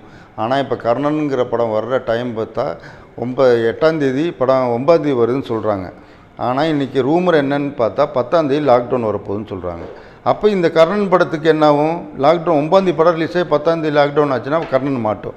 அப்போ இந்த கர்ணன் படத்தையும் இந்த சுல்தான் படத்துலேயும் ஜனங்க எப்படி வர்றதை பொறுத்து தான் நீ அடுத்த ஒரு ஜனங்க எப்படி வர்றதை பொறுத்து இருக்குது அதே மாதிரி தேட்டருக்காரங்க கருணை வச்சு அந்த பாப்கார்ன் ரேட்டு பார்க்கிங் ரேட்டு இது எல்லாத்தையும் குறைச்சி கொண்டு வந்தால் தான் டெஃபினட்டாக ஜனங்க திருப்பி உள்ளே வருவாங்கிறது என்னோட நம்பிக்கை. இதை கட்டுப்படுத்துறதுக்கே நீங்கள் வந்து தயாரிப்பாளர் சங்கத்தோட யாரோட இணைந்து முயற்சி பண்ணக்கூடாது. இது வந்து தயாரிப்பாளர் சங்கம் தான் நான் சொல்கிறேனே எல்லாமே பாலிடிக்ஸில் இருக்காங்க. அவங்கவுங்க ஒவ்வொரு குரூப்பாக யாருமே சொசை இண்டஸ்ட்ரி நல்லா இருக்கும்னு நினச்சி பண்ணல. எல்லாருமே செல்ஃபிஷாக ஒர்க் பண்ணிட்டுருக்காங்க ஒரு நடப்பு சங்கமாகட்டும் ஒரு டிஆர் குரூப் சங்கமாகட்டும் ஒரு தமிழ் திரைப்பட தயாரிப்பாளர் சங்கமாகட்டும் அவங்கவுங்க பிரச்சனையை தான் பார்த்துக்கிறதுக்கு சங்கத்தில் பொறுப்புக்கு வரணும்னு நினைக்கிறா இல்லாமல் ஒரு காமன் சொசைட்டி நல்லா இருக்கணும் அப்படின்னு நினச்சி யாருமே இந்த இடத்துல இல்லை. அதான் என்னோடய ரொம்ப பெரிய வருத்தமாக இருக்குது அது இப்போ சேம்பர் விட்டு சாம்பரை பொறுத்த நாங்கள் நாங்கள் தான் இதை பண்ணுறோம் அதை பண்ணோம் என்ன பண்ணான்னு இது வரைக்கும் உலகத்துக்கே தெரியல. ஆனால் எப்போ பார்த்தாலும் இவங்க தான் நம்பர் ஒன்ல இருக்க மாதிரியே சாம்பரோட பில்டப்பு அதே டிஆர் சங்கத்தை கேட்டால் நாங்கள் தாங்க எல்லாமே பண்ணுறோம் வாட்ஸ்அப் குரூப் பார்த்தா இவங்க தான் அதேமாதிரி தமிழ்நாட்டு ஒரிஜினல் தாய் சங்கம். அப்போ கில்டு அந்த பக்கம். இது எதை நம்பி நம்ம பண்ணுறோம் யாருமே சொசைட்டிக்காக பண்ணல. எல்லாருமே அவங்கவுங்க செல்ஃபிஷாக அவங்களோட வேலைக்காக தான் சங்கத்தை யூஸ் பண்ணிகிட்டு இருக்காங்க. இல்லை பொது தேர்தல் மாதிரி இப்போ இந்த தயாரிப்பாளர் சங்க தேர்தலையும் தேர்தலின் போது பல கோடி ரூபாய் செலவிடப்படுது. இதெல்லாம் சரியான போக்கு அப்படின்னு நினைக்கிறீங்களா? நீங்களும் இந்த எலெக்ஷனில் கண்டெஸ்ட் பண்ணியிருப்பீங்க. அதனால தான் நான் ஓப்பனாக சொன்னேன். நான் நூறுரூவா செலவு பண்ணல. நூறுரூவா செலவு பண்ணாமல் தான் நிற்கிறேன்னு சொன்னேன். அதனால் செலவு பண்ணாலும் தோத்துட்டேன். அவங்கெல்லாம் கோடிக்கணக்கு செலவு பண்ணாங்க ஜெயித்தாங்க இதில் என்ன புண்ணியம்? எனக்கு எந்த வித பைசா லாஸ் கிடையாது. நான் மிஞ்சி பணம் இருபது இருபத்தையாயிரம் கூட செலவு பண்ணல. அந்த பே பிளாம்பெட் அடித்ததும் அந்த நோ நோட்டீஸ் கொடுத்தா இல்லாமல் நூறுரூவா நான் செலவு பண்ணல. என்னை பற்றி எந்த லாஸும் கிடையாது. நீங்கள் இப்போ என்னை ஜெயிக்க வச்சா நல்லது ஜெயிக்க வைக்கணும்னா ரொம்ப நல்லது. என் வேலையை பார்த்து நான் வீட்டில் இருப்பேன் அப்படின்ட்டு நீங்கள் செலவு பண்ணலன்றது வேறு.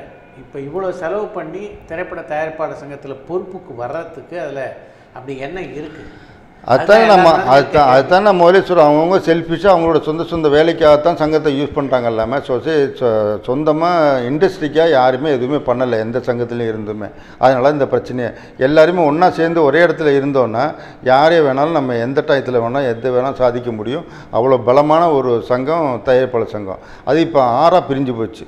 முதல்ல மூணாக இருந்து இப்போ ஆறாயிருச்சு அதான் இங்கே பிரச்சனையே. அது வந்து ஸ்ட்ராங்காக கூட ஒ- ஒத்துமையாக இருந்தாங்கன்னா நம்மளை அசைக்க யாரும் எழைய முடியாது. எல்லாருமே சொந்த கம்பெனி வச்சுக்கிட்டு ஒருத்தன் ரிலையன்ஸோட டைப்பு ஒருத்தர் இவரோட டைப்பு ஒருத்தர் அவரோட அமேசானோட டைப்பு ஒருத்தர் நெட்ஃப்ளிக்ஸோட டைப்பு இப்படியே எல்லாருமே இருக்கனால அவன் அவன் வீட்டில் அரிசி மட்டும் வந்தால் போதும். மிச்சம் உள்ளவங்க எப்படியே கெடுகெடு போட்டு. ஆனால் சும்மா வெளியில் பார்வைக்கு நான் சங்கத்துக்காக போகிறாரேன் சங்கத்துக்காக போகிறாருன்னு வெளில ஓ பாவலா காட்டின்னு இருக்கான் இதான் ஓப்பனாக சொன்னால் இதான் உண்மை. இப்போ கேரளா ஆந்திரா கர்நாடகா மாதிரி தமிழ் சினிமா உலகம் ஆரோக்கியமாக இல்லை அப்படின்னு பொதுவாக ஒரு பேச்சு இருக்குது அதுக்கு மிக முக்கியமான காரணம் இங்கே வந்து இருக்கிற ஊதியம் அப்படின்னு எல்லாருமே சொல்கிறாங்க குறிப்பாக கதாநாயகர்களுடைய ஊதியமாகட்டும் இயக்குனருடைய ஊதியமாகட்டும் மிக பெரிய அளவில் இருக்குது அப்படின்ட்டு. அது வந்து உங்களுக்கு உடன்பாடான கருத்தா? டெஃபினட்டாக அது வந்து நோ டவுட் இப்போ வந்து இன்றைக்கி வந்து இந்தியாவிலே நம்பர் ஒன் டைரக்டர் வந்து கரண் ஜோகர் என்ன சம்பளம் வாங்குறாருன்னு பார்த்திங்கன்னா ரொம்ப ஒரு நூறு சதவ சதவீதத்தில் இங்கே வாங்குகிற சம்பளத்தில் பார்த்தீங்கன்னா அவர் வந்து இருபத்தஞ்சி சதவீத சம்பளம் தான். கரண் ஜோகர் வாங்குறாரு. அதான் இந்தியாவிலே நம்பர் ஒன் டைரக்டர் இப்போ இங்கே இருக்கிற ஒரு தமிழில் இருக்கிற டைரக்டரை நீங்கள் கம்பேர் பண்ணிங்கன்னா ஹண்ட்ரடுக்கு எண்பது பர்சன்ட் சம்பளம் அவங்க வாங்குறாங்க. இதான் அதே மாதிரி ஹீரோ எடுத்துக்கிட்டாலும் அதே தான். அதே தெலுங்கில் எடுத்துக்கிட்டாலும் அதே தான். மலையாளத்தில் எடுத்துக்கிட்டாலும் அதே தான். இங்கே ஹீரோவும் டைரக்டரும் வாங்குற சம்பளம் வந்து கிட்டத்தட்ட அறுபது பர்சன்ட் சம்பளத்தை வாங்கிடுறாங்க. நூறு பர்சன்டில் ப்ரொடக்ஷன் காஸ்ட்டில் ப்ரொடக்ஷன் காஸ்ட்டில் டோட்டலில் ஃபார்ட்டி பர்சன்ட் படத்தை எடுத்தால் அப்புறம் எப்படி உருப்படும்? இந்த நிலைமை மாறுறதுக்கு வழியே இல்லையா? இல்லை இருக்கா? அது வந்து இப்போ என்னை பொறுத்தவரை இப்போ நடிகர்களுக்கு வந்து இந்த இவ்வளோ பெரிய சம்பளம் வாங்குற நடிகர்களுக்கும் இப்போ இவ்வளோ பெரிய சம்பளம் வாங்குற டைரக்டர்ஸுக்கும் உண்மையிலேயே இன்றைக்கி தேட்டருக்குள்ளே ஆள் வருதா வரலையாங்கிறது அவங்களுக்கு தெரியலன்னு நினைக்கிறேன். அவங்க அறிவுக்கு இன்னும் போகலை அது. அது போனாலாவது ஏதோ சம்பளத்தை குறைப்பாங்கன்னு நினைக்கிறேன். ஏன்னா உண்மையிலேயே இன்றைக்கி போன வாரத்தில் வந்து எத்தனையோ நல்ல படங்கள் ஓடலை. இப்போ பெரிய இப்போ மாஸ்டர் ஒன்று தான் இப்போ கண்ணுக்கு தெரியுது இல்லாமல் மிச்சம் எந்த படங்களுக்கும் ஜனங்க உள்ளே வரலைங்கிறது தான் உண்மை. ஆனால் இந்த உண்மையை வந்து இன்றைக்கி இருக்க பெரிய நம்பர் ஒன் டைரக்டர்ஸும் நம்பர் ஒன் சம்பளம் வாங்குகிற ஹீரோஸுக்கும் ஓட மைண்டில் போய் சேரலை இன்னும் வந்து அதான் என்னோடய அறிவுக்கு எத்தினது.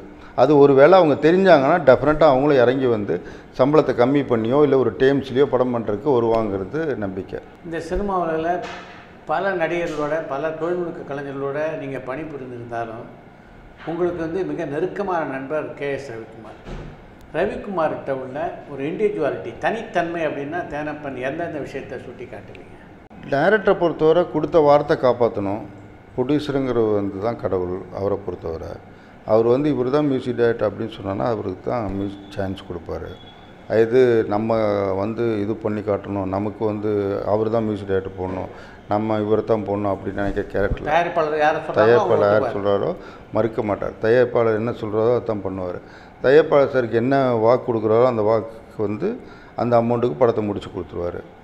அதே மாதிரி அவ்வளோ ஜெனுவனாக இப்போ நான் கூட சொன்னேன் பாரதி சார் நிறைய பேருக்கு அட்வான்ஸ் கொடுத்து எனக்கு திரும்பி போகல. கேஎஸ் ரவிக்குமார் சாரை பொறுத்தவரை அட்வான்ஸ் வாங்கியே மாட்டார் மீறி வாங்கிட்டாருன்னா அந்த படம் பண்ணல அப்படின்னு தெரிஞ்சால் துரத்து துரத்து அவர் வீட்டில் கொண்டு நாங்கள் கொடுத்துட்டு வந்துடுவோம் அந்த அட்வான்ஸ் அவர் வாங்க மாட்டேன்னு சொல்லுவார். ஆனால் விட மாட்டோம். நானும் டைரக்டாக சேர்ந்து கம்பல் பண்ணி அவர் வீட்டில் கொண்டு திருப்பி கொடுத்துட்டு வந்துடுவோம் இது வரைக்கும் இன்னொரு ப்ரொடியூசரோட காசு வந்து கேஎஸ் ரவிக்குமார் சார் கையில் நூறோடு இருக்காது. அவ்வளோ பர்ஃபெக்ட் ஜெனூன் பர்சன் அவர். அதேமாதிரி வேலையிலையும் சரி அவ்வளோ பர்ஃபெக்டாக இருப்பார். ஜெனூனாக காலைல ஏழு மணினா ஆறு ஐம்பதுக்கு ஃபர்ஸ்ட் ஷர்ட் எடுத்துருவார். ஈவினிங் பிரேக் ஊர்லேருந்து நடிகர் வந்து இப்போ எனக்கு அர்ஜென்ட்டாக இன்னொரு படத்துக்கு போகணும்.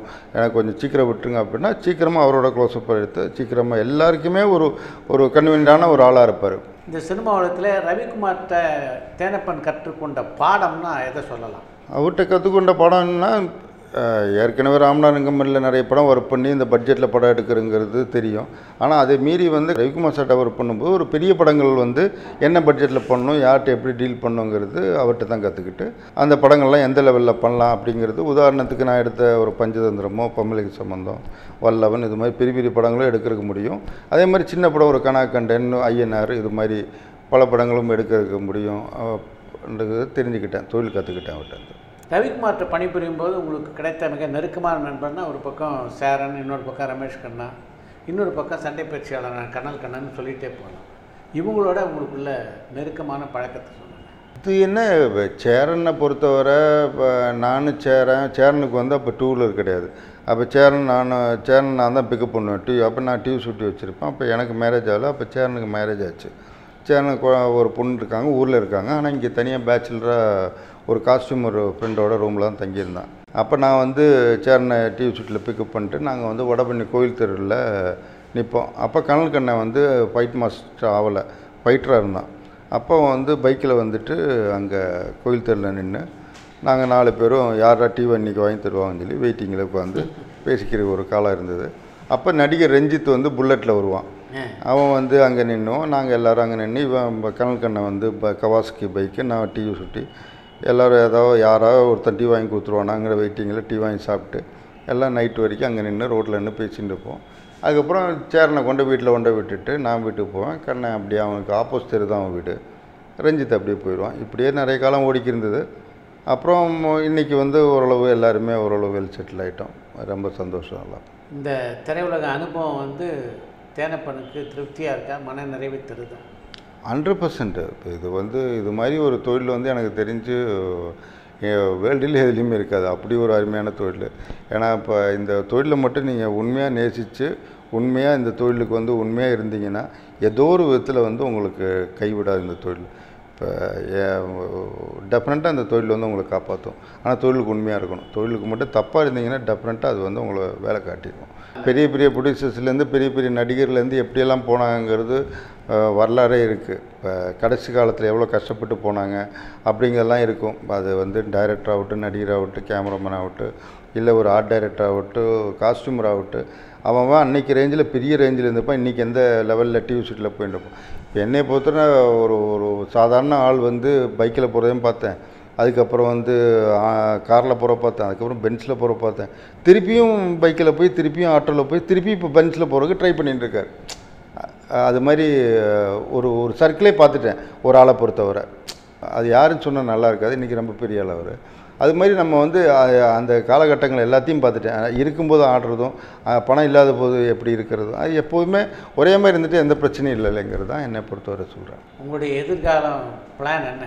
எதுக்கால ஒரு பிளானும் கிடையாது. இப்போ நல்ல க பேரன்பு மாதிரி நல்ல படங்கள் பண்ணணும் அப்படிங்கிறது தான் ஆசை.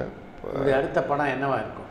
அடுத்த படம் நிச்சயமாக ஒரு ஹீரோயின் ஸ்கிரிப்ட் பண்ணணுன்னு ஆசை. இல்லாட்டி இப்போ நல்ல கதைகள் கேட்டு நல்ல படம் பண்ணணும். இல்லாட்டி ஏதாவது ரீமேக் ஏதாவது பண்ணணுன்னு ஆசைப்பட்றேன். தேனப்பனுக்கு டைரக்ட் பண்ணணுன்ற ஆசை உண்டா? இல்லை ஹண்ட்ரட் பர்சன்ட் இல்லை. அது வேறு தொழில் இது வேறு தொழில். என்னதான் இருந்தாலும் கே. ஸ்ரீகுமார் சாரோட இவ்வளோ நாள் இருந்தாலும் நம்ம வந்து டைரக்ஷன் எனக்கு தெரியாது. நம்ம அதை பற்றி தெரியும். இப்போ இந்த இப்போ இப்போ நான் இப்போ கொஞ்சம் படங்கள் நடிக்கலாம் போகும்போது அவங்க என்ன லென்ஸ் போடுறாங்க அந்த லென்ஸு என்னங்கிறது போகிறது வரதெல்லாம் தெரியும். எல்லாமே நம்ம வந்து டைரக்ஷனுங்கிறது அது வந்து பெரிய ஒரு கலை. அது வந்து தலையில் எழுதப்பட்டது அது. அப்படி ஒன்றும் அவ்வளோ ஈஸியாக டைரக்டருங்கிறத ப்ரூவ் பண்ண முடியாது. டைரக்டருங்கிறது டைரக்டர் தான். நம்ம வந்து மேனேஜராக இருந்து ப்ரொடியூசர் ஆகணும். அது அந்த ஆசையோட எனக்கு ஓகே அது I very happy my life இன்றைக்கி வந்து தேனப்பன் வந்து ஒரு நடிகராகவும் தமிழ் சினிமாவில் பல பேருக்கு தெரியும். எங்கே நடிக்கிற ஆசை துளிர் விட்டது உங்களுக்கு? நடிக்க ஆசைங்கிறது வந்து யாரை கேட்டாலும் இருக்கும் உள்ளுக்குள்ளே இருக்கும் வெளியில் சொல்ல மாட்டாங்க. சும்மா அதுக்கு கூச்சப்பட்டு. ஆனால் உண்மையிலே நடிக்கிறதுக்கு எல்லாருக்கும் ஒரு ஆசை தான். என்னதான் இருந்தாலும் நம்ம கூட ஒரு பெரிய நடிகர் கூட நம்ம போவோம் நம்ம வாடா போடான்னு பேசுகிறப்பன்ட்டு அவங்க ஒரு நாலு பேர் செல்ஃபி எடுக்கும்போது என்னடா நம்ம கூட எடுக்க மாட்டேன்றாங்களா அப்படின்னு இருக்கும். ஏன் நம்ம இத்தனை படம் எடுத்து நம்மளை தெரியலையே அப்படின்னு. ஆனால் இன்றைக்கி நம்ம வந்து எங்கேயாவது ஒரு இடத்துல ஒரு சரவணம்புள்ள காஃபி சாப்பிடும்போது சார் நீங்கள் குரங்கு மும்பில் நீங்கள் தானே சார் நடிச்சிங்க? அப்படின்னு ஒரு ஃபோட்டோ எடுக்கும்போது அந்த ஒரு சந்தோஷம் வேறு. ஆனால் இப்போ ஆக்சுவலி நடிக்க வேண்டியது வந்து நான் வந்து பிதாமகனில் அந்த மகாதேவன் கேரக்டர் அப்போ பாலா வந்து எனக்காக ரெண்டு மாதம் வெயிட் பண்ணான் ஒன்றும் இல்லை சிட்டாரு நீ வா நீ எப்படி பார்க்க போடுவா? அப்படி போட்டுட்டு அப்படி நில்லு. நான் பார்த்துக்கிறேன் மிச்சம்லாம் அதான் என்ன மாதிரியே ஒரு ஆள் பிதாமகனில் மகாதேவனை பிடிச்சிருப்பார் அவர். எனக்கு ரெண்டு மாதம் வெயிட் பண்ணேன் அப்போ எனக்கு வந்து பஞ்சேந்திரம் பம்மல்கே அது பயங்கர பிஸி என்கிட்ட பேசவே முடியாது. அந்தளவுக்கு பிஸி கமல் சார் கூட டுவெண்ட்டி ஃபோர் ஹவர்ஸ் ஒரு மேனேஜர் மாதிரியே இருந்தனால எங்கேயும் போக முடியாத சுச்சுவேஷனால் அப்போ நான் சொல்லிட்டேன்டே அடுத்த படம் பண்ணுறேன்டா அப்படின்னு சொல்லிட்டு விட்டேன். கேட்டால் அப்பயும் நடிக்கிற வேண்டியது. அப்போ நடிக்கலை.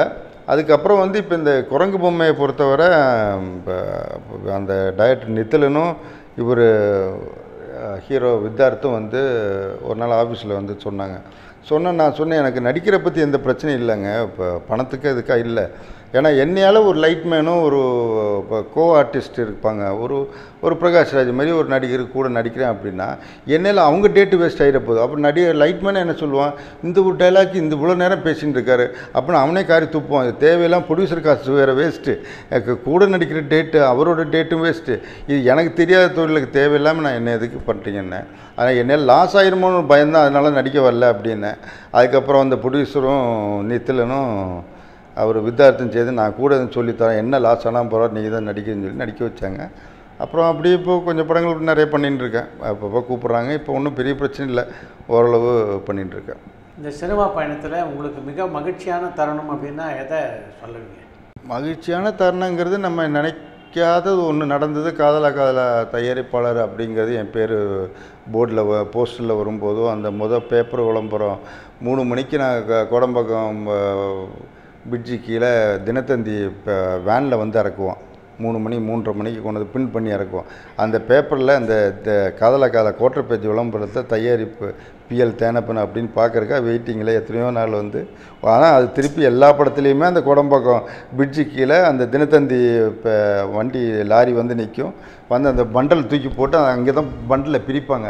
அந்த இடத்துல நான் அந்த பேப்பரை மொதல் பேப்பரை வாங்கி பார்க்குறக்கா காரில் உட்காந்து வெயிட் பண்ணி பார்ப்பேன். அதுதான் எனக்கு தெரிஞ்ச பெரிய சந்தோஷம். ஏன்னா எதிர்பார்த்தே இல்லை நம்ம தமிழ் சினிமாவுக்கு வருவோங்கிறதும் சென்னைக்கு வருவோங்கிறதும் வந்து ஒரு தயாரிப்பு வாங்குவதும் அது வந்து இன்றைக்கி வந்து ஒரு கமல் சாரை வச்சே படம் எடுப்போங்கிறதும் நினைக்காத ஒரு மேட்ரு அந்த சந்தோஷத்தோடு வேறு என்ன சந்தோஷம்? இந்த சினிமா உலகத்தில் ஒரு தயாரிப்பு நிர்வாகியாக வந்து அதுக்கப்புறம் தயாரிப்பாளராகி நடிகராகி இன்றைக்கி வந்து ஒரு நாடறிந்த தயாரிப்பாளர் கம் நடிகராக நீங்கள் இருக்கீங்க. உங்களுடைய அனுபவங்கள் இருக்குது அது வந்து நிஜமாகவே பல பேருக்கு பயனுள்ள அனுபவம்.